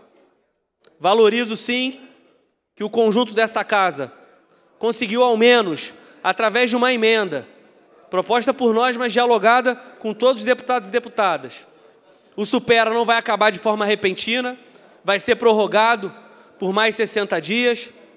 A gente tem emenda também, na qual pediremos destaque, para que o que está atrasado seja pago. É uma coisa que a oposição não abre mão. Nós temos ainda o pagamento de maio, o pagamento de junho. O governo do estado deve essas famílias, porque a lei ainda está em vigor. Só que ainda assim, Quero pedir o que pedi na conversa com o presidente dessa casa, que nos recebeu de forma do diálogo, com o líder da oposição, com todo mundo que estava aqui. É inadmissível nós não termos, presidente, anunciado até o final desse ano, e o correto é daqui a 60 dias, um novo programa de transferência de renda. com tudo que o governo federal tem feito, o presidente Lula, de valorizar o Bolsa Família, de pagar no Bolsa Família o que nunca foi pago, cumprindo o que ele prometeu na campanha, diferente do que está fazendo o governador, é inadmissível nós não termos um programa de segurança alimentar e nutricional do Estado. Espero que essa casa possa ajudar a construir esse programa, com as adaptações necessárias, para superar os problemas que tinha no Super RJ, que eu concordo que tinham muitos problemas, mas é fundamental que a gente entenda que ainda existem 3 milhões de pessoas na pobreza no estado do Rio de Janeiro.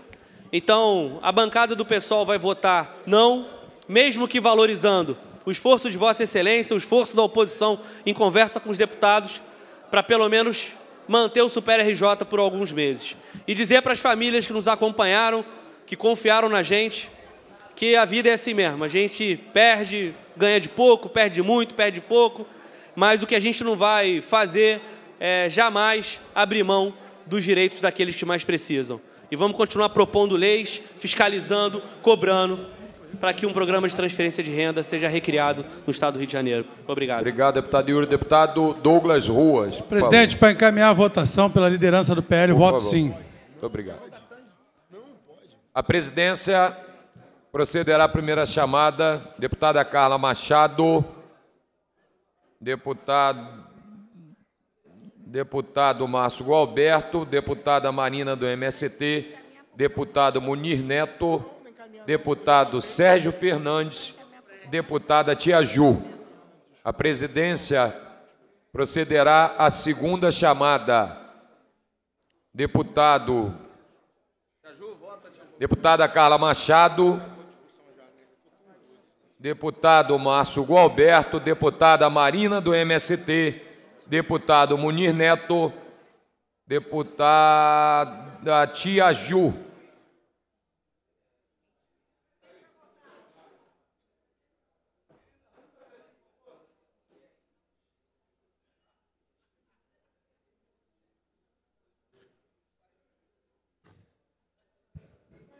Deputado Tia Ju pediu para aguardar? Quem? Tá.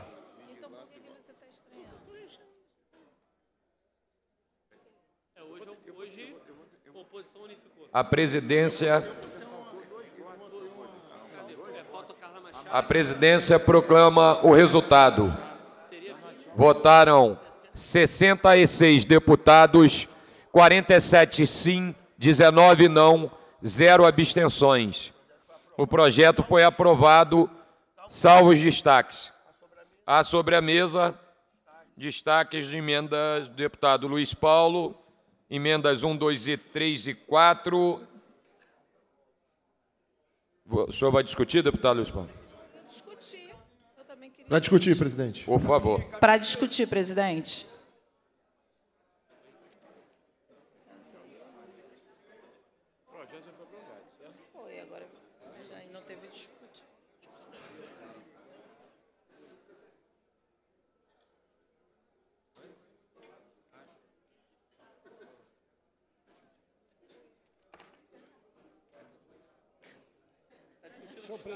Senhor presidente, produzi esses destaques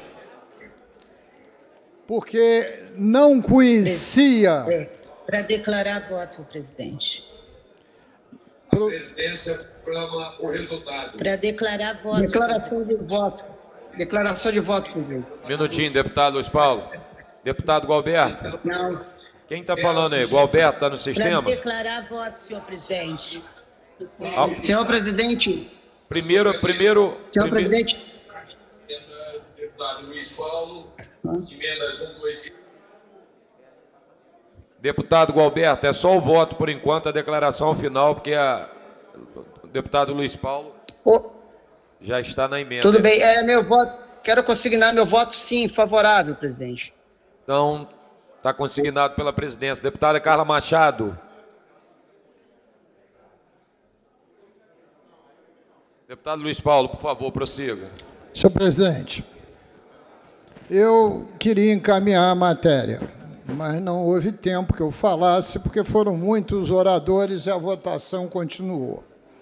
Eu, quando produzi os destaques, eu não conhecia o parecer da CCJ, porque o deputado Amorim colocou o parecer num grupo chamado Deputados 2023.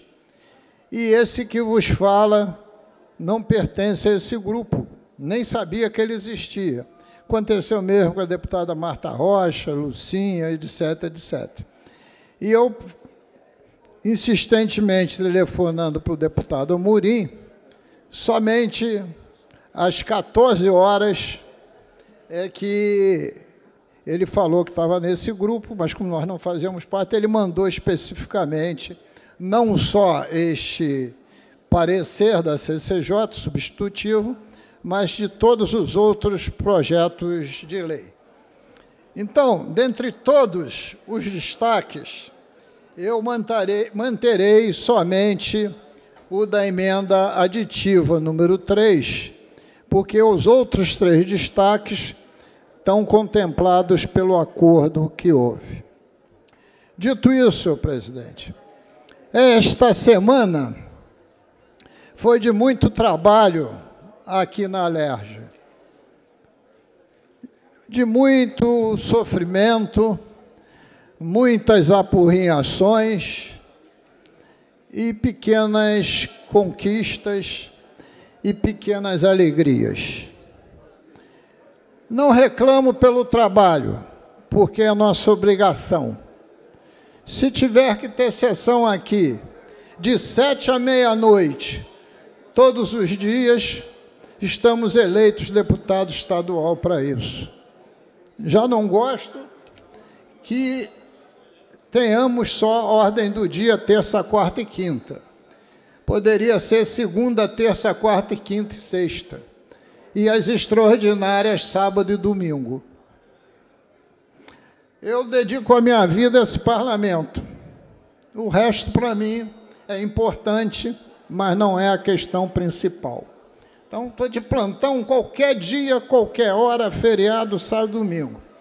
Só não poderei sábado, de nove a meio-dia, que eu tenho compromisso com o Val da Ceasa de estar lá no campo do Fluminense. Dito isso, o que nós tentamos esse, esse, esses dias foi para fazer uma redução de danos de um pacote, principalmente este, que contém não só o Fundo Estadual de Combate à Pobreza, como também o Supera Rio, que foi batizado mais uma vez superar danos de um pacote de maldades encaminhado pelo governo do Estado. O, governo, o Poder Executivo já não está pagando a reposição salarial dos servidores. Não garante a grã dos policiais e bombeiros veteranos e seus pensionistas.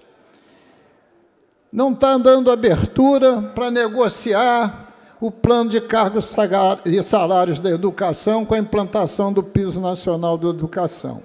E agora resolve estender entre tantas maldades, aquela que visava acabar com o auxílio emergencial do Supera Rio, quando, na verdade, ele estaria fazendo isso seis meses antes do prazo determinado em lei. Mas a Assembleia Legislativa, com a sua função de mediadora de conflitos, conseguiu fazer exatamente uma minimização desse pacote no, no, que diz respeito não somente ao fundo, mas ao Supera Rio, estendendo o Supera Rio por mais 60 dias e pagando os atrasados do mês de maio e junho. Mas, senhor presidente, vai ser necessário, porque das 65 mil famílias, nem todas conseguirão ser alocadas no Programa Federal de Auxílio Emergencial. Para não criar um programa de efeito qualquer, que possa ter implicações com o regime de recuperação fiscal, Eu me lembro que existe um programa do governo do Estado, criado há algum tempo, chamado Renda Melhor. Não sei se alguém há de lembrar dele. Não sei nem se está efetivado em operação, mas ele existe. Talvez ele pudesse ser usado, com alguma modificação, evidentemente, para contemplar essas pessoas tão carentes que não conseguirem a transposição para o auxílio emergencial federal. E aí, senhor presidente, eu fiz umas contas rápidas. Esse programa gasta 20 milhões de reais por mês, em média, de auxílio emergencial. Seis meses seria 120 milhões de reais. A gente dá de benefício fiscal 24 bilhões de reais. Essa é a inversão da teoria de transferência de renda. Nesse caso específico, você tira dos mais necessitados para dar essa renda para os mais abastados. Isto é desumano. Apesar de louvar o acordo que minimizou né, os danos, não há como ter outro voto que nenhum que não seja o não. E ao mesmo tempo, e ao mesmo tempo, senhor presidente, eu queria lembrar que quando foi feito Supera Rio, também foi alterada a Constituição Estadual, deputado Serginho, no sentido do FECAM patrocinar o Supera Rio. Deputado Carlos Minho, que lembra, porque quem, redigiu isso fui eu, Mink e outros deputados. Então, essa medida aditiva número 3, ela diz o seguinte, acrescenta um parágrafo único ao artigo 1 dizendo o seguinte, os, os recursos temporários do, ref, do referido auxílio emergencial poderão advir do Fundo Estadual de Conservação Ambiental e Desenvolvimento Urbano, FECAM, consoante o caput do artigo 98 da ADCT e o inciso 5 do parágrafo 3 do artigo 283 da Constituição do Estado do Rio de Janeiro, introduzidos pela emenda constitucional 85 de 12 de março de 2021. É claro que esse preceito também acabou porque era temporário, mas que se quiser valê-lo, é só alterar a emenda constitucional e dizer que vai vigir por mais tempo. Então, eu queria deixar também como proposta essa hipótese do, da emenda aditiva número 3, que, no meu entendimento, não precisa aprovar, não. Mas é ali uma fonte de recurso que a gente pode pegar a emenda constitucional, postergar o prazo dela para 31 de dezembro de 23 ou para 31 de dezembro de 24 e pegar um pedaço do dinheiro do FECAM legalmente para financiar os miseráveis, os mais necessitados, os mais pobres, que esses é que estão precisando do dinheiro. E quando você tira a população de rua, quando você minimiza a fome, etc., você também está protegendo o meio ambiente. Muito obrigado, senhor presidente.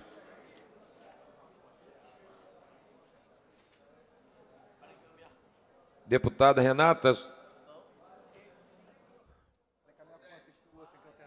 É, deputado doutor Serginho estava primeiro, deputado Renato. Você vai fazer pelo PSOL o destaque? É. Por favor.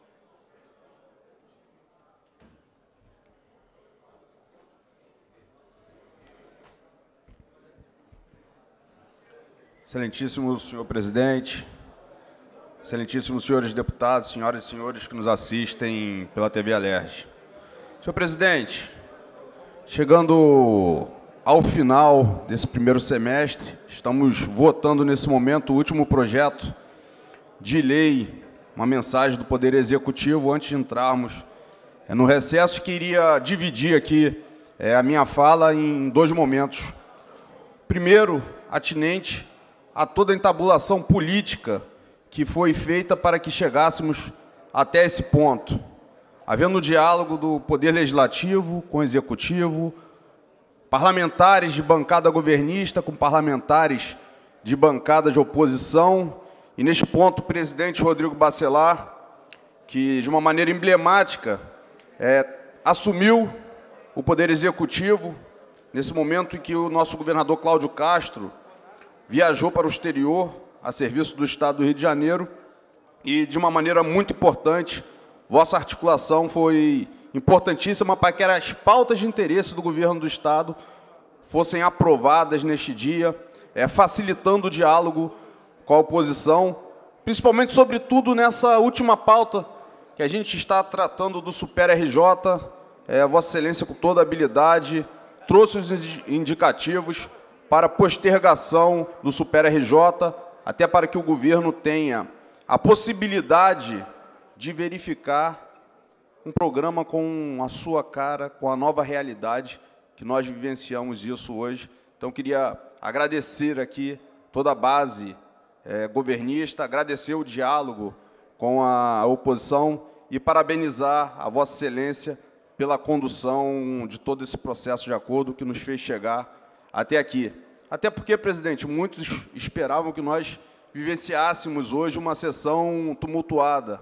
E, ao que parece, é, nós conseguimos aqui que todos defendessem as suas pautas e, obviamente, resguardando o interesse da população fluminense nas mensagens que foram encaminhadas pelo Poder Executivo, é, nós consegui, conseguíssemos, nesse momento, aprovar. Falando do mérito do que foi discutido hoje, senhor presidente, é importante salientar o governo Cláudio Castro nos trouxe pautas importantes e que tinham que ser enfrentadas nesse momento.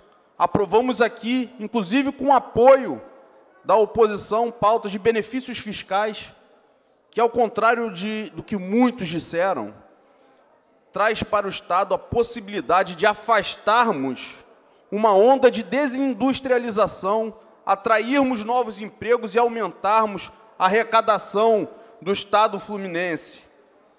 Muitos falam que benefício fiscal é renúncia de receita. Na medida que nós temos uma visão clara e evidente que a gente vivencia hoje uma guerra fiscal com os outros estados e temos que estar atentos para atrair, por exemplo, aquilo que nós fizemos neste ponto. Aprovamos o benefício para o setor náutico, produtivo náutico, o que vai atrair novas indústrias para o estado do Rio de Janeiro e vai manter as que aqui estão. Isso é tratar da economia do Estado, isso é tratar da população fluminense. Tratamos aqui, senhor presidente, nesta data, da desoneração tributária da energia para o produtor rural, um benefício que o governo do Estado do Rio de Janeiro concede ao produtor rural.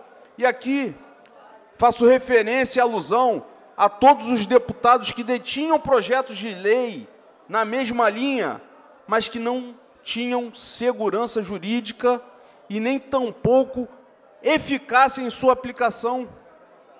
Não se trata aqui de uma guerra de egos, de saber quem pontuou o projeto de lei, mas sim da efetividade ao benefício fiscal que atende a população na ponta.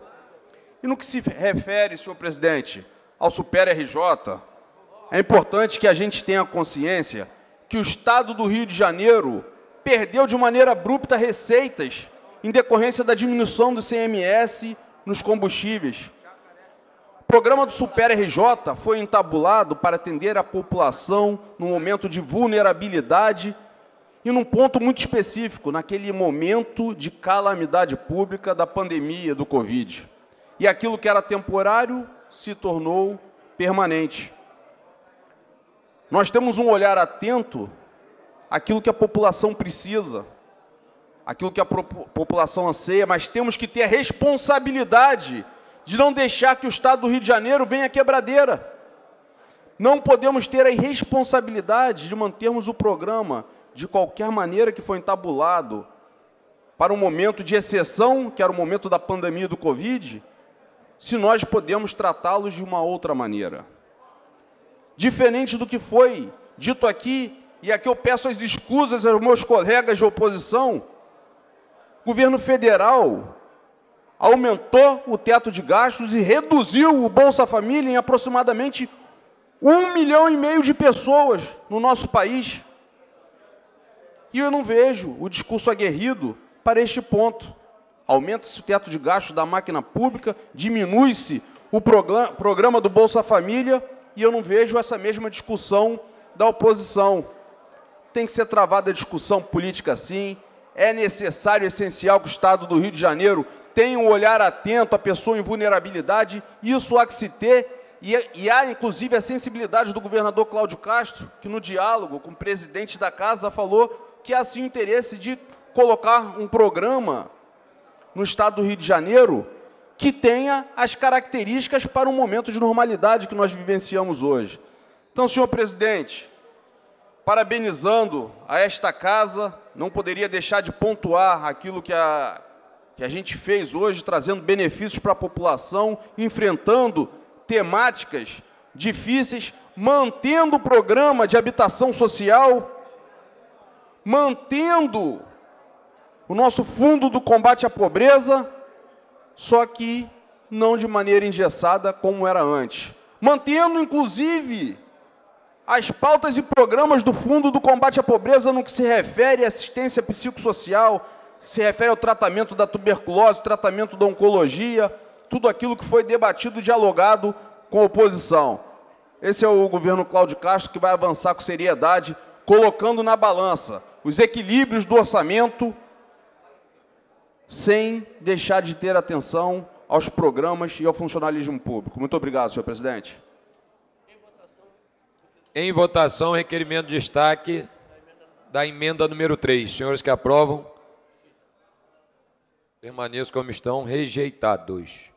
É, o pessoal vota sim às emendas. É, dois destaques do PSOL Caminhamento será feito pela deputada Renata Souza. O PSB votou sim no destaque anterior.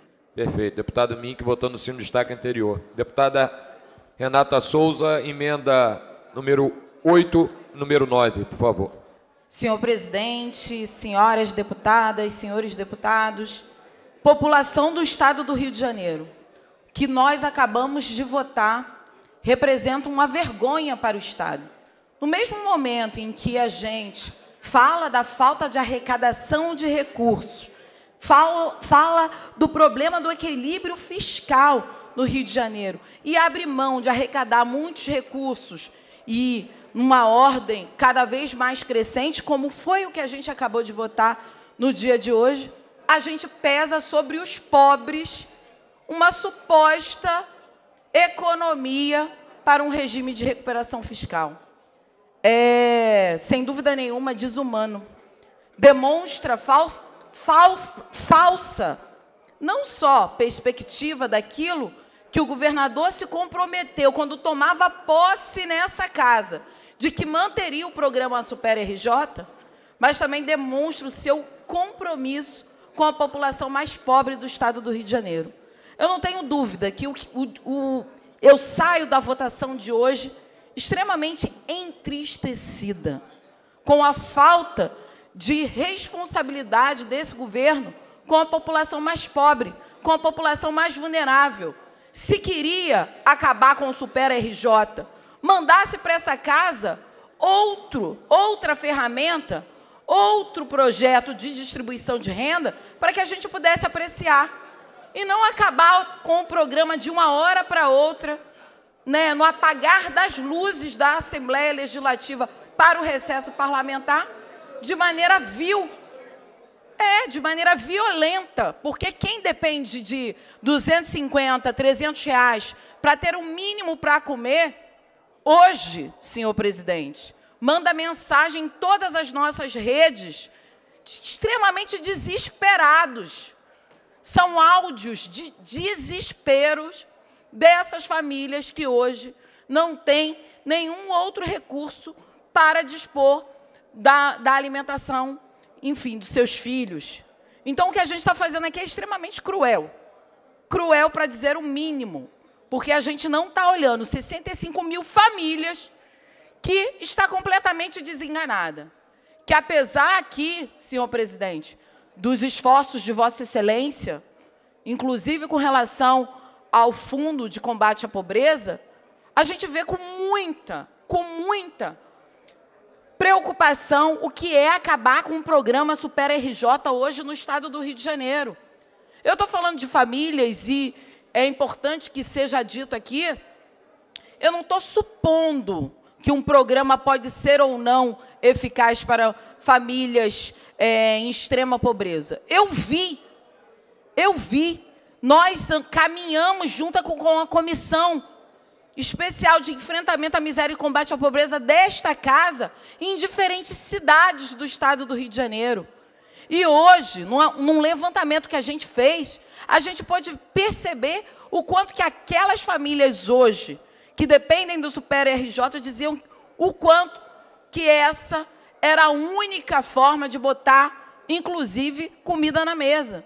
Então, o que eu estou trazendo aqui é não só uma indignação, e pude expressar minha indignação aqui mesmo nessa Assembleia Legislativa, desde o momento em que soube que o governador do Estado extinguiria o Super RJ de maneira atabalhoada, de maneira que não garantiria, por exemplo, e uma das nossas emendas fala nesse sentido, senhor presidente, da possibilidade dessas famílias receberem os atrasados e que a gente pudesse estender aí por mais 90 dias a partir do pagamento a possibilidade dessas pessoas voltarem e a, receber então, senhor presidente, o que a gente é, teve aqui de compromisso de boca, enfim, não foi um compromisso atestado, aprovado, né? Compromisso de boca a gente já teve aqui há algum tempo. Compromisso, inclusive do próprio governador que disse que não acabaria com o Super RJ, que era um programa de sucesso. E aqui nessa casa também trazemos toda a nossa preocupação com a falta de transparência, com a situação desse programa não, não ter dado clareza sobre a disponibilização dos recursos, sobre os atrasos constantes, sobre pessoas que não precisavam pregar um benefício pegaram. Mas qual é a resposta do governo? Diante da incapacidade, da ineficiência de um programa, a resposta do governo é acabar com esse programa? Não pode ser assim. Esse programa foi construído com um esforço dessa Casa Legislativa. E olha, o argumento também de que era um programa que fazia sentido só no momento da emergência da Covid-19 também é falso. O governo não nos apresentou nenhum dado que, re, que demonstre que políticas de emprego e renda foram implantadas e que hoje, no estado do Rio de Janeiro, não tem famílias mais desempregadas. O governador não demonstrou nenhum nenhuma forma relevante de construção de possibilidade dessas pessoas que hoje dependem desse programa de sobreviverem. Então, os impactos da Covid-19 ainda pesa e pesa sobre a pobreza. Não pesa sobre a classe média ou as pessoas abastadas do Rio de Janeiro. Pesa sobre a pobreza. É só ir na favela, na periferia, que vai constatar. E sim, eu vou na favela e na periferia. Eu, 40 anos frequentando a favela da Maré, de onde eu sou cria. E lá eu vejo os, os bolsões de miséria e de pobreza. E convido todos os deputados e deputadas aqui a irem na favela. Porque é de lá as maiores pessoas necessitadas de programas de reconhecimento da necessidade dos mais vulneráveis. Então, senhor presidente, eu fico realmente muito preocupada o governador, na sua insensatez, descompromisso com a população do estado do Rio de Janeiro, decide acabar com um programa no apagar das luzes da Assembleia, dos trabalhos da Assembleia Legislativa do Estado do Rio de Janeiro, inclusive desprestigiando, desprestigiando o trabalho de deputados e deputadas que aqui estão, desprestigiando completamente, manda esse, esse projeto para cá, para revogar uma lei que foi aprovada por essa casa, senhor presidente. Está certo que quem assinava a lei, que prorrogava o programa Super RJ até dezembro de 2023 era de, era de minha autoria.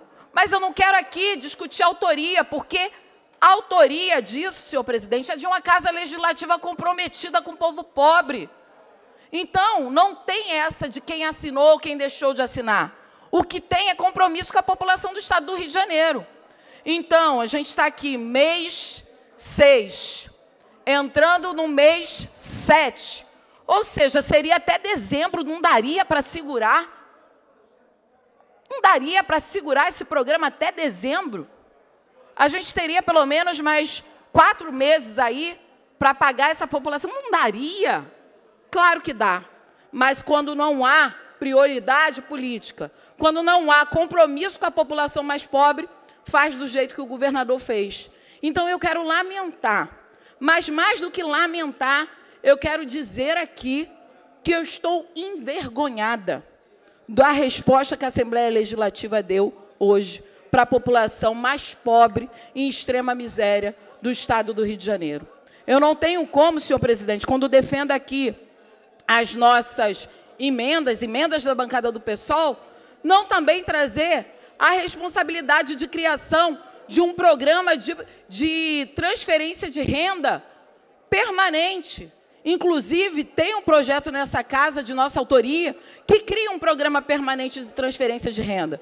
Agora, cabe vontade política do governador em fazer esse programa. Então, senhor presidente, as duas emendas da bancada do PSOL diz respeito, um, a garantia de que essa população não seja colocada, não seja posta sobre ela o peso total das economias do governo, né? Porque se a gente libera para rico, a gente fala, ah, nosso regime de recuperação fiscal, enfim, vários outros argumentos que são completamente incompatíveis com a realidade, ainda que se diga tecnicamente, essa é uma decisão política. Essa é uma casa política. E, portanto, é a partir da política e do compromisso político que a gente consegue chegar naqueles que mais precisam. Então, senhor presidente, nossas emendas, uma, é para que o governo se comprometa com o pagamento dos recursos atrasados, que desde abril a população que recebe, né, 65 mil famílias que recebem esse benefício, deixaram de receber. E mais que isso, a extensão do tempo para que essas famílias possam resgatar esses recursos.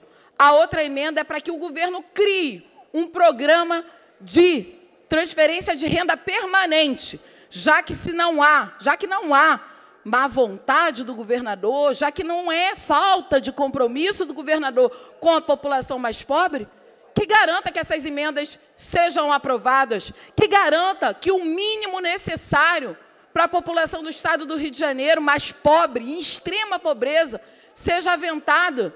É isso que a gente pede aqui com as emendas apresentadas pelo PSOL. E aí, senhor presidente, eu vou termino aqui dizendo que entendo o esforço de Vossa Excelência, mas esse esforço, infelizmente, não garantiu que a gente pudesse que a gente pudesse salvar essas famílias, essas 65 famílias que tinham esperança que esse programa permanecesse. Então, nesse sentido, peço a aprovação das duas emendas aprovadas, é, duas emendas encaminhadas pela bancada do Partido Socialismo e Liberdade. A gente tem certeza que esse é o nosso compromisso com a população do Estado do Rio de Janeiro e que, independente de quem assina né, qualquer coisa, a gente sabe da importância da Assembleia Legislativa de garantir que o governo se comprometa verdadeiramente com a população do Estado do Rio de Janeiro. Muito obrigada, senhor presidente. Obrigado, deputada Renata. Deputado doutor Serginho. Deve ser o microfone, porque aqui consta aberto. Dani, nos auxilia. Senhor presidente, favor, questão de ordem. É, só para abrir para os deputados, conforme foi entabulado o acordo, a emenda que prorrogou o Super RJ por mais 60 dias, é, concedendo a coautoria a todos os colegas que queiram assim assinar. Ficou e também... estabelecido ontem que todos iriam assinar conjuntamente. Todos aprovam, todos concordam? Todos. Emenda então do parlamento inteiro. Senhor presidente, mais uma questão de ordem, é no diálogo com, com o líder do PSOL.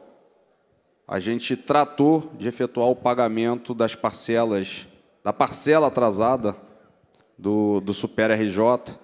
E aí, nesse ponto aqui, eu falei com, com o deputado Yuri, ele retiraria o destaque sobre esse ponto mediante este compromisso Eu, que eu está até firmado. conversei com, com o deputado Yuri, que eu fiz contato com o governador assim que ele chegou, e, e a secretaria já está trabalhando para essa próxima semana estar pagando mais uma parcela que estava vencida. Senhor presidente, com todo o respeito ao nosso líder Serginho, esse é um compromisso que Vossa Excelência assumiu com todas as bancadas que estavam com Perfeito. Vossa Excelência, não somente a bancada do PSOL. Eu nem ouvi. Verdade, deputado Luiz Paulo. É, só falei isso porque no, no diálogo com o Yuri, É, por causa- o para ele retirar o o destaque, destaque acabou sobre lhe isso, induzindo a erro, na Ele me pediu para que eu firmasse esse compromisso de público. Foram todos Não me juntos. custa nada fazê-lo. Perfeitamente.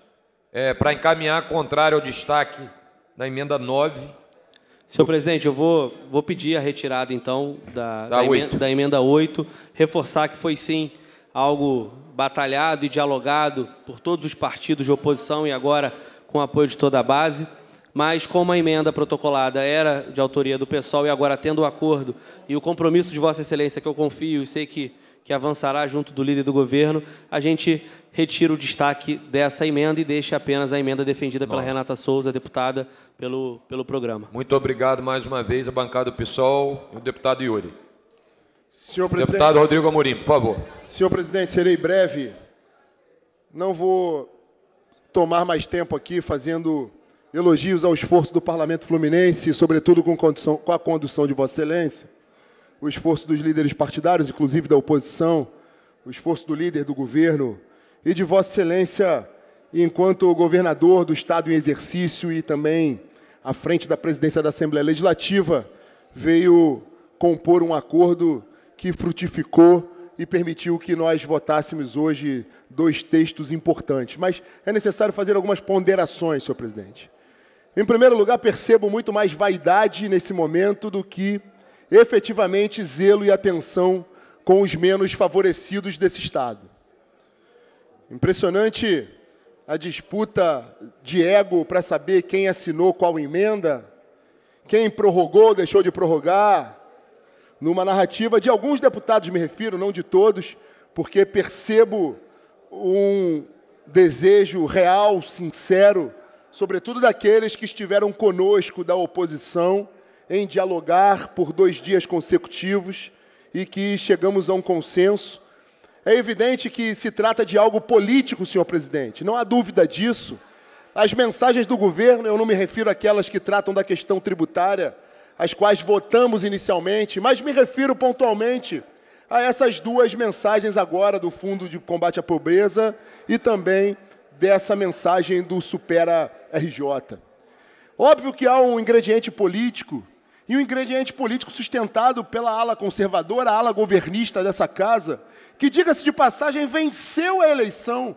Repito essa tese que o governador Cláudio Castro foi o governador eleito com mais de 5 milhões de votos. Portanto, essa casa tem mais de dois terços de sua composição na base governista e, portanto, nós estamos sendo fiéis aos nossos eleitores e aquilo que defendemos durante todo o processo eleitoral, que é a menor intervenção do Estado na economia, é a maior liberdade e flexibilidade do governador, vencedor das eleições, em poder gerir o seu orçamento. Então, a desvinculação de fundos é absolutamente legítima e também a apresentação de um projeto que tem o condão de revogar o programa Supera RJ. Quero dizer e lembrar, senhor presidente, que muitos deputados enebriados pela hipocrisia de momento tiveram a petulância de vir a essa tribuna dizer que o gesto do governador Cláudio Castro, pioneiro no enfrentamento da pandemia, era um gesto meramente eleitoreiro. Eu ouvi essa crítica aqui no plenário, de muitos que vociferaram, inclusive há poucos momentos atrás, foram críticos ao programa Super RJ. Repito, foram críticos ao programa Super RJ, dizendo que era algo eleitoreiro. Depois vieram propor a prorrogação do programa. O governador Cláudio Castro foi o primeiro governador no Brasil que, de forma corajosa, implementou um programa de transferência de renda. Agora, é fundamental que esse programa, ele, com muita vaidade também, foi um gesto dessa casa, mas executado pelo governo do Estado, teve muita gente que, como eu disse anteriormente, considerou o programa um gesto meramente eleitoreiro, depois se rendeu à importância do programa para os menos favorecidos, e o governador Cláudio Castro, muito é, fiel à sua pauta, à sua origem, à sua bandeira, como cristão, como um político que sempre defendeu os mais pobres, sempre batalhou pela inclusão social. É importante que se diga que o programa cumpriu a sua missão naquele momento, não só para o pobre, mas também para o empresário que ficou de mãos atadas, sem poder trabalhar, porque esses que aqui vociferaram sustentaram a ideia que tivéssemos lockdown, sustentaram a ideia que a economia fosse paralisada. E nós, com muita energia aqui no Parlamento Fluminense, não permitimos que o Rio de Janeiro paralisasse por completo a economia. Muitos aqui falaram que aqui ainda estamos sofrendo as consequências da pandemia. Sim, estamos. O mundo está sofrendo. Mas seria, teria sido muito mais grave no Rio de Janeiro se o governo não tivesse feito o combate, não tivesse comprado insumos, os mais baratos do Brasil, não tivesse ofertado vacina, diga-se de passagem, o governo federal do presidente Bolsonaro ofertando vacina e o governador Cláudio Castro distribuindo para cada canto desse estado. A economia estaria muito mais combalida nesse momento. Muitos que aqui falam e acusam o governador de forma leviana, covarde, caluniosa, de insensível, esquecem que os números do Rio de Janeiro, senhor presidente, bateram recorde de emprego em carteira assinada. O Rio de Janeiro bateu recorde no último ano, graças ao governador Cláudio Castro, de empresas formalmente instaladas no estado do Rio de Janeiro. Portanto, o enfrentamento à pobreza, a política de desenvolvimento, como dizia o presidente americano Ronald Reagan, o melhor programa social é o emprego e não a esmola. Portanto, senhor presidente, nós não usamos da população menos favorecida para fazer de plataforma eleitoral. A gente não explora a miséria humana, não explora a favela, não explora, não explora a pobreza para constituir eleição, para constituir bancada, covardia. Então, presidente, parabenizar Vossa Excelência aqui como governador em exercício, teve a coragem e a dignidade de intervir e ter sim a sensibilidade de criar uma regra de transição do programa Supera. Hoje, nós estamos aprovando o fim de um ciclo, eventualmente início de outro, mas Vossa Excelência aprovou uma regra de transição que permite que o cidadão menos favorecido não fique desamparado nos próximos seis meses.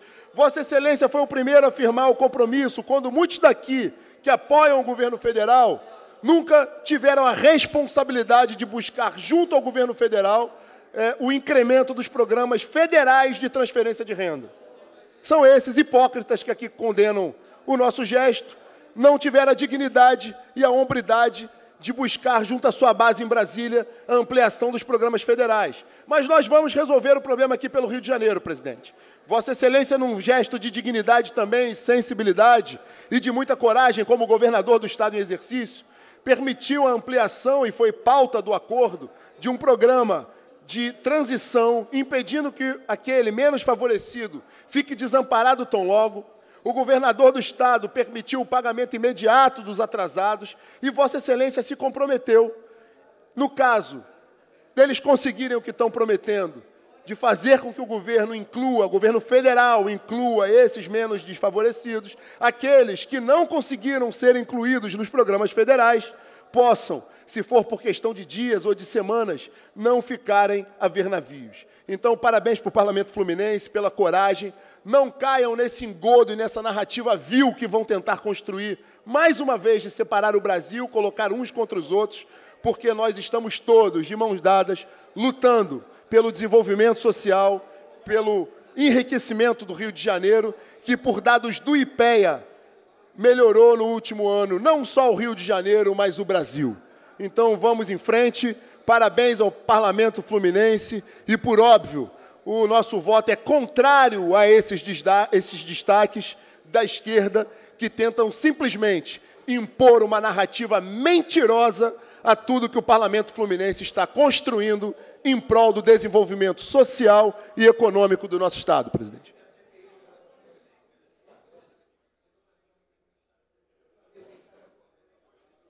Em votação, o requerimento de destaque da emenda número 9 do pessoal. Senhores que aprovam, Verificação, senhor presidente. Rejeitado. Verificação, senhor presidente. Verificação solicitada pelo deputado Flávio Serafim. Para encaminhar, senhor presidente, pela bancada do pessoal. Senhor presidente. Emenda 9. Eu estava ouvindo aqui o deputado que me antecedeu é, e estava pensando o seguinte: quem não tem argumento, fala mal dos outros. Porque o deputado não entrou no debate da emenda. O que, é a emenda 9 da bancada do PSOL que está em votação agora? É a emenda que transforma o programa Supera Rio num programa permanente. O programa Supera Rio começou nesse parlamento, uma iniciativa do deputado André Siciliano. Depois, ele foi prorrogado por iniciativa da deputada Renata Souza. E tramita nessa casa Não. um projeto do deputado Yuri para prorrogar mais uma vez. Então não me venham com essa. Ah, o governo Cláudio Castro salvou, fez o parlamento por iniciativa do deputado André Siciliano, com o nosso apoio, criou. E o governo fez sim. Fez sob muita cobrança e sob iniciativa do parlamento. Agora o governo está interrompendo. E não é verdade que o deputado falou que o que está colocado aqui é uma questão de vaidade. Na reunião de líderes eu coloquei por que, que o pessoal não abriria mão desse destaque. Porque se o governo quer fazer um projeto com a cara dele, faça. Nós somos oposição. Não podemos dizer o que o governo vai fazer ou não vai, a gente cobra, a gente luta. Mas falamos, para a gente era fundamental que o governo criasse outro programa antes de descontinuar o Supera. Isso foi o que a gente cobrou do governo. Criem outro programa antes de descontinuar o Supera. O governo falou o que para a gente? Nós não podemos não descontinuar o Supera por causa do regime de recuperação fiscal que vai considerar o Supera como um programa permanente. Uma despesa continuada. Deputado. A gente falou, então encaminhem para casa. Para concluir, por favor, que a deputada concluir. já sustentou. Então encaminhem para casa um programa para substituir o Supera. O governo não fez isso. E está votando hoje o único programa próprio de enfrentar a extrema pobreza no Rio de Janeiro, que é o Supera.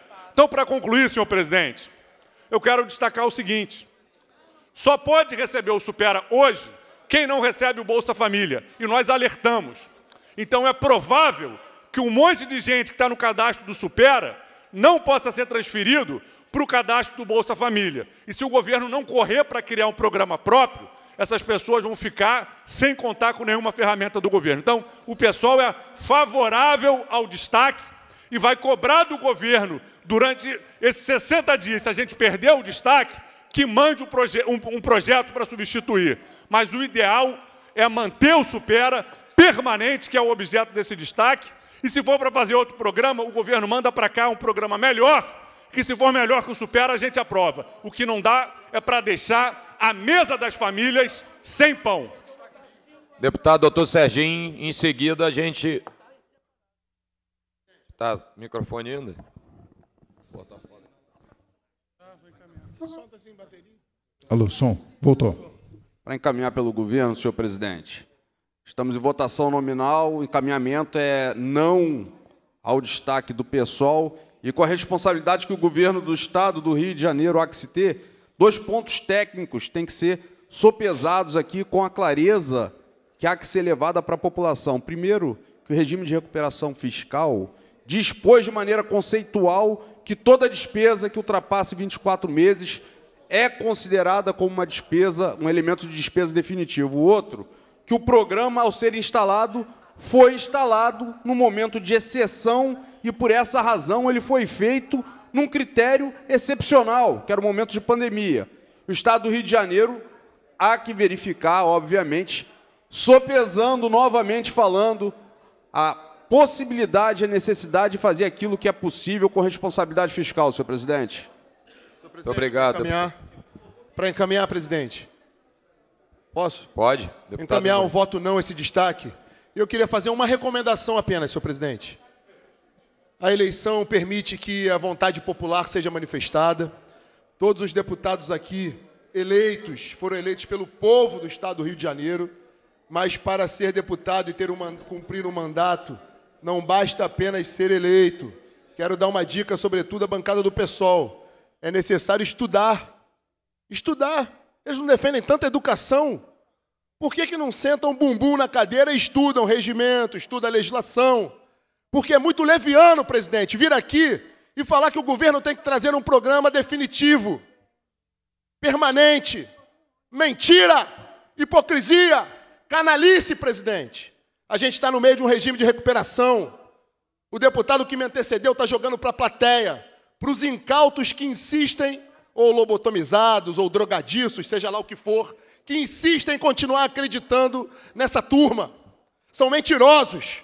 Talvez não é só falta de estudo, não, presidente. Pra é concluir, porque nunca Amorim, por governaram e favor. nunca vão governar, porque foram rejeitados na urna. Presidente, não se pode, à luz do regime de recuperação, incluir, implementar qualquer tipo de despesa de caráter permanente. Portanto, é leviano quem vem aqui e faz fala esse tipo de mentira. Mas eu faço aqui algumas exceções. O líder do pessoal, por exemplo, durante todo o processo de discussão, não defendeu esse tipo de abobrinha, não. Defendeu a manutenção de um programa de habitação Pra coerente. concluir, por favor. E não falou esse tipo Por de favor. mentira. Não aceito mentira, o encaminhamento é não, presidente. Muito obrigado. É, a presidência. Deputado Yuri, por favor. Pela ordem, senhor presidente. Até valorizo aqui a citação do deputado que, que me antecedeu, mas reforçar que eu defendo que a gente tenha um programa de transferência de renda permanente, porque o governador tem que renegociar o regime de recuperação fiscal. Tem que ter essa habilidade política. E aí, com todo o carinho e respeito, inclusive a todos os deputados que estão nesse debate acalorado, eu queria fazer uma citação aqui, presidente. Eu sou de oposição, eu não concordo com os rumos do caminho do governo Cláudio Castro, mas eu tenho responsabilidade com o Estado. E eu preciso dizer para o senhor uma coisa, quero colaborar. E aí vou apontar uma crítica construtiva. A forma ao qual a Secretaria de Desenvolvimento Social está sendo conduzida é muito ruim. Nós de Petrópolis tivemos problemas na condução do debate sobre o aluguel social de mais de 100 famílias que foram cortados. Os secretários municipais de assistência tiveram uma surpresa quanto ao anúncio do fim do Super RJ. E aí eu quero fazer um apelo a Vossa Excelência, que é presidente dessa casa, ao líder do governo e à bancada do Republicanos. A gente tem um bom nome aqui nessa casa. A Tia Ju. Por que, que o governador Cláudio Castro não nomeia Tia Ju secretária de Estado de Desenvolvimento Social? Quando eu aponto aqui que o pessoal só quer apontar crítica e desconstruir as coisas, eu tô, Yuri, independente, tá? Não é falando pela bancada, não, a posição do Yuri. Coloque alguém que vai ter mais diálogo, porque a Tia Ju tem diálogo com a gente. Eu sei que é um governo de coalizão, sei que é um governo que tem professor muitos partidos, mas estou aqui firme para que a gente tenha um novo programa de transferência de renda que o povo merece. Muito obrigado, Tia Ju, deputado Yuri. Eu defendo. A presidência procederá à primeira chamada. Deputado André Correia, deputado Brazão, deputada Carla Machado, deputado Carlos Macedo, deputado, deputada Franciane Mota, deputado Jari Oliveira, deputada Lucinha, deputado Luiz Paulo, deputada Marina do MST, deputado Renato Machado, deputado Renata, Renato Miranda e depu- deputado Tiago Rangel, deputado Vitor Júnior. A presidência procederá à segunda chamada. Deputado André Correia, Deputado Brazão. Deputada Carla Machado. Deputada Franciane Mota. Deputado Jari Oliveira. Deputada Lucinha. Deputada Marina do MST. Deputado Renato Machado. Deputado Renato Miranda. Deputado Tiago Rangel e deputado Vitor Júnior. A presidência proclama o resultado. Votaram 56 deputados, 13 sim, 43 não, zero abstenções. O destaque está rejeitado. Pela ordem, presidente. Presidente, é- é possível fazer uma declaração de voto no destaque? Se puder, só. Rapidamente. A gente ainda tem um destaque da deputada Élica. Aí eu aguardo, eu aguardo. É Tudo ao rapidinho. final, pode ser? Pode, pode. Perfeito. De... Há sobre a mesa requerimento de destaque da emenda número 12. Irá encaminhar a deputada Érica Takimoto pelo PT.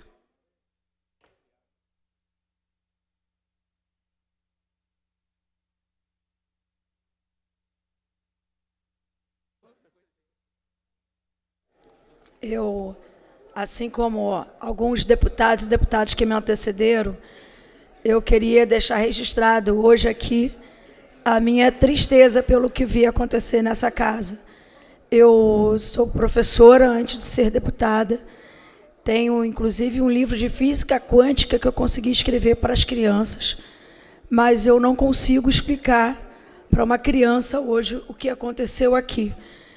É, tenho muita dificuldade mesmo de compreender como essa casa está recusando uma transferência de renda para a população que mais precisa. É claro que a gente entende que é um programa que foi inicialmente feito na ocasião da pandemia da Covid-19. É claro que a gente entende que a pandemia acabou, mas é só andar nas ruas para entender que as consequências, os efeitos da pandemia seguem. E a gente que tem um mandato como o meu, de portas abertas para a população, que tem os canais acessíveis para todo mundo e que ouve o desespero dessas pessoas, é impossível a gente não se sensibilizar e compreender o que aconteceu aqui hoje. As pessoas parecem que não andam na rua. Eu fico entristecida de ver os deputados e os deputados aqui com o salário que têm negar 200, 300, 400 reais de auxílio para essas pessoas que não têm nada. Compreendo que o número de empregos formais no estado do Rio de Janeiro tem aumentado, isso eu compreendo, mas eu compreendo também que não são todas as pessoas aqui que estão com emprego formal hoje, que estão com salário, sequer com salário mínimo na conta, podendo garantir comida ao mês. Então é com muita tristeza que a gente, que eu testemunho isso aqui hoje e volto a dizer com muita dificuldade para explicar isso para qualquer pessoa que esteja aí fora, porque que foi negado aqui por essa casa essa transferência de renda para quem mais precisa. Isso posto, a bancada do PT apresentou uma emenda estendendo o prazo do programa para ser até o ano de 2032 e retirou a condicionante da pandemia da Covid-19, né, bem como atualizou o valor mínimo de renda por pessoa para 350 reais. Então a gente Presidente. é, então a gente subiu de 200 e- Presidente, eu quero consignar meu voto não é por gentileza, porque minha sogra passou mal, eu vim aqui, tá? Quem tá, Presidente. quem, quem tá falando aí? Porque não tá aparecendo. É o Brazão. Brazão, tá É bom, tá Brazão. bem. Tá não, Registrando minha agora, deputado. Obrigado. mal, eu vim aqui. Obrigado. Obrigado, irmão. Um abraço. Deputada. Élica, pode, pode seguir, por favor. Tá, então a gente atualizou- atualizou o valor de 210 para 350 para participar do programa. Então, a emenda proposta pela bancada tem como objetivo estabelecer um novo programa assistencial de apoio às pessoas que enfrentam dificuldades pelos efeitos, gra efeitos graves da economia regional. Então, a gente vê a necessidade da implantação de um programa melhor estruturado que dão assistência às pessoas que estão em situação de vulnerabilidade, e são muitas, como a gente pode testemunhar, só de andar pelas ruas aqui. E essas pessoas precisam receber um auxílio do Estado na recuperação da sua capacidade de relocação econômica estabelecendo o prazo até de 31 de dezembro de 2032 na duração do programa, mesmo sobre o regime de recuperação fiscal, que a gente entende que o papel do Estado é cuidar de quem mais precisa. Obrigada, presidente. Obrigada. Obrigado, deputada Érica. Em votação, o requerimento de destaque da emenda número 12. Os senhores que aprovam permaneçam como estão. Rejeitado. O projeto aprovado vai ao autógrafo. Pela ordem, presidente. É, por Posso? favor, deputado Dani, antes de mais nada, alguns colegas deputados da bancada evangélica que tinham pedido ao final para fazer a declaração do voto da, da mensagem da tributação das igrejas. Assim que terminar, a- o deputado Luiz Paulo tinha. Deputado Luiz Paulo, deputado Jorge Felipe e Vossa Excelência tinha pedido a palavra. Em seguida, vou passar a presidência aqui para a Tia Ju e todos concluem com as suas declarações e posicionamentos. É, obrigado, então, presidente. Antes queria... de mais nada, o meu muito obrigado a cada um dos senhores e senhoras individualmente. Muito obrigado por essa tarde, muito obrigado pela maturidade, pelos acordos, pelo equilíbrio da gente até o final. Acabou muito mais rápido do que a gente imaginava e peço carinhosamente que todos que puderem, lá no oitavo andar, porque tinha previsão de chuva, a gente acabou tirando lá da, da cobertura e colocou no oitavo para a gente se encontrar ali e podermos nos abraçar e nos despedir, porque eu tenho certeza que tem alguns aqui que vão embarcar, vão ficar fora alguns dias. Deputado, ah, é, o nosso presidente do Flamengo aqui, Valdo Ceasa, pediu também para não esquecer que no sábado, 8h30 da manhã, no clube do Fluminense, ao lado do Palácio Guanabara, o futebol da Assembleia, cujo deputado Luiz Paulo é o nosso centroavante, camisa 9. Eu sou por a gentileza. técnica, hein, presidente? Eu Deputada Dani Monteiro, por favor, a questão de ordem. Tem presença de mulher nesse time. A Marina é do time e a Dani Monteiro é a técnica desse time. Então vamos lá. Vamos lá aqui, gente. Acho que estamos acabando, mas eu não poderia de deixar de falar nessa semana. Aliás, Presidente, só queria registrar a presença e agradecer do deputado federal Auro Ribeiro, presidente do nosso partido aí regional, deputado federal que trabalha muito. Presidente, agradecer a presença de Vossa Excelência aqui na nossa casa. Valeu, presidente.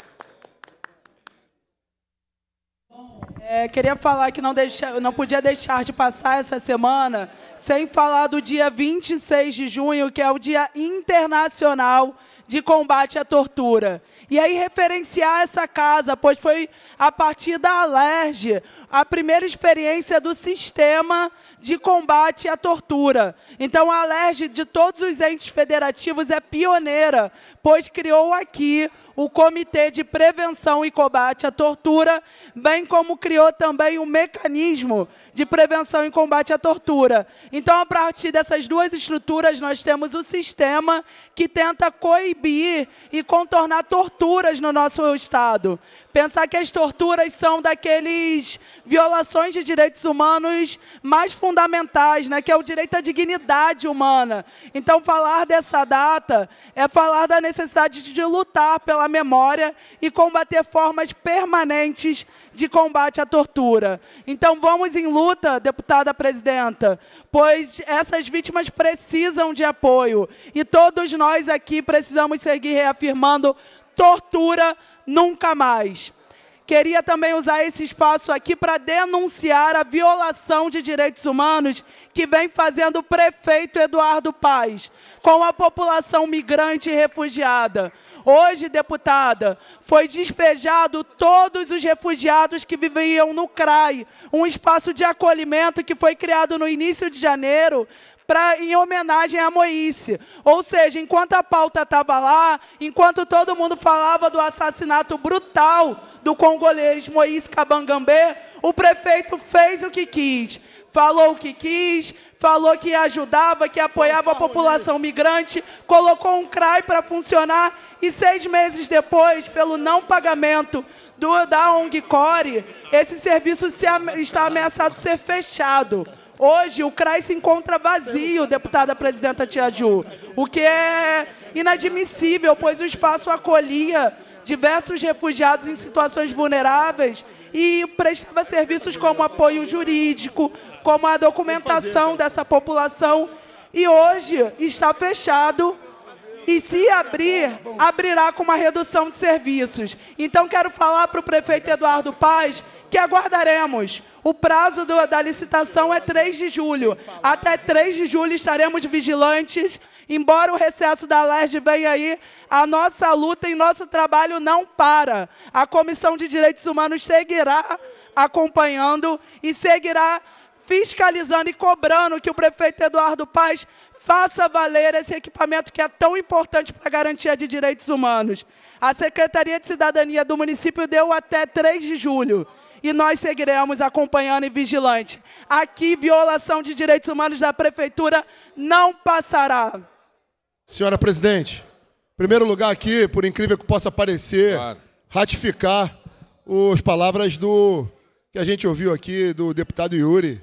Eu tenho sempre dito que Vossa Excelência combina muito com essa cadeira, é uma mulher respeitada nesse parlamento, teve uma história brilhante como secretária de assistência social do município do Rio de Janeiro e faria muito bem para o governo do estado do Rio de Janeiro. Então, Vossa Excelência tem o apoio de todo o parlamento fluminense. Mas por falar em secretaria, serei breve para dar a palavra ao deputado Malafaia. É o seguinte, secre- presidente, secretária, tá vendo? Presidente, eu quero registrar aqui, hoje é dia 29, véspera do início do recesso parlamentar. 29 de agosto, e essa data, senhora presidente, marca aqui uma covardia que a secretária de administração penitenciária vem fazendo, não só com concursado, mas vem fazendo com o Estado do Rio de Janeiro. É uma secretária que não cumpre a sua palavra, ela não cumpriu a palavra no final do ano, ela não cumpriu a palavra que se comprometeu na reunião da Comissão de Segurança Pública. Já se passaram mais de 15 dias do compromisso que foi firmado com ela. Está engabelando as comissões dessa casa, está engabelando os concursados, os policiais penais e a população do Rio de Janeiro. Não apresentou nenhuma resposta do que foi formulado na audiência da Comissão de Segurança Pública, não apresentou nenhuma resposta no que diz respeito à realização do TAF amplo, não só do TAC, mas também dos demais concursos. Então, é uma secretária que não respeita o parlamento, não respeita o cidadão, não respeita o policial penal, não respeita o concurso público. Então, tem aqui a nossa veemente discordância da secretária de Polícia Penal não poderia ir para o recesso sem fazer essa manifestação e ela que aguarde que em agosto vai ser novamente instada a estar nessa casa, prestar esclarecimentos e honrar a palavra que se comprometeu, não só em dezembro, mas agora, ainda esse ano. Obrigado, presidente. Tia Ju.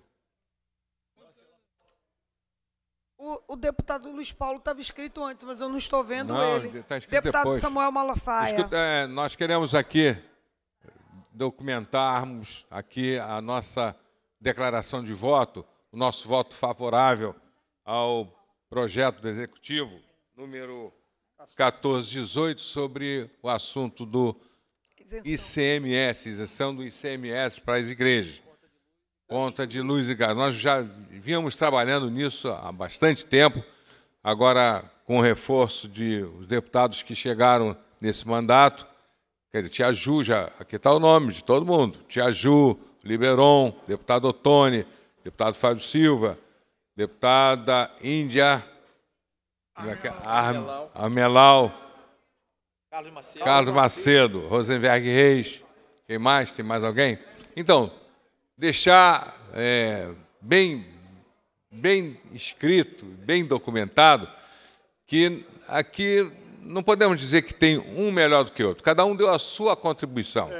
Cada um deu o seu, o seu interesse, tornou o seu interesse verdadeiro ao defendermos isso que é fundamental. E a primeira vez que se falou em isenção de, de impostos para a igreja, para templos de qualquer, é, qualquer denominação, culto de- religioso, não foi a- com, com a gente, não.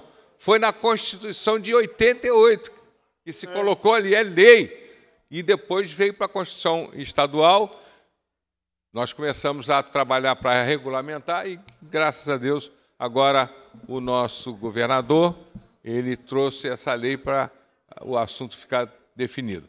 Senhores, se vocês têm alguma coisa a falar para complementar. Apoiado, apoiado. Eu muito obrigado a todos. Um abraço. Bom recesso. Presidenta. Deputado Jorge Felipe Neto estava inscrito, não se encontra presente. Opa! Eu estou inscrita também, presidente. Está inscrita. Presidente, eu também estou inscrita. Tá, tá. tá inscrita. Rapidamente, presidente, para declaração de voto. Governar é difícil. Eu não gostaria de estar na pele do governador Cláudio Castro, diante das escolhas que tem que fazer pelo bem da totalidade da população fluminense. Veja que situação draconiana de ficar entre a cruz e a espada. É disso que se trata a votação de hoje do Super RJ. O regime de recuperação fiscal sempre maldoso, sempre de má vontade com o Estado do Rio de Janeiro, nunca importando que desde a era Sarney esse Estado é vilipendiado, vilipendiado, presidente Aju, pelo governo federal. Mais de 90%, em média, durante os anos, dos recolhimentos de tributos federais ficam com a União. E a gente sustenta o Nordeste, sustenta o Centro-Oeste, sustenta o Norte do nosso país. São regiões que sobrevivem de transferência de renda. A gente sobrevive de ICMS. Somos os maiores produtores e olha a situação em que a gente se encontra na mão de três sujeitos não eleitos, não legitimados pela população fluminense ou pela população brasileira em geral, que é a Comissão do Regime de Recuperação Fiscal. Eles então, para que a população entenda o que, aconteceu hoje, eles então baixam uma normativa que, com base no regime de recuperação fiscal firmado em 2017, todas as despesas de programas novos, acima, aliás, de programas novos e dentro do mesmo programa de trabalho do orçamento. Então não adiantava mudar o programa, deputada, e readequar o novo. Isso seria uma malandragem que está justamente é, salvaguardada por essa, por essa comissão e as suas tripudiações com o Estado do Rio de Janeiro. Mas o fato é, qualquer despesa acima de 24 meses reiterada seria considerada uma despesa continuada e o Super RJ estava, então, a ponto de alcançar esse prazo. E com isso, olha a escolha. Ou a gente deixa 17 milhões de fluminenses sem saúde, sem educação, sem segurança pública, ou as aproximadamente 60 mil famílias com uma solução ainda não adquirida para que se mantivesse a, o mínimo existencial dessas famílias. E veja como é bela a democracia o parlamento, senhora presidente. A base do governo hoje vota a lei do Super RJ graças a um acordo com a oposição, em especial a bancada do Partido dos Trabalhadores, o PT, que rege o governo federal, no governo Lula, de que graças a esse acordo há a possibilidade de transferência dos beneficiários do programa do Super RJ para o governo federal, para o Bolsa Família, uma vez que a base de cadastro é o CAD único. Outra coisa que foi falada aqui que não é verdade, que teria gente recebendo fora do CAD único. Não é verdade, à exceção daqueles microempreendedores que não receberam pelo Supera, o cartão do Supera, receberam pela GRI.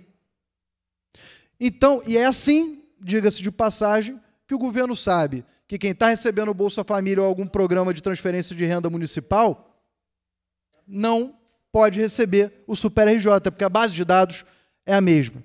Então fica aqui agora o governo responsável pela manutenção da saúde fiscal, do regime de recuperação fiscal, que apesar de todas as dificuldades, é hoje uma necessidade do Estado do Rio de Janeiro, e fica a bancada de oposição a responsabilidade, porque jogar pedra é muito fácil, a responsabilidade de conseguir essa transferência para o Bolsa Família. Então, presidente, eu quero aqui fazer uma, um agradecimento só ao líder do governo, ao presidente Rodrigo Bacelar e toda a construção que foi feita coletivamente do parlamento, dos 70 deputados que conseguiram resguardar por mais 60 dias, transferir essa responsabilidade para o governo federal do Super RJ e também salvaguardar o Estado. É um acordo que ficou bom, de fato, para todas as famílias, que vão aumentar, caso a bancada do PT consiga, 300 reais em média, vai para 700 com Bolsa Família e o Estado não vai ser multado ou não vai ter dificuldades com o regime de recuperação fiscal diante de todos que já têm surgido. Obrigado, presidente. Deputado professor Josimar. Primeiro, eu até Depois quero a deputada fazer a Renata declaração Souza, de mas voto. ele estava escrito primeiro. Mas o colega justiça. que me antecedeu, ele fez uma necessidade de dar algumas respostas. Primeira resposta que o colega me cobra aqui, eu acho que é importante, nós estamos em esferas diferentes. Não é um acordo aqui dentro desta casa que vai determinar as relações entre o poder do governo do Estado com o governo federal. Isso é de um sofismo primário muito grande. É tentar dizer para você que está nos vendo aí do outro lado que vocês são idiotas. Por favor, por favor. Por favor, eu estou aqui, eu aqui hoje debatendo com 69 deputados e deputadas. 70 deputados e deputadas. E você vinha aqui falar nesta casa. Por favor, Jorge. Jorge. Jorge. Jorge, me desculpe, mas você está. Eu estou chamando você, está falando uma inverdade aqui. Isso é uma inverdade. Nós não temos legitimidade de fazer acordo aqui nessa casa que vai determinar o que o governo do Estado e o governo federal têm que fazer. Não temos essa relação. Não. Você está dizendo algo que não pode acontecer. Aqui nós não temos legitimidade nem eleitoral, nem legitimidade política e nem institucional para fazer isso. Então você está falando aqui algo que induz a pessoa que está vendo a uma coisa completamente diferente. Eu acho que uma criança, os meus alunos do sexto ano de escolaridade saberiam muito bem, porque sabem dividir quais são as esferas de poder. Então você não vem aqui traçar e fazer um discurso todo completamente genérico. E que, com todo respeito ao colega, com todo respeito que eu tenho a você, você é um deputado altivo, não precisa desse tipo de argumento para defender a sua posição e a sua política. Essa é a primeira questão. Agora, o que nós estamos debatendo aqui é a necessidade de extensão do programa, visto que você tem uma necessidade, tem um problema de vulnerabilidade social que não é fácil de ser solucionado. Não é fácil de ser solucionado. Não se soluciona com medidas fáceis e de, de grande porte, de pequeno porte. Quando nós falamos aqui da necessidade de estender o programa, nós estamos dizendo o seguinte: não existe um outro programa no lugar. Aí vocês dizem, na posição de vocês, que é até legítima, de que é, não temos condições de fazer nesse momento porque está num regime de recuperação fiscal. Isso é uma meia-verdade. Porque se você estende o programa, você atende a necessidade daquelas famílias que estão necessitando nesse momento. É com esses que nós temos uma preocupação. Se não tem como construir agora, estendemos esse e coletivamente nós vamos fazer o debate. Essa tem que ser a questão. Agora, nós não podemos chegar aqui ignorar as famílias que estão em extrema pobreza, não podemos misturar a discussão do Supera Rio com a discussão do Bolsa Família, são políticas sociais distintas. Nós não podemos ignorar que a Defensoria Pública colocou que é necessário, que é importante a extensão desse programa. Então, não podemos chegar aqui e fazer a coisa num nível mais baixo. Com todo respeito ao colega, ele merece total respeito, mas não dá para usar esse tipo de argumento. Quero dizer também que tem cidades que a pobreza, como é o caso da minha cidade de São Gonçalo, como é o caso das cidades da Baixada Fluminense, muitas cidades do interior do estado, que vão sofrer com consequentemente com um, por um programa. O Brasil acabou com a pandemia, ou melhor, a pandemia está superada formalmente a nível mundial, mas a nível, é, mas as consequências econômicas, sociais, elas ainda continuam. E é esse o debate que nós temos que fazer aqui. E é essa a questão que eu vim fazer a minha declaração de voto. Tive que me estender um pouco mais, porque a forma como o colega anterior colocou não é, não é correta, não é, não transmite os dados da verdade, se equivoca do ponto de vista institucional, inclusive. Só para dizer, deixar claro o meu voto em relação ao tema anterior. Deputada Renata Souza. Senhora presidenta, muito importante a gente dizer o que de fato aconteceu hoje na Assembleia Legislativa. Nós, no- na coletividade, permitimos que o governador do Estado inviabilizasse o programa Super RJ, que é o único programa de distribuição de renda do Estado do Rio de Janeiro. Foi isso que nós fizemos. E nós fizemos isso é, partindo do pressuposto, do argumento da base do governo, porque temos responsabilidade com o regime de recuperação fiscal. Ora, esse regime de recuperação fiscal, ele já existia quando o programa Super RJ foi construído e foi determinado. Esse regime de recuperação fiscal, ele já existia quando o governador do estado, Cláudio Castro, veio à Assembleia Legislativa tomar posse e disse que o programa era um sucesso e que ele manteria este programa. Ora, são muitas contradições e muitos argumentos frágeis que não dão conta da complexidade do que se representa hoje. Tirar o sustento de 65 mil famílias do estado do Rio de Janeiro, que, como meu colega que me antecedeu trouxe, afetará especialmente cidades como São Gonçalo, como Duque de Caxias, como a própria cidade do Rio de Janeiro, como Petrópolis, que tem muita gente que depende de, desse programa diante do que foi a tragédia das chuvas em Petrópolis. Então é importante que a gente não crie subterfúgios para não complexificar aquilo que está evidente. A Assembleia Legislativa permitiu que o governador acabasse com um único programa de transferência de renda do Estado do Rio de Janeiro. Isso é um fato. Ninguém está inventando. Então é importante, senhora presidenta, a gente olhar, e essa foi a oportunidade que o pessoal deu à bancada governista de pensar num programa de distribuição de renda permanente. É óbvio que transformar isso numa não só numa fala fácil, mas de compromisso. Afinal de contas, senhora presidenta, se tecnicamente a gente fosse aqui ficar disputando, a gente não abriria mão de nenhuma forma da arrecadação do Estado. A gente não teria dado benefícios para diferentes empresas, né, nos benefícios fiscais, abrindo mão de impostos como ICMS, como nós fizemos aqui. Então não dá para pesar sobre o mais pobre a suposta responsabilidade com o regime de recuperação fiscal. É disso que se trata. Então, o pessoal, o campo de esquerda, fez aqui porque foi dito, inclusive, que a gente não apoiava o Super RJ. Isso é uma mentira. Desde o primeiro momento, lá atrás, quando essa Assembleia Legislativa falou que teria um programa que a gente pudesse provocar o governo do Estado a se comprometer com a distribuição de renda, nós todos aqui, dentro da Assembleia Legislativa, fomos a favor. A gente tirou, inclusive, a especificação.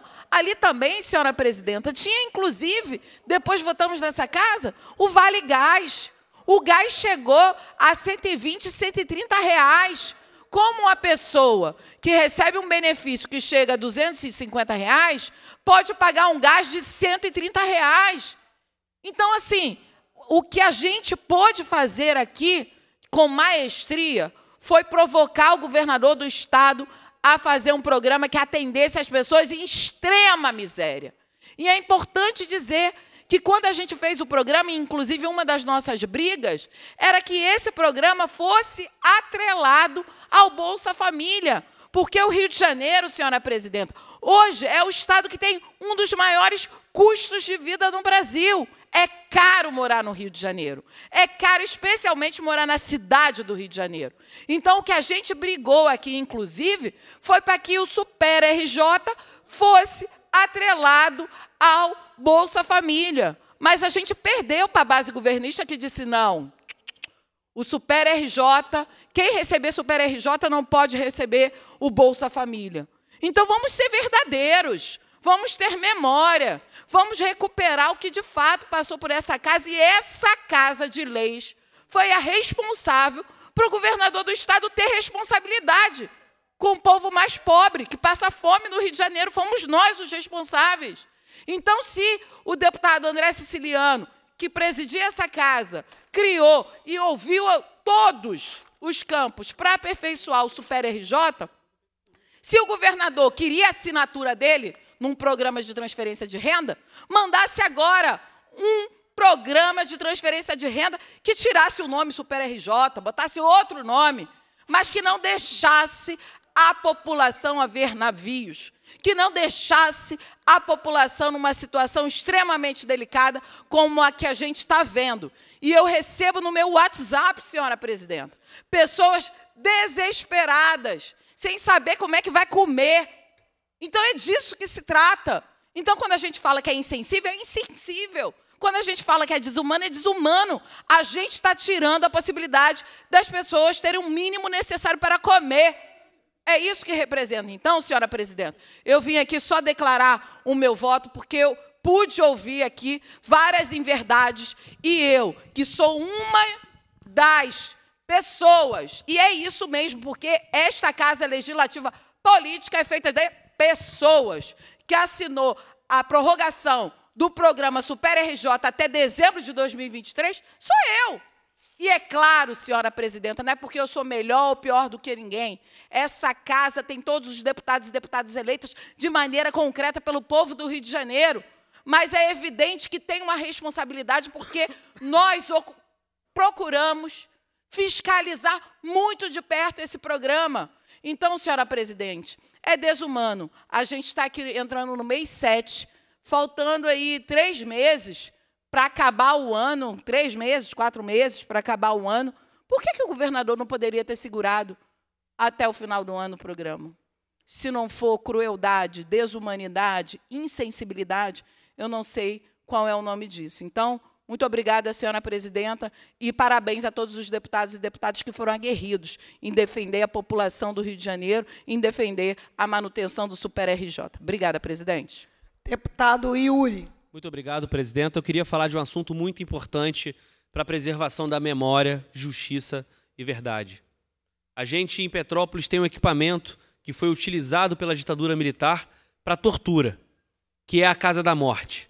Que todos nós só temos conhecimento que ela existiu por conta da militante histórica Inês Etienne Romeu, que foi torturada na Casa da Morte e conseguiu denunciar ao Brasil e ao mundo o que aconteceu ali durante a ditadura militar. Nessa semana, na segunda-feira, quando a gente tinha um dia de combate justamente à tortura, de reconhecimento das vítimas, o INEPAC, o Instituto Estadual do Patrimônio, tombou a Casa da Morte. E isso valoriza a luta do grupo pró-memorial Casa da Morte, para que a gente tenha um centro de memória, verdade e justiça, para que nunca mais aconteça o que aconteceu na ditadura militar. A minha cidade, ela vive, às vezes, na verdade, a minha cidade vive uma crise de identidade.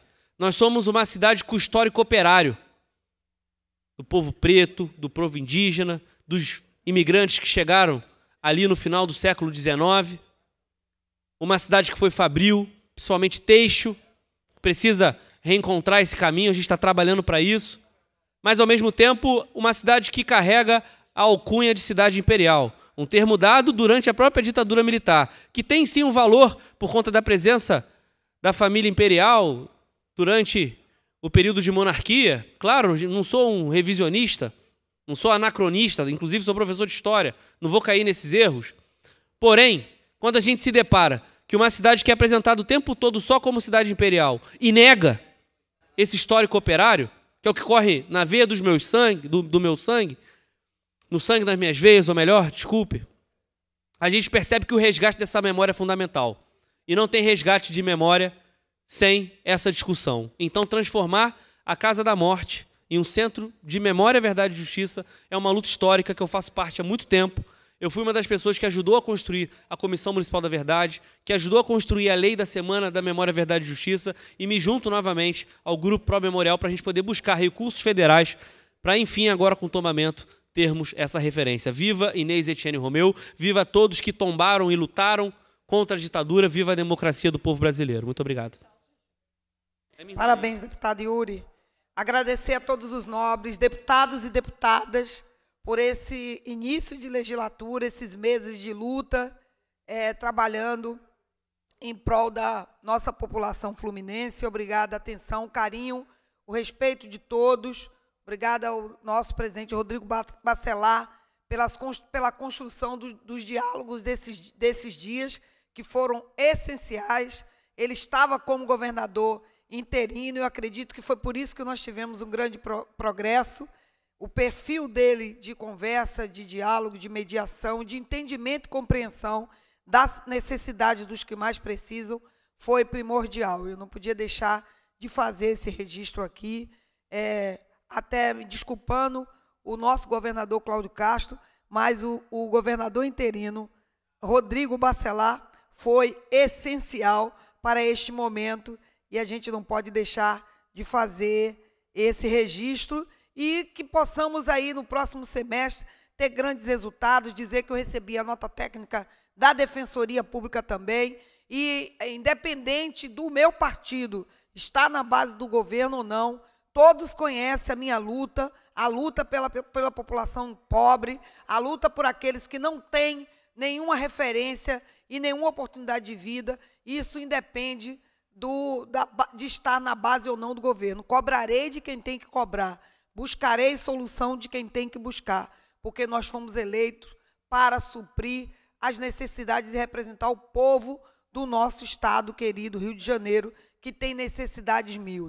Então, continuaremos aqui na luta e o melhor caminho para a solução do problema e dos problemas que a nossa sociedade enfrenta é o diálogo, é a conversa, é trazer os olhares diferenciados de cada um que está na ponta, representando cada segmento da sociedade, para construirmos de forma conjunta e coletiva as soluções. Soluções é, unilaterais não resolvem problemas, soluções com diversos diálogos. E aí eu quero deixar, como é, cristã que sou, evangélica que sou, uma, uma mensagem da Bíblia que diz que na multidão de conselhos há progresso. E a multidão de conselhos é a multidão de conselhos e de propostas e de falas e vozes que vêm de todos os lados e direção da nossa sociedade. Nesses conselhos, nessas propostas, a gente vai conseguir grandes resultados para a nossa população. Um abraço querido a todos, que Deus nos abençoe, viva a população do Rio de Janeiro e continuemos trabalhando por cada um que precisa do no- dos nossos mandatos e na nossa representação. As mulheres, as crianças, os negros, os povos indígenas, toda e qualquer população. Todo cidadão merece carinho, respeito e dignidade humana. Que Deus abençoe a todos, um bom descanso e um bom recesso.